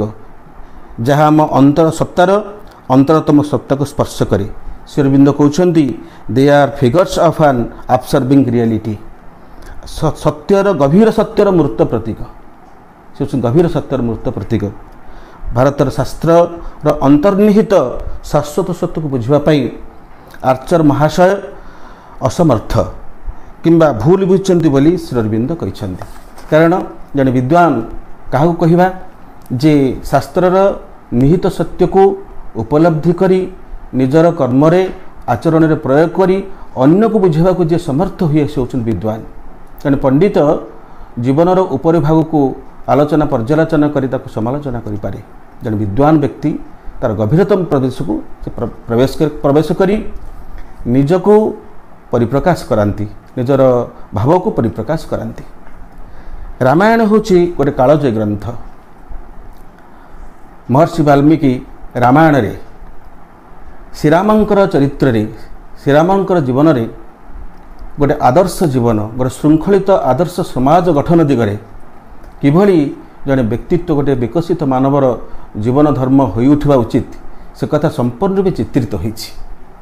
ଆପଣମାନେ ଜାଣିଛନ୍ତି ଏକ ଆଦର୍ଶ ଶୃଙ୍ଖଳିତ ସମାଜର ବାର୍ତ୍ତାବହ ହୋଇ ଉଠିଥିବା ଏହି ରାମାୟଣ ଗ୍ରନ୍ଥ ଯଦି ଜଣେ କି ପାଠ କରେ ସେଥିରୁ ସେ ଜଣାପଡ଼ିବ ଯେ ଗୋଟିଏ ଜୀବନ ଦର୍ଶନର ପ୍ରକୃତ ମୂଲ୍ୟବୋଧ କିଭଳି ସେଥିରେ ବର୍ଣ୍ଣିତ ହୋଇଛି ଏବଂ ରାମାୟଣ ରାମାୟଣରେ ରାମଙ୍କର ଜୀବନରେ ତା କିପରି ପ୍ରତିଫଳିତ ହୋଇଛି। ରାମାୟଣ ପାଠ କଲେ ଜଣାପଡ଼ିବ ଯେ ଜଣେ ଭାଇ ଭାଇର ସମ୍ପର୍କ କିପରି ପତିପତ୍ନୀର ସମ୍ପର୍କ କିପରି ରାଜା ପ୍ରଜାର ସମ୍ପର୍କ କିପରି ଶତ୍ରୁ ମିତ୍ରର ସମ୍ପର୍କ କିପରି ବନ୍ଧୁ ବନ୍ଧୁର ସମ୍ପର୍କ କିପରି ପୁତ୍ର କନ୍ୟାର ସମ୍ପର୍କ କିପରି ଏହିସବୁ ଜୀବନର ସମ୍ପର୍କ ଗୁଡ଼ିକୁ ଶ୍ରୀରାମଚନ୍ଦ୍ର ଶ୍ରୀରାମଚନ୍ଦ୍ର ତଥା ଅନ୍ୟ ସବୁ ଚରିତ୍ରମାନଙ୍କରେ ପ୍ରତିଫଳିତ ହୋଇଛି। କେବଳ ସେତିକି ନୁହେଁ ଭାଇ ଭଉଣୀ। ଏକ ବିକଶିତ ମନୁଷ୍ୟର ପ୍ରକୃତ ଗୁଣ କ'ଣ ଦରକାର? ସେଥିରେ ପ୍ରତ୍ୟେକ ଚରିତ୍ରର ପଶ୍ଚାତରେ ବାଲ୍ମୀକି ମହର୍ଷି ତାକୁ କ'ଣ ପ୍ରତିପାଦନ କରିଛନ୍ତି? ଯେଭଳି ଯଥା ଦୟା କ୍ଷମା ଉଦାରତା ସଙ୍ଗତି ପ୍ରେମ ସାହସ ବୀରତ୍ୱ ସହିଷ୍ଣୁତା ନିର୍ଲିପ୍ତତା ତ୍ୟାଗ ଉତ୍ସର୍ଗ ଏକତ୍ୱ ଶୁଦ୍ଧତା ଦୂରଦୃଷ୍ଟି ସହାୟତା ସଂକଳ୍ପ ମହାନତା ପ୍ରତିଶ୍ରୁତିବଦ୍ଧତା ସ୍ନେହ ମମତା ନିସ୍ୱାର୍ଥ ପ୍ରେମ ଓ ଆଧ୍ୟାତ୍ମ ଜୀବନ ଇତ୍ୟାଦି ବିଭିନ୍ନ ଚରିତ୍ର ମଧ୍ୟରେ ମହର୍ଷି ବାଲ୍ମୀକି ତାକୁ ପ୍ରଦାନ କରିଛନ୍ତି ଏଥିପ୍ରତି ଏଇ ଯେଉଁ ଗଭୀର ସତ୍ୟକୁ ଆର୍ଚର ମହାଶୟ ଅନୁଧ୍ୟାନ ନ କରି ସେ ରାମାୟଣର ଉପରି ଭାଗକୁ ଦେଖି ତାକୁ ସେ ଅବାସ୍ତବ ନିରସ ବୋଲି ବର୍ଣ୍ଣନା କରିଛନ୍ତି। ରାମାୟଣରେ ଏହି ଚରିତ୍ର ଗୁଡ଼ିକର ଭୁରି ଭୁରି ଦୃଷ୍ଟାନ୍ତ ରହିଛି। ଗୋଟିଏ ଶୃଙ୍ଖଳିତ ଆଦର୍ଶ ଜୀବନ ଗଠନ କରିବା ପାଇଁ ରାମାୟଣ ଚରିତ୍ର ଗୁଡ଼ିକ ଏଭଳି ଭାବରେ ଜ୍ୱଳନ୍ତ ଦୃଷ୍ଟାନ୍ତ ତାହା କାଳ ଯୁଗ ଯୁଗ ଧରି ସେ ସମାଜକୁ ସେ ନୂତନ ବାର୍ତ୍ତାବହ ରୂପେ ପରିପ୍ରକାଶ କରୁଥିବ। ଆପଣମାନଙ୍କୁ ଗୋଟିଏ ଦୁଇଟି ଆମେ ଉଦାହରଣ ଆଣିପାରେ।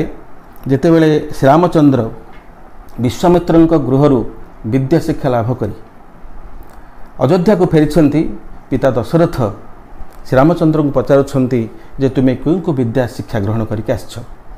ଶ୍ରୀରାମଚନ୍ଦ୍ର ଯାହା ସବୁ ବିଦ୍ୟା ଜଣେ ବହିର୍ ଜୀବନର ଯାପନ ପାଇଁ ଯେଉଁ ସବୁ ବିଦ୍ୟା ଗ୍ରହଣ କରିବା କଥା ଶ୍ରୀରାମଚନ୍ଦ୍ର ସବୁ ପିତାଙ୍କ ଆଗରେ ବଖାଣିଛନ୍ତି ଏବଂ ଦଶରଥ ପଚାରିଛନ୍ତି ଯେ ତୁମକୁ ଗୋଟିଏ ପ୍ରଶ୍ନ ପଚାରିବି ତୁମେ ତା'ର ଉତ୍ତର ଦେଇପାରିବ? ଶ୍ରୀରାମଚନ୍ଦ୍ର କହିଲେ ଯେ ମୋତେ ପଚାରନ୍ତୁ। ଦଶରଥ ପଚାରିଲେ ଯେ ତୁମେ କିଏ? ଶ୍ରୀରାମଚନ୍ଦ୍ର ସହଜରେ ଉତ୍ତର ଦେଲେ ମୁଁ ଅଯୋଧ୍ୟାର ରାଜା ସତ୍ୟସନ୍ଧ ଦଶରଥଙ୍କର ଜ୍ୟେଷ୍ଠ ପୁତ୍ର ଶ୍ରୀରାମଚନ୍ଦ୍ର। ଦଶରଥ କହିଲେ ପୁତ୍ର ତୁମେ ଏହାର ଭୁଲ ଉତ୍ତର ଦେଲ। କାରଣ ମୁଁ ଯେଉଁ ପ୍ରଶ୍ନଟି ପଚାରିଲି ଏହାର ଉତ୍ତର କ'ଣ ଗୁରୁଦେବ ଶିଖେଇ ନାହାନ୍ତି? ତୁମେ ଯେଉଁ ଉତ୍ତର ଦେଲ ଏ ହେଉଛି ତୁମର ବହିର୍ଜୀବନର ପରିଚୟ। ତୁମର ଗୋଟିଏ ଆନ୍ତର୍ଜୀବନ ଅଛି। ତୁମର ଅନ୍ତର୍ ବ୍ୟକ୍ତିତ୍ୱ ଯେଉଁଠି ଅଛି ତୁମର ଅସଲ ସତ୍ତା ଅସଲ ବ୍ୟକ୍ତି ଅସଲ ଠିକଣା ଆଉ ଗୋଟେ ଜାଗାରେ ଅଛି। ତୁମେ ଯଦି ଏ ଶିକ୍ଷା ପାଇନାହ ତେବେ ତୁମେ ଯାଅ ବଶିଷ୍ଠଙ୍କ ଆଶ୍ରମକୁ ଯାଇ ଏ ଶିକ୍ଷା ଲାଭ କର। ତୁମେ ବହିର୍ଜୀବନରେ ଯେତେ ଶିକ୍ଷା ଲାଭ କଲେ ତାହା ଯେତିକି ନୁହେଁ ଯଦି ଆଧ୍ୟାତ୍ମିକ ଜୀବନର ପ୍ରକୃତ ଶିକ୍ଷାଟି ତୁମେ ଏପର୍ଯ୍ୟନ୍ତ ପ୍ରାପ୍ତ ହୋଇନ ତାହେଲେ ଯେଉଁ ସବୁ ଶିକ୍ଷା ଲାଭ କରିଛନ୍ତି ସେ ଶିକ୍ଷା ଗୁଡ଼ିକର କୌଣସି ମୂଲ୍ୟ ନାହିଁ। ତାପରେ ଚାରି ଭାଇଯାକ ଗୁରୁ ବଶିଷ୍ଠଙ୍କ ଆଶ୍ରମରେ ପହଞ୍ଚିଛନ୍ତି। ବଶିଷ୍ଠଙ୍କ କୁଟୀର ଭିତରେ ବଶିଷ୍ଠ ରହିଛନ୍ତି। ବାହାରୁ ଦ୍ୱାରଦେଶରେ କରାଘାତ କଲେ। ବଶିଷ୍ଠ ପଚାରିଲେ କିଏ ତୁମେ? ତାର ଉତ୍ତରରେ ଶ୍ରୀରାମଚନ୍ଦ୍ର କହିଲେ ଗୁରୁଦେବ ସେ ମୁଁ କିଏ ତାହା ଜାଣିବା ପାଇଁ ଆପଣଙ୍କ ନିକଟକୁ ଆସିଛି। ଗୁରୁଦେବ ଯେତେବେଳେ ଦେଖୁଛନ୍ତି ସ୍ୱୟଂ ଶ୍ରୀରାମଚନ୍ଦ୍ର ଲକ୍ଷ୍ମଣ ଭରତ ଶତ୍ରୁଘ୍ନ ଆସି ଠିଆ ହୋଇଛନ୍ତି ସେ ନିଜକୁ ପ୍ରକୃତ ଶିଷ୍ୟ ପ୍ରକୃତ ଶିକ୍ଷାର୍ଥୀ ପ୍ରାପ୍ତ ହେଲେ ବୋଲି ନିଜକୁ ବହୁ ଗୌରବାନ୍ୱିତ ମନେ କରିଛନ୍ତି। ରାମାୟଣରେ ଅଧ୍ୟାତ୍ମ ଜୀବନ କିପରି ଏକ ଆଧ୍ୟାତ୍ମିକ ଶିକ୍ଷା ହେଉଛି ପ୍ରତ୍ୟେକ ଶିକ୍ଷାର ହେଉଛି ମୂଳ ତତ୍ତ୍ୱ ମୂଳ ଉତ୍ସ ସେଥିରେ ପ୍ରଥମରେ ବର୍ଣ୍ଣନା କରାଯାଇଛି। ଭାଇ ଭାଇର ସମ୍ପର୍କ ସେଥିରେ କିଭଳି ଭାବରେ ଅତି ନିବିଡ଼ ତାହା ସେ ବର୍ଣ୍ଣନା କରାଯାଇଛି। ଶ୍ରୀରାମଚନ୍ଦ୍ର ଯେତେବେଳେ ବନବାସ ଯାଇଛନ୍ତି ଭରତ ଯେତେବେଳେ ଅଯୋଧ୍ୟାକୁ ଫେରିଛନ୍ତି ଦେଖିଛନ୍ତି ଭାଇ ନାହାନ୍ତି ପିତା ମୃତ୍ୟୁ ହୋଇଛନ୍ତି ଭାଇଙ୍କୁ ଫେରାଇବା ଆଣିବା ପାଇଁ ଭରତ ଯାଇଛନ୍ତି। ଯେତେବେଳେ ଶ୍ରୀରାମଚନ୍ଦ୍ରକୁ ଅନୁରୋଧ କରିଛନ୍ତି ଭାଇ ତୁମେ ଫେରିଆସ ଶ୍ରୀରାମଚନ୍ଦ୍ର କହିଛନ୍ତି ଦେଖ ଆମେ ବଚନ ସିଦ୍ଧ ପ୍ରାଣ ଯାଇ ପର ବଚନ ନ ଯାଇ। ପ୍ରାଣ ପଛେ ଯାଉ କିନ୍ତୁ ଆମର ବଚନ ସିଦ୍ଧ ଆମେ ସତ୍ୟ ରକ୍ଷା କରିବାକୁ ଆମେ ଆସିଛି। ପିତାଙ୍କର ଆଦେଶ ପାଳନ କରି ସତ୍ୟ ରକ୍ଷା କରି ମୁଁ ବନଗମନ କରିଛି। ତେଣୁ ମୁଁ ଆଉ ଫେରିବି ନାହିଁ। ଚଉଦ ବର୍ଷ ବନବାସ କଲା ପରେ ମୁଁ ଫେରିବି। ସେ ଗୋଟିଏ ସର୍ତ୍ତ ରଖି ଯାଇଛନ୍ତି ଭାଇ। ଆପଣଙ୍କ ପ୍ରତିନିଧି ସ୍ୱରୂପ ମୁଁ ନନ୍ଦୀଗ୍ରାମରେ ମୁଁ ରାଜ୍ୟ ଶାସନ କରିବି ପ୍ରତିନିଧି ସ୍ୱରୂପରେ। ଆପଣଙ୍କର ପାଦୁକା ନେଇ ଆପଣଙ୍କ ସେହି ସିଂହାସନରେ ମୁଁ ସ୍ଥାପନ କରିବି। କିନ୍ତୁ ଗୋଟିଏ କଥା ଭାଇ ମନେ ରଖନ୍ତୁ ଚଉଦ ବର୍ଷ ଯେଉଁଦିନ ପରିବ ଯଦି ଆପଣଙ୍କର ପଦପାତ ଅଯୋଧ୍ୟାରେ ନ ପଡ଼େ ତାହେଲେ ଭରତ ଭଳି ଭାଇ ଆଉ ସଂସାର ରହିବ ନାହିଁ। ଚଉଦ ବର୍ଷ ପରେ ଶ୍ରୀରାମଚନ୍ଦ୍ର ଫେରିଛନ୍ତି ଅଯୋଧ୍ୟାକୁ। ଶ୍ରୀରାମଚନ୍ଦ୍ରଙ୍କୁ ସମ୍ପୂର୍ଣ୍ଣ ଦାୟିତ୍ୱ ହସ୍ତାନ୍ତର କରୁଛନ୍ତି ଭରତ ଭରତରାଜ ଏବଂ ସେ ଦେଖୁଛନ୍ତି ସବୁ ସବୁ ଦାୟିତ୍ୱ ଦେଇ ଦେଇ ଗଲାବେଳେ ଅନ୍ତପୁରୀରେ କ'ଣ କ'ଣ ଘଟିଛି ସବୁ ଦେଖି ଦେଖି ଆସିଲା ବେଳେ ଗୋଟିଏ ଛୋଟିଆ ଘରଟି ଅଛି ସେଥିରେ ଚାବି ପଡ଼ିଛି। ଶ୍ରୀରାମଚନ୍ଦ୍ର ପଚାରିଲେ ଭରତ ଏ ଘରଟି କ'ଣ? ସେ କହିଲେ ନାଇଁ ଆଜ୍ଞା ଏ ଘରଟି ଗୋଟିଏ ଅଲଗା ଘରେ ସେଥିରେ କିଛି ନାହିଁ। ଶ୍ରୀରାମଚନ୍ଦ୍ର ଜିଦ୍ ଧରିବାରୁ ଘରଟି ଫିଟିଲା। ଶ୍ରୀରାମଚନ୍ଦ୍ର ସେ ଘର ଭିତରକୁ ପ୍ରବେଶ କରି ଦେଖିଲେ ଗୋଟିଏ ଚିତା ସଜା ହେଇଛି ଚନ୍ଦନ କାଠରେ ଗୋଟିଏ ଚିତା ସଜା ହେଇଛି ଯେଉଁଥିରେ କି ଅଗ୍ନି ଏବଂ ଘିଅ ରଖାଯାଇଛି। କାରଣ ମୃତ୍ୟୁର ଯେଉଁ ଚିତା ସେଇଠି ସେଇ ଘର ଭିତରେ ସଜା ହେଇକି ରଖାଯାଇଛି। ଅନ୍ତପୁରରେ ଏଭଳି ଏକ ବ୍ୟବସ୍ଥା ଦେଖିକି ଶ୍ରୀରାମଚନ୍ଦ୍ର ଆଶ୍ଚର୍ଯ୍ୟ ହୋଇଗଲେ ଏବଂ ଭରତଙ୍କୁ ପଚାରିଲେ ଯେ ତୁମେ ଏଭଳି ଅବସ୍ଥା କାହିଁକି କରିଛ? ଏହିସବୁ କାର୍ଯ୍ୟ କାହିଁକି କରିଛ? ଭରତ ନତମସ୍ତକ ହେଇ କହିଲେ ଭାଇ ମୁଁ ଆପଣଙ୍କୁ କହିଥିଲି ଯଦି ଚଉଦ ବର୍ଷ ଯେଉଁଦିନ ପୁରିବ ଆପଣଙ୍କ ଭଳି ଭାତୃ ଭାତା ଭ୍ରାତାଙ୍କୁ ମୁଁ ନ ପାଇ ମୁଁ ନିଶ୍ଚିତ ଭାବରେ ମୁଁ ଆତ୍ମହତ୍ୟା କରିବି ଅଗ୍ନିରେ ଝାସ ଦେବି।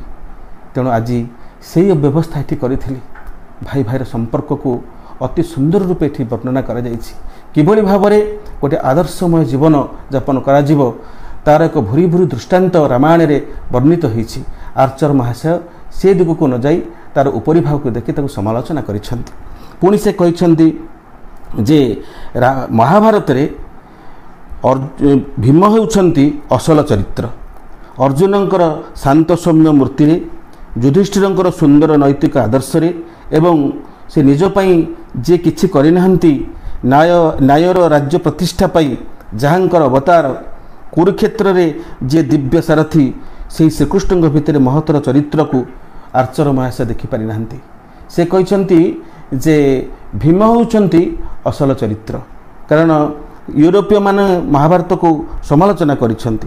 ଶ୍ରୀରବିନ୍ଦ କହୁଛନ୍ତି ୟୁରୋପୀୟମାନଙ୍କର ମନୋବୃତ୍ତି ହେଲା କ'ଣ? ନା ଯେ ସମସ୍ତ ଚରିତ୍ର ପ୍ରବଳ ଆତ୍ମପ୍ରତିଷ୍ଠା ପରାୟଣ ଅଥବା ଯେଉଁମାନେ ନିଜ ଆବେଗର ଝଞ୍ଜାରେ ତଡ଼ି ହୋଇଯାଆନ୍ତି ସେଇମାନେ ହିଁ ୟୁରୋପର ମହାକାବ୍ୟ ନାଟକରେ ସବୁଠୁ ମୁଖ୍ୟ ଆକର୍ଷଣୀୟ ବସ୍ତୁ। କିନ୍ତୁ ଭାରତୀୟମାନେ ଏହି ଚରିତ୍ରକୁ ଅତ୍ୟନ୍ତ ଗୌଣ ଭାବରେ ଗ୍ରହଣ କରନ୍ତି।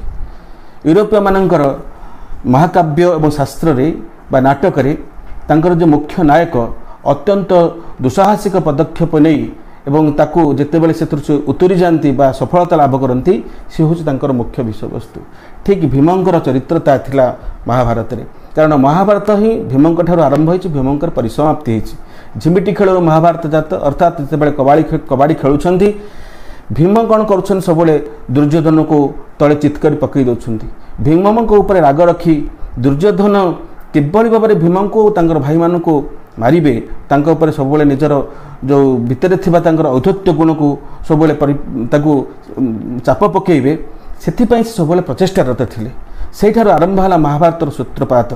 ଶେଷରେ ଜାନୁଭଗ୍ନରେ ଦୁର୍ଯ୍ୟୋଧନଙ୍କର ଜାନୁଭଗ୍ନରେ ଭୀମଙ୍କ ଦ୍ୱାରା ଯାହା ହୋଇଛି ସେଥିରେ ମହାଭାରତର ସମ୍ପୂର୍ଣ୍ଣ ସମାପ୍ତି ଘଟିଛି। ତେଣୁ ଏହାକୁ ଲକ୍ଷ୍ୟ ରଖି ଆର୍ଚର ମହାଶୟ କହିଛନ୍ତି କିନ୍ତୁ ଅର୍ଜୁନଙ୍କର ଶାନ୍ତ ସମୟ ମୃତ୍ୟୁ ସଂଯମତା ତାଙ୍କୁ ଦିଶି ନାହିଁ। ଗୋଟିଏ ଉଦାହରଣ ଦେଉଛି। ଅର୍ଜୁନ ଯେତେବେଳେ ଦେଖିଛନ୍ତି ଯେ ସ୍ୱର୍ଗକୁ ଯାଇଛନ୍ତି ସ୍ୱର୍ଗରେ ଦେବତାମାନଙ୍କର ଗୋଟେ ଯୁଦ୍ଧରେ ଦେବତାମାନଙ୍କୁ ସାହାଯ୍ୟ କରି ଫେରିଲା ବେଳେ ଉର୍ବଶୀଙ୍କ ସହିତ ତାଙ୍କର ସାକ୍ଷାତ ହୋଇଛି। ଉର୍ବଶୀ କହିଛନ୍ତି ଅର୍ଜୁନଙ୍କର ଶାନ୍ତ ସୌମ୍ୟ ଶୌର୍ଯ୍ୟ ବୀର୍ଯ୍ୟରେ ବିମୋହିତ ହୋଇ ତାଙ୍କଠାରୁ ଅରୌଷରୁ ଗୋଟିଏ ପୁତ୍ର ସନ୍ତାନ ପାଇଁ ସେ ପ୍ରଣଭିକ୍ଷା କରିଛନ୍ତି। ଏବଂ ସେତିକିବେଳେ ସେ କହିଛନ୍ତି ଯେ ତୁମ ଭଳି ଗୋଟେ ମୋର ପୁତ୍ର ଆବଶ୍ୟକ। ଅର୍ଜୁନ ଅତି ବିନମ୍ର ଭାବରେ ଉର୍ବଶୀଙ୍କୁ ଉତ୍ତର ଦେଇଛନ୍ତି ଯେ ମା ତୁମେ ଯଦି ମୋତେ ଚାହୁଁଛ ମୋ ଭଳି ପୁଅ ଚାହୁଁଛ ତାହେଲେ ମୁଁ ତୁମେ ମୁଁ ତୁମର ପୁତ୍ର ତୁମେ ମୋର ମା। ମୁଁ ତ ତୁମର ପୁତ୍ର ଭଳି ମୋତେ ତୁମେ ପୁତ୍ର ରୂପେ ଗ୍ରହଣ କରନ୍ତୁ। ଦେଖନ୍ତୁ କିଭଳି ଭାବରେ ଅର୍ଜୁନଙ୍କର ସଂଯମତା ସେଠି ପ୍ରକାଶ ପାଇଛି। ଥରେ ଶ୍ରୀକୃଷ୍ଣଙ୍କର ଦରବାରରେ ଜଣେ ଯାଦବ ଶ୍ରୀକୃଷ୍ଣଙ୍କୁ ପଚାରିଲେ ଯେ ଯୁଧିଷ୍ଠିରଙ୍କୁ ଧର୍ମରାଜ ବୋଲି କାହିଁକି କୁହାଯାଏ? ତାର ଉତ୍ତରରେ ଶ୍ରୀକୃଷ୍ଣ କହିଲେ ଯେତେବେଳେ କୁରୁକ୍ଷେତ୍ରରେ ଯୁଦ୍ଧ ଚାଲିଥିଲା ପ୍ରତିଦିନ ସନ୍ଧ୍ୟାରେ ଯେତେବେଳେ ଯୁଦ୍ଧ ସମାପ୍ତି ହୁଏ ଯୁଧିଷ୍ଠିର ତାଙ୍କୁ ଶିବିରକୁ ଫେରିଆସି ତାଙ୍କର ରାଜକୀୟ ପୋଷାକ ପରିଚ୍ଛଦକୁ ପରିତ୍ୟାଗ କରି ସାଧାରଣ ବେଶ ପୋଷାକରେ କୁଆଡ଼େ ଚାଲିଯାଆନ୍ତି। ବହୁ ରାତ୍ରି ପର୍ଯ୍ୟନ୍ତ ସେ ଶିବିରକୁ ଫେରନ୍ତି।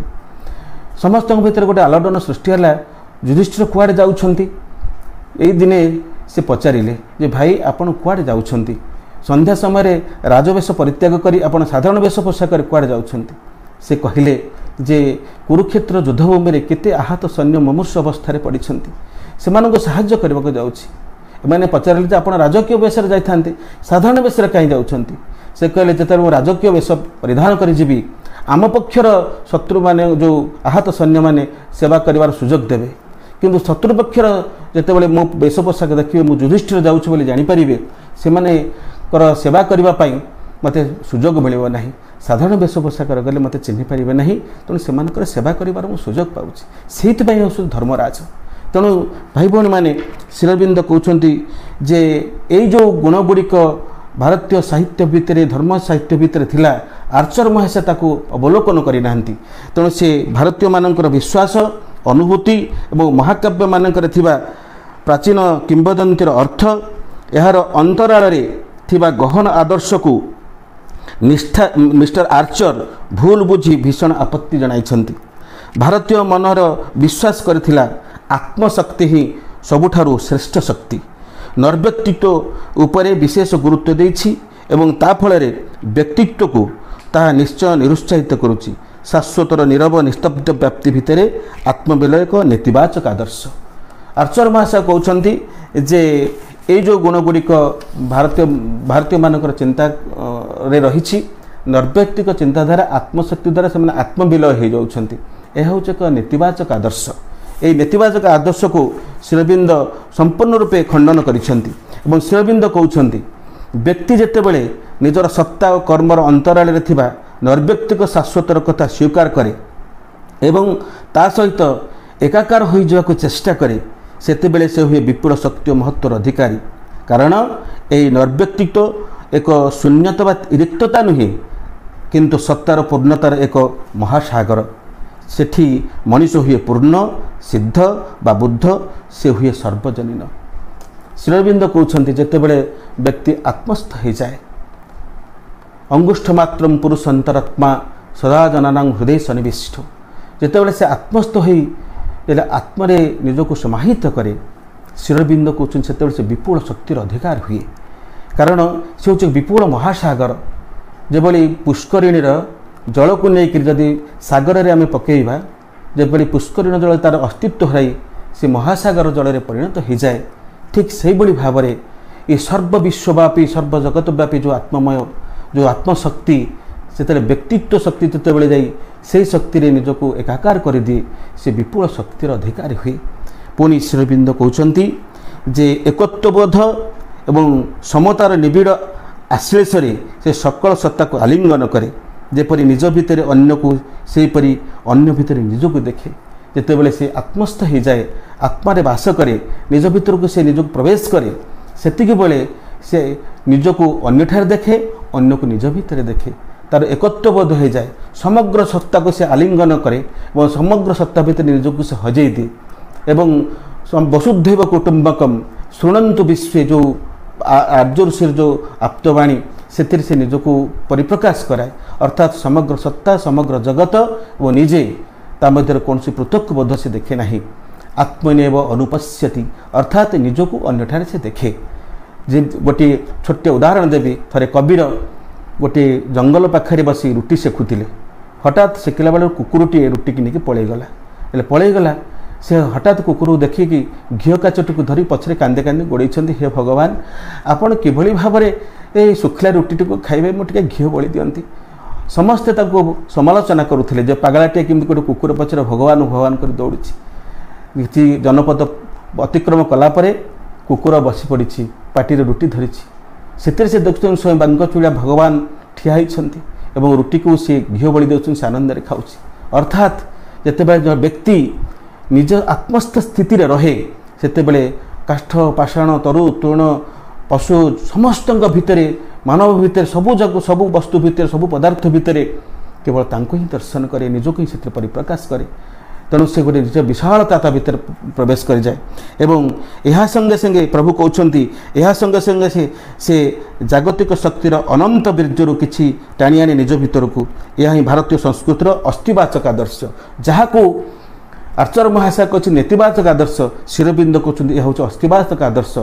ସେଥିପାଇଁ କୁହାଯାଇଛି ଓଂ ଆନ ଭଦ୍ରା କର୍ତ୍ତବ ୟନ୍ତୁ ବିଶ୍ୱତଃ ଶିରବିନ୍ଦ ତାକୁ ଟ୍ରାନ୍ସଲେଟ୍ କରି କହୁଛନ୍ତି let the noble thoughts come to me from every side ବିଶ୍ୱତତ୍ଵର ଚତୁର୍ଦ୍ଦିଗରୁ ମୋ ଭିତରକୁ ଶୁଭ ଜ୍ଞାନ ଶୁଭ ଅନୁଭବ ଶୁଭ ଅନୁଭୂତି ପ୍ରବେଶ କରୁ। ସାଧାରଣ ଲୋକ ନ ହୋଇ ଅର୍ଥାତ୍ ସ୍ଥୂଳ ପ୍ରାକୃତ ଅର୍ଦ୍ଧ ପରିଣତ ମଣିଷ ନ ହୋଇ ଆହୁରି ଉନ୍ନତ ହେବା ଥିଲା ପ୍ରାଚୀନ ସାଧନାର ମର୍ମ। ଅତି ଇତର ବାହ୍ୟସ୍ଥୂଳ ଆଭିଜାତ୍ୟ ନୁହେଁ କିନ୍ତୁ ଆଧ୍ୟାତ୍ମିକ ମହତ୍ଵ ଲାଭ କରିବା ହିଁ ଥିଲା ଭାରତର ଆତ୍ମସଂଯମର ଲକ୍ଷ୍ୟ। Man is a transitional being. ମଣିଷ ମଧ୍ୟବର୍ତ୍ତୀକାଳୀନ ମଣିଷ ରହିବ ନାହିଁ ପ୍ରାଚୀନ ଶାସ୍ତ୍ର ଆମକୁ ଜଣାଇ ଦେଇଛି ସେ ଯିବ ଉଚ୍ଚତର ମହତ୍ଵକୁ ଲାଇଫ୍ ଡିଭାଇନ୍ ସେ କଥା ପ୍ରଭୁ କହୁଛନ୍ତି man can not rest permanently until reaches some highest good ଯେପର୍ଯ୍ୟନ୍ତ ସର୍ବମଙ୍ଗଳମୟ ଅବସ୍ଥାକୁ ନ ଯାଇଛି ସେ ପର୍ଯ୍ୟନ୍ତ ସେ କେବଳ ସ୍ଥିର ହୋଇକି ରହିପାରିବ ନାହିଁ।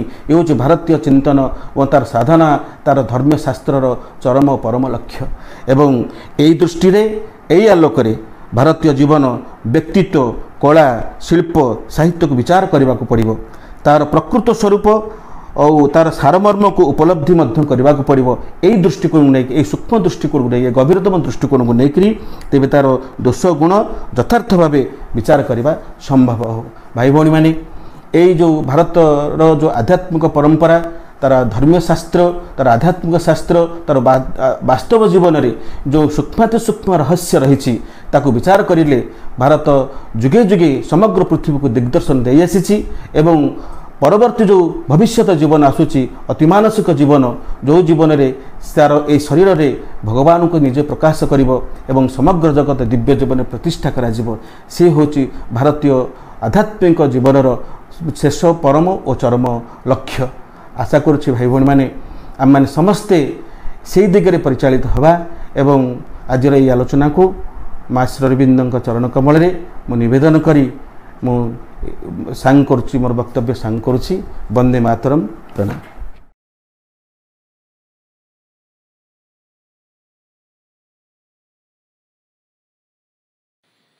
नमस्ते रिलीजन और स्पिरिचुअलिटी की आज ये कंक्लूडिंग पार्ट है। और एक बहुत आवश्यक चीज़ है जो शेयरविंद हम लोगों को दे गए हैं। हमारा माइंड हर चीज़ को सेक्शन करके उसको फिक्स्ड रूप में देखता है। लेकिन अ, सच ये है कि कोई भी चीज़ इस तरह से फिक्स नहीं होती है। स्थायी केवल एक है। वो है बिल्कुल गहराई में जो इस सृष्टि के मूल में आदि स्रोत है। आप ब्रह्मन कहें, सत्य कहें, ईश्वर कहें, वो स्थायी है। बाकी सृष्टि में नित निरंतर बदलाव आ रहा है। तो ये मान लेना कि भगवान एक कालखंड में, एक बार, एक रूप में, एक किताब के द्वारा अपना सब कुछ प्रकट कर देते हैं, ये अपने आप में एक भ्रांति है। तो हर चीज़ की तरह रिलीजन भी इवॉल्व करता है। इस चीज़ को जब हम लोग नहीं समझ पाते हैं तो हम लोग आपस में झगड़ा करते हैं। ये रिलीजन वो रिलीजन लेकिन रिलीजन इवॉल्व कर रहा है। ये एक, हर हर चीज़ पर ये लागू होता है। चाहे वो जीवन हो, आपका कर्म क्षेत्र हो मानवीय संबंध हो, जो इवॉल्व नहीं करेगा, वो नीचे की तरफ़ जाएगा। ये एक बेसिक लॉ ऑफ़ लाइफ है। इसको हमें हमेशा स्मरण करना चाहिए। जो भी चीज़ अगर वो विकास की धारा से जुड़कर आगे नहीं बढ़ रही है तो वो पीछे की ओर जाएगी। कैसे पीछे की ओर जाएगी? क्योंकि विकास की धारा केवल व्यक्तिगत नहीं है, पूरी सामूहिक है। उसको ईश्वर ले जा रहे हैं। एक अपने काल के प्रवाह में तो अगर आप उसके साथ नहीं, इसका मतलब ये नहीं कि लोगों के साथ चलना मतलब उस विकास की धारा को पकड़ना। अब ये धारा बहुत गहराई में चलती है, सतह पर तो उसकी केवल प्रकंपन महसूस होते हैं। तो अगर हम उसको पकड़ लें, उसके साथ चलें तो विकसित होते जाते हैं। और यदि हम उसको रेजिस्ट करते हैं तो हम पीछे की ओर टूट के डूबने लगते हैं। तो इस भाव के साथ अगर हम रिलीजन को देखें रिलीजन यानी जिसको हम लोग, धर्म नहीं, धर्म इज़ ए मिस ट्रांसलेशन किंतु रिलीजन जैसे आमतौर पर हम कहते हैं एक मत एक मत मतांतर कि ये हिंदुज़म है, ये इस्लाम है, ये क्रिश्चियनिटी अगर उस हिसाब से हम देखें तो अगर हम रिलीजन्स को ही देखें, बहुत पहले से अभी तक तो रिलीजन भी इवॉल्व करता रहा है।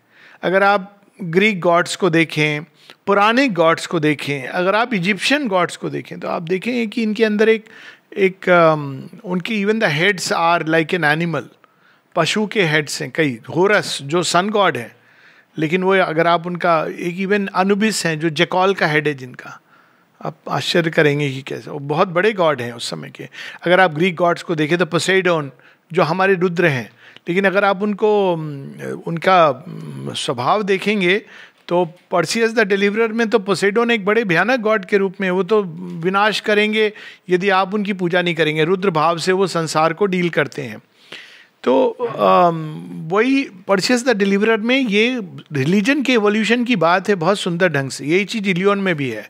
शेरविंद बताते हैं कि एक रिलीजन उस समय उसके प्रीस्ट हैं और वो उस उस भगवान में मानते हैं। उस भगवान मतलब भगवान के उस रूप में मानते हैं। जैसे रुद्र हैं रुद्र का, अगर आप आगे बढ़ेंगे तो वो शिव का बेनेवोलेंट रूप है। लेकिन रुद्र रूप में वो असुर के तत्व पे, असुर का, असुर की वृत्ति जब होती है तो रुद्र रूप में प्रकट होते हैं, महाविनाशकारी। और वही जब हम इवॉल्व हो जाते हैं तो बेनिफिशेंट शिव के रूप में प्रकट होते हैं। तो उसी प्रकार से हम परचेस द डिलीवरर में देखते हैं कि कैसे एक कालखंड का वर्णन है, जहाँ एक प्रकार का रिलीजन जिसमें इवन ह्यूमन सेक्रीफाइस होती थी। जो एंड्रोमेडा है, उसको बाँध देते हैं समुद्र के आगे कि पोसेडोन बुरा मान जाएगा तो he has to come and swallow लेकिन पर्सियस उस समय एथनी से सपोर्टेड है। अब देखिए, देव और देव का जो संग्राम है पोसेडोन रुद्र देवता है, वो बहुत जल्दी गुस्सा मान जाते हैं। और एथनी कौन है? वो महेश्वरी और दुर्गा, इनका सम्मिश्रण है उनके अंदर। वो ज्ञान की देवी हैं और शक्ति की देवी हैं, लेकिन अलग प्रकार की शक्ति पुंज है। और वो कालखंड में एक ऐसा घटनाक्रम होता है कि इसके बाद लोग एथने की पूजा करने लगते हैं।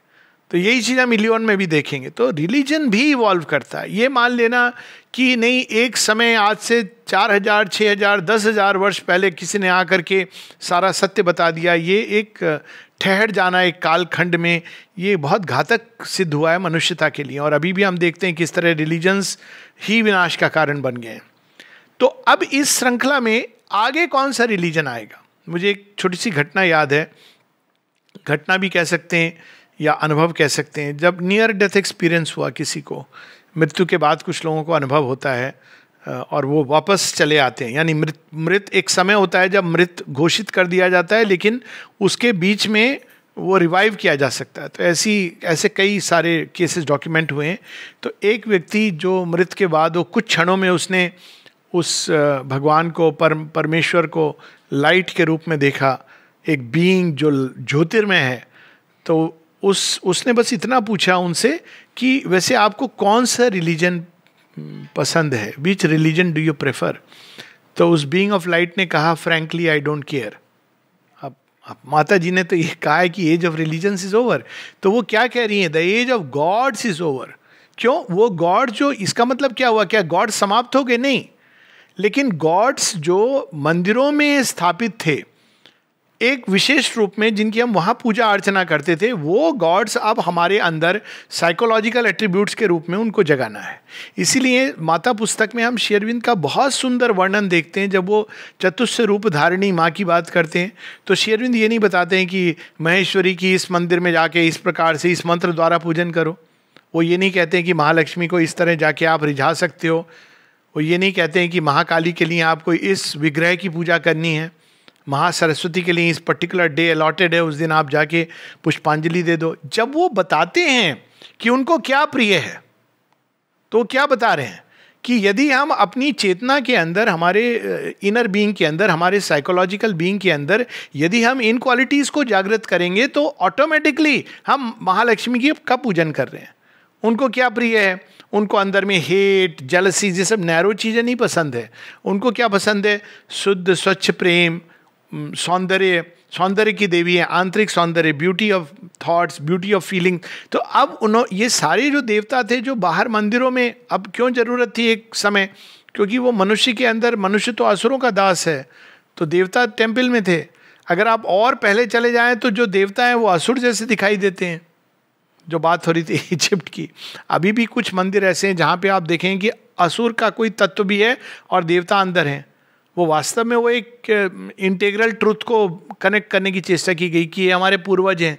तो ये कहाँ हैं? ये बाहर खड़े हैं। आप देखेंगे सिंह के साथ, इसके साथ। देखिए ना ऐसे मंदिर। और अंदर जाएँगे तो वहाँ देवता की मूर्ति है। It is a way of connecting कि ये टोटल रियलिटी है। कभी एक समय ये अंदर थे, अब ये बाहर हो गए हैं, अंदर में देवताओं ने स्थान कर लिया है। लेकिन अब इसके आगे एवोल्यूशन क्या होना है? ये होना है कि ये सारे देवता हमारे अंदर हमें जागृत करने यही ओरिजिनल प्लान था देवताओं का, जब वो इस जड़ तत्व के अंदर कूदे थे। तो उसका, उस रिलीजन का क्या नाम होगा? शेयरविंद कहते हैं, भविष्य में जो रिलीजन आने वाला है। 1919 के करीब ये लिखा गया है लेख। पर अब अगर आप इसको पढ़ेंगे तो आप देखेंगे, अरे हाँ ये तो अपने आप हुआ। श्री अरविंद कहते हैं, the future religion is the religion of humanity. अब वो रिलीजन ऑफ़ ह्यूमैनिटी क्या है, वो बताते हैं। रिलीजन ऑफ़ ह्यूमैनिटी में ये माना जाता है कि मनुष्य ही भगवान है। मनुष्य को ही हमारी, हमें पूजा करनी है। यदि हम मनुष्य की पूजा नहीं कर रहे हैं भगवान को खूब चढ़ावा दे रहे हैं, दूध डाल रहे हैं सब थॉट्स आ गए ना कि आप शिवलिंग पे तो दूध डाल रहे हो लेकिन भूख से बच्चे मर रहे हैं, आप उनको नहीं बॉदर कर रहे हो। तो ये जो, ये लास्ट सेकेंड लास्ट चैप्टर है एक्चुअली ये लास्ट चैप्टर है ह्यूमन साइकिल का। बाद में इसके पोस्क्रिप्ट ऐड करते हैं शेयरविंद लेकिन जो लास्ट चैप्टर है कि the future religion of humanity is the religion of humanity और रिलीजन ऑफ़ ह्यूमैनिटी में मनुष्य को ही सेक्रेट माना गया है।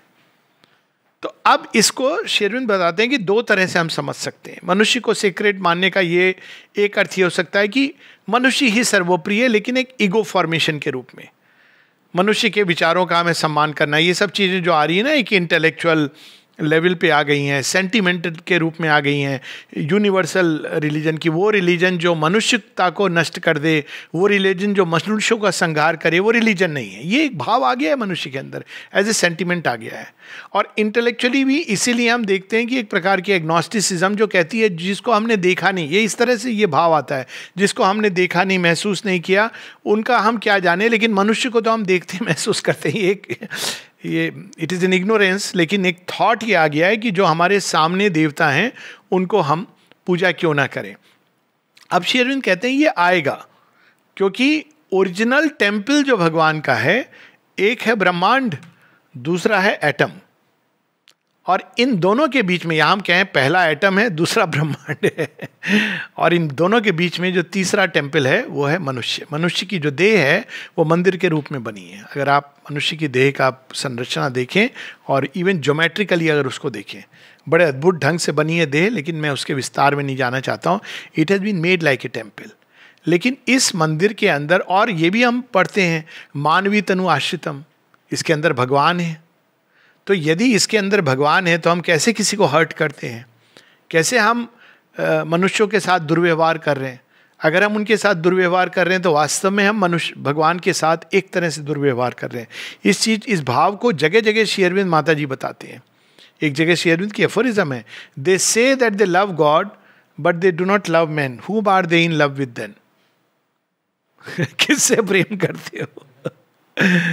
और ऋषि पोएम में भी अंत में आता है love God love man love this world see is not from loving O king let thy toil be vast क्योंकि सबके अंदर भगवान बसते हैं। तो ये भाव बहुत ही अब इसमें शेरविंद थोड़ा सा सूक्ष्म लेते हैं कि, लेकिन यदि हम इसको केवल ईगो के रूप में पकड़ेंगे अब तो क्या बनेगा? एक कम्युनिस्ट का आइडियल बना कि नहीं, मनुष्य की पूजा करो।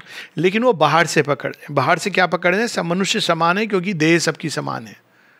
सब मनुष्य समान है क्योंकि ब्लड ग्रुप आप चार ग्रुप में डिवाइड कर दीजिए, नहीं तो सब, सबको ये चार ग्रुप के आधार पर है। नेशन की कोई बाउंड्री नहीं है। ये जो एक लेफ़्ट का थॉट आया तो उसने एक सत्य को पकड़ा, लेकिन इन्वर्टेड रूप में पकड़ा। अब श्री अरविंद कहते हैं, प्रारंभ में ये क्योंकि जब भी कोई नया सत्य आता है तो वो अपने एक बाहरी रूप में पकड़ा जाता है। लेकिन इसका गहरा सत्य क्या है? श्री अरविंद कहते हैं कि सत्य ये है कि स्पिरिट का नेचर है यूनिटी, ब्रदरहुड और इक्वालिटी। ये बताने की ज़रूरत नहीं होती है। इसको एक इंटेलेक्चुअल रूप से या एक पॉलिटिकल सिस्टम के रूप में लागू करने की आवश्यकता नहीं होती है। जब आप ऐसा प्रयास करोगे तो विफल होगी और हम देखते हैं कि वो कम्युनिस्ट एक्सपेरिमेंट किधर चला जाता है। नरसंहार का कारण बन जाता है, क्योंकि आइडियोलॉजिकल वारफेयर शुरू हो जाती है। तो इस रिलीजन ऑफ़ ह्यूमैनिटी का जो आधार होगा, वो कहते हैं it will be in the soul of man तो पहले हमको वो देवता जो हम बाहर जगाते थे, उन देवता को हमें अपने अंदर में जगाना है। और वो कौन से देवता हैं, जिनके जागने से बाकी सारे देवता चले आते हैं? तो वो हैं, अगर हम मिथोलॉजिकल स्टोरीज पढ़ें तो वो हैं देव सेनापति Kartikeya. He is the fire within man और दूसरा, कल हम गए थे ब्रह्मणस्पति क्षेत्रम। उसके नीचे क्या लिखा था? The soul field of action for the soul तो ये जो सोल है हमारी, और सोल के पीछे भगवान खड़े हैं, इसको हम नंदी और शिव के रूप में ले लें, या माता पार्वती और गणेश के रूप में ले लें। Who is Ganesha he is standing at the door तो ब्रह्मणस्पति उस सेंस में कि the soul is standing at the doors who is inside see the divine mother उन्होंने ही अपने अंदर से मैल मतलब जब वो स्नान करती है, यानी अपने ही अंदर से उन्होंने एक बाहरी चेतना से डील करने के लिए एक बीच में खड़ा कर दिया है। भगवान और जो बाहर में देह यष्टि है, इसके बीच में जो लिंक है, वो साइकिक बीइंग है। और वो लिंक भगवान ही अपने अंदर तो इसीलिए वो कहते हैं ना, बाहर की चेतना से जब स्नान करती हैं, उससे वो बनाती हैं। इसका अर्थ क्या है कि जगन माता को डायरेक्टली कौन देख सकता है। कोई नहीं। लेकिन through the psychic being we can have a glimpse only through the psychic being psychic being जब परमिट करेगा, तब हम जाएँगे। लेकिन अब वहाँ पे हम वो इस, देखिए, इस कहानी में दोनों चीज़ें दे दी गई हैं कि अब जब चैत्य सत्ता के कारण मनुष्य स्पेशल है, देवताओं से भी ऊपर है। लेकिन यदि वो देवताओं से भी ऊपर है, इसको अहंकार से पकड़ेगा तो उसका विनाश होगा। लेकिन यदि वो देवताओं से भी ऊपर है, उसको वो सही ढंग से विनम्रता के साथ पकड़ेगा तो वो अग्रदेव होगा। तो गणेश जी की कहानी में क्या है? यही चीज़ है। माँ जगत जननी ने ही उनको प्रकट किया है, और वो भी देव सेनापति हैं अपने ढंग से। सारे देवता उनके सामने पछाड़ खा जाते हैं। लेकिन जो ईगो है, उसके कारण शिव को उनका सिर हटा करके गजपति गना गजानन।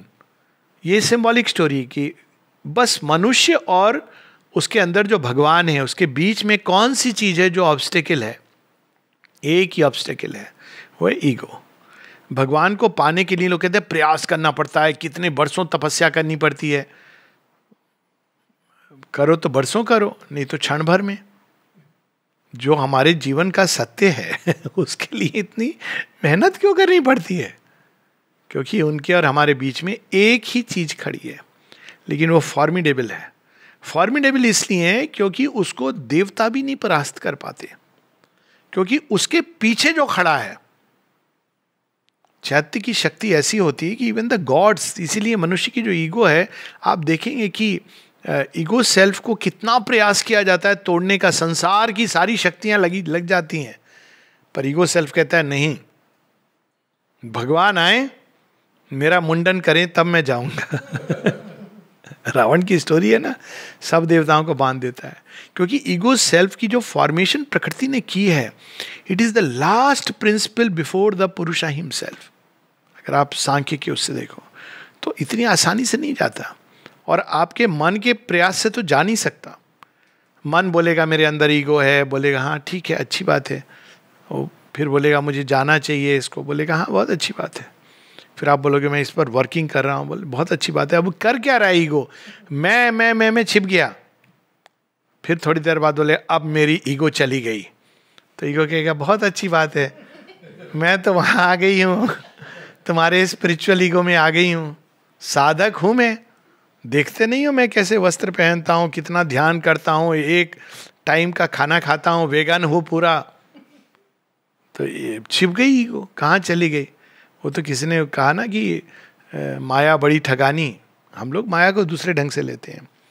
तो वो तो शिव जी के पास भी बैठ जाती हैं। माया बड़ी ठगानी, शिव के बगल भवानी, बन बैठी। तो of course that is a way even gods have an ego क्योंकि आप ईगो तो केवल विनम्रता और समर्पण से जाती। There is no other way you can आप कितना भी प्रयास, लोग कहते हैं ना mentally I am working you can try whole life you will try last में अगर आपको लगा कि मैं सक्सीड कर गया ईगो को कॉन्कर करने में तो आप सबसे अधिक फेल्योर हो गए। क्यों? क्योंकि अब उस ईगो ने ऐसा स्थान धारण कर लिया है जहाँ से उसको डिसलॉज करना कठिन है। आप देखिए बहुत सारे लोग साधक गणों की ईगो स्पिरिचुअल ईगो गुरु जी हैं। आप प्रयास करो, सब गुरु जी बड़े स्माइलिंग बहुत अच्छा उनको आप चढ़ावा। एक दिन कहो गुरु जी आप जो कह रहे हो ना I don't agree to this अब देखो उसके बाद क्या होता है। उसके बाद भाग जाना, श्राप मिलने वाला है। मूर्ख तुझे समझ नहीं आता। तू हमारे लेवल पर पहुंचेगा तो जानेगा। सुन चुका हूँ मैं सब, इसलिए बता रहा हूँ। बोल दिया था किसी को, मैंने सावित्री का ट्रांसलेट किया है। तुम हमें बताओगे कि श्रद्धा का क्या मतलब है? हम हम तो साधारण व्यक्ति, आप लेकिन श्री अरविंद का नाम श्री जोड़ के ले लीजिए। इतनी हाँ हाँ वो तो माता जी लेती थी डिसाइपल थी इसलिए। हम तो उस लेवल पर पहुँचे हैं। अब आपने कहा, इसका क्या तोड़ है? इसका क्या तोड़ है? आप पहुँच गए वहाँ तक। इसलिए हमको समझ आता है। तो हमने कहा, बहुत अच्छी बात है, आपको समझ आती है, लेकिन वास्तव में आप कुछ नहीं समझ रहे हैं। तो इतना परेशान हो गए कि उसके बाद उन्होंने वो क्लास लेने नहीं आए। सच्ची कहानी बता रहा हूँ। कितने वर्षों से वो सावित उन्होंने ट्रांसलेट भी की थी सावित्री को, और वो आते थे रोज क्लास लेने। एक दिन भिड़ गए, हम लोग पहले दिन आए थे क्लास में, हमने कहा, ये क्यों श्री अरविंद का नाम बिना श्री के ले रहे हैं? तो अब ये जो चीज़ है कि ईगो कितनी सटल होती है शेयरविंद इसको बताते हैं रिनंसिएशन के चैप्टर में सिंथेसिस ऑफ़ योग में, कि वो, आप अनकॉन्शियसली वो चीज़ें पहनोगे, वैसा व्यवहार करोगे, जो उस एटमोसफियर में लोगों को आपको उसके कारण सम्मान मिलेगा। आश्रम कंटेक्स्ट में, श्वेत वस्त्र, आप देखो अभी भी है। कोई व्यक्ति श्वेत वस्त्र थोड़ी दाढ़ी के साथ अगर जाए, अगर वो नहीं भी है तो साधक जा रहे हैं। है ना? होता है ना? सफ़ेद कपड़ा पहना है, ये कभी बाहर नहीं गए हैं। अब वो बाहर गए कि नहीं, कैसे पता चला? खुद ही बोल रहा है वो। खुद ही बोल रहा है, अपनी प्रशंसा। बहुत बड़े साधक है। अपनी ही जीवनी, सब कुछ अपना, सब संसार में प्रसारित हो रहा है। तो ये ईगो का ऐसा खेल होता है विकट। So you have to be very careful तो रिलीजन ऑफ़ ह्यूमैनिटी को हम दो तरह से पकड़ सकते हैं। एक है in the sense of ego कि मनुष्य सब समान है, मनुष्य सब फ्री है तो फ्रीडम जो ईगो पकड़ता है तो एक इंडिविजुअलिटी की जो बात होती है, वो असुर उसी सत्य को एक ट्विस्ट दे रहा है। As an individual I am free Sherwin कहते हैं the only freedom is the freedom of the soul to follow its own path आप उसको कंपेल नहीं कर सकते हैं। वो जिस भी पथ से जाना चाहती है, और उसको ठीक पता है। और सोल के पास ही ब्रदरहुड की की है। सोल को टच करते ही, आप देखो, इसकी तो मैंने कई बार इस बात पर चर्चा की है कि हम लोग अलग अलग जगह से आके मिलते हैं। क्या हम पूछते हैं कि आप कौन से स्टेट से हो? आपकी कौन सी भाषा है? एक अलग जुड़ गए, एक ऐसा परिवार है जिसमें सब चीज़ें ऑटोमेटिकली चली जाती हैं। क्यों? क्योंकि सोल के ट्रूथ में ये सारे जो कोटिंग्स हैं, ये मायने नहीं रखते। और सोल के पास ही विश्व बंधुत्व के साथ में एकता की भी की है। यूनिटी की की इसलिए है क्योंकि वो जानती है सोल की सबके अंदर भगवान है। तो भविष्य में जो रिलीजन आएगा, वो रिलीजन ऑफ़ ह्यूमैनिटी होगा। उसमें हम मनुष्य के विचारों को, मनुष्य की भावनाओं को, मनुष्य को उस तरह से सीक्रेटनेस के साथ देखेंगे, जैसे अभी हम मंदिर के अंदर जा रहे हैं। मंदिर के अंदर आप जाते हैं तो कहते हैं ना, वहाँ पे देखो, शराब अलाउड नहीं है, वो मदरालय में है। लेकिन अगर आपका शरीर टेंपल है भगवान का तो कहाँ अलाउड है? आप क्या कर रहे हो इसके अंदर? क्या डाल रहे हो? ठीक है, आप एक आसुरिक फ्रीडम में जो चाहूँगा करूँगा। लेकिन अगर आप इस भाव से जीवन जियोगे कि ये टेंपल है भगवान का, कुछ करने की ज़रूरत नहीं है, रूपांतरण के लिए, केवल इस भाव से जीना है कि मंदिर तो यही है। श्री अरविंद ने इसको कितने सुंदर ढंग से कहा है always behave as if the mother is looking at you because indeed she is always present तो यदि हम इस भाव से जीवन जीने लगें कि मंदिर यहाँ है और भगवान इसके अंदर है, और जो चैत्य सत्ता है और जो अंतर्यामी भगवान है, उन्हीं की पूजा अर्चना करनी है और ये केवल मेरे अंदर नहीं है, सबके अंदर है। इसलिए मानव जीवन सीक्रेट है। देखिए, अगर आप केवल सौ वर्षों में देखिए, सौ वर्ष भी नहीं हुए होंगे। क्या किया जा रहा था मनुष्य के साथ? सिविलाइज नेशंस क्या करे जिनके नाम पर हम लोग कहते हैं, अरे सिविलाइज्ड है। किसने कहा सिविलाइज है? खुद ही अपना ढिंडोरा पीट दिया और हमने मान लिया। सिविलाइज लोग फांसी लटका रहे थे लोगों को। थोड़ा सा विरोध करने पर, कोड़े से मार रहे थे, काला पानी, कोई थॉट था उसके पीछे कि ये जो लोग हैं, जिनके परिवार, उनका क्या होगा? ये सिविलाइज नेशंस कर रहे थे। ये सिविलाइजेशन है। यदि ये सिविलाइजेशन है तो अनसिविलाइज बेटर है। लेकिन आज के समय में मनुष्य इसको अस्वीकार करता है। क्यों? रिलीजन ऑफ़ ह्यूमैनिटी आ गया है। इवन किसी ने घोर क्राइम भी किया हो, अभी कैपिटल पनिशमेंट में आप विश्वास नहीं करते अब ऑटोमेटिकली ये चीज़ आ गई है। कि वायलेंस बैटल वही अलाउड है जहाँ सेल्फ डिफेंस में। आपके राष्ट्र पर कोई हमला करता है यू हैव टू प्रोटेक्ट लेकिन आप किसी को एग्रेस करके उसका विनाश करोगे इट्स नॉट एक्सेप्टेबल ये एक एवरेज आदमी आज ये जानता है। आज की लोग क्या मांग करते हैं? Racism is not acceptable gender equality transgender equality L community क्या चीज़ है ये? आपकी किताब में लिखा होगा कि एलजीबीटी इज़ बैड बट हमारे अंदर जो हमारी एक इंट्रेंसिक सेंस है, कहती है no if two people love they have a right to be together अब ये देखिए क्या चीज़ हो रही है। ये हमारे चाहने ना चाहने के परे की बात है। ये नई एज है जिसमें रिलीजन ऑफ़ ह्यूमैनिटी आ गया है जिसमें ह्यूमन लाइफ को ह्यूमन थॉट को ह्यूमन भावनाओं को हम सीक्रेट मानते हैं। किसी की भावनाओं को हम हर्ट कर दें। क्यों? क्योंकि हम सुपीरियर हैं। This is not acceptable today एक कोई भी संप्रांत समाज जो है वो इस चीज़ को मानता है। इसलिए कई बार हम लोग कहते हैं ना, ये चीज़ की बीच में एग्री टू डिसएग्री ये क्या है इसका मतलब? हम आपके विचारों का सम्मान करते हैं। हाँ मेरा अपना पथ है, लेकिन आपका अपना पथ है, पर आप हमसे मत, लड़ाई मत करिए। लड़ाई करेंगे तो हम उत्तर देंगे।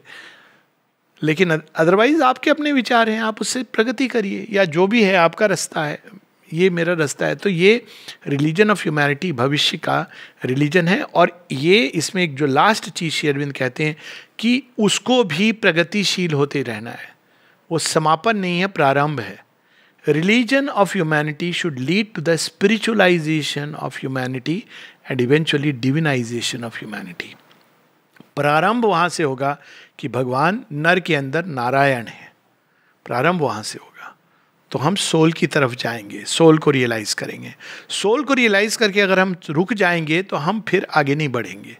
तो religion of humanity will progress further to the spiritualisation of the race मन के परे हम जाएँगे। मन के परे जो नई संभावनाएँ वो प्रकट होंगी। और होते होते अंत में डिविनाइजेशन ऑफ़ ह्यूमैनिटी कि मनुष्य केवल एक बॉडी माइंड इग्नोरेंट ये कॉम्प्लेक्स नहीं है। सोल का रियलाइजेशन ऑटोमेटिकली इन सब लेवल्स को चेंज नहीं करता है।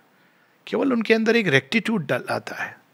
इसका अर्थ ही नहीं कि जिसने सोल को रियलाइज़ कर लिया, वो उसका माइंड से जो ट्रुथ को जानने लगेगा no it's not like that या ईगो खत्म हो जाएगी कंप्लीटली नहीं। It will become very thin feelings में वो एक राइट right इमोशन डालेगा, लेकिन फिर भी संभव है कि वो बह सकती है। वो पैशंस को एक अलग ढंग से मेंटल चेक के द्वारा नहीं, उसको एक दिशा देगा रिफाइन करेगा पैशंस को। माइंड उसको कंट्रोल करता है, लेकिन चैत्य उसको रिफाइन करता है। लेकिन रिफाइनमेंट इज़ वन थिंग और उसका divinisation is a different thing. तो रिलीजन ऑफ़ ह्यूमैनिटी अब नेक्स्ट स्टेप है, जो ऑलरेडी प्रारंभ हो गया। इस, इसके लिए उस समय लोगों को अजीब लगता होगा जब उन्होंने ह्यूमन साइकिल पढ़ी थी। आज की जनरेशन जब उसको पढ़ेगी तो कहेंगे, अरे, शेयरविंद ने इसको पहले ही देख लिया था। और इसके बाद जो नेक्स्ट स्टेप है, वो है स्पिरिचुअलाइजेशन ऑफ़ ह्यूमैनिटी जो रिलीजन ऑफ़ ह्यूमैनिटी के द्वार से खुलेगा। और तीसरा जो है डिविनाइजेशन ऑफ़ ह्यूमैनिटी ये तीन इवोल्यूशनरी चरण या इवोल्यूशनरी ट्रांसफॉर्मेशन ऑफ़ रिलीजन अभी बचे हुए हैं। पहला प्रारंभ हो गया है, दूसरा भी कहीं ना कहीं खुल गया है। माइंड के ऊपर रेंजेस ये सब चीज़ें अब शुरू हो गई हैं। और तीसरा ऑलरेडी एक फार ऑफ़ डॉन के रूप में प्रॉमिस के रूप में ऑलरेडी उन लोगों को दिख रहा है जो काल की सीमा से आगे चले गए हैं। नमस्ते।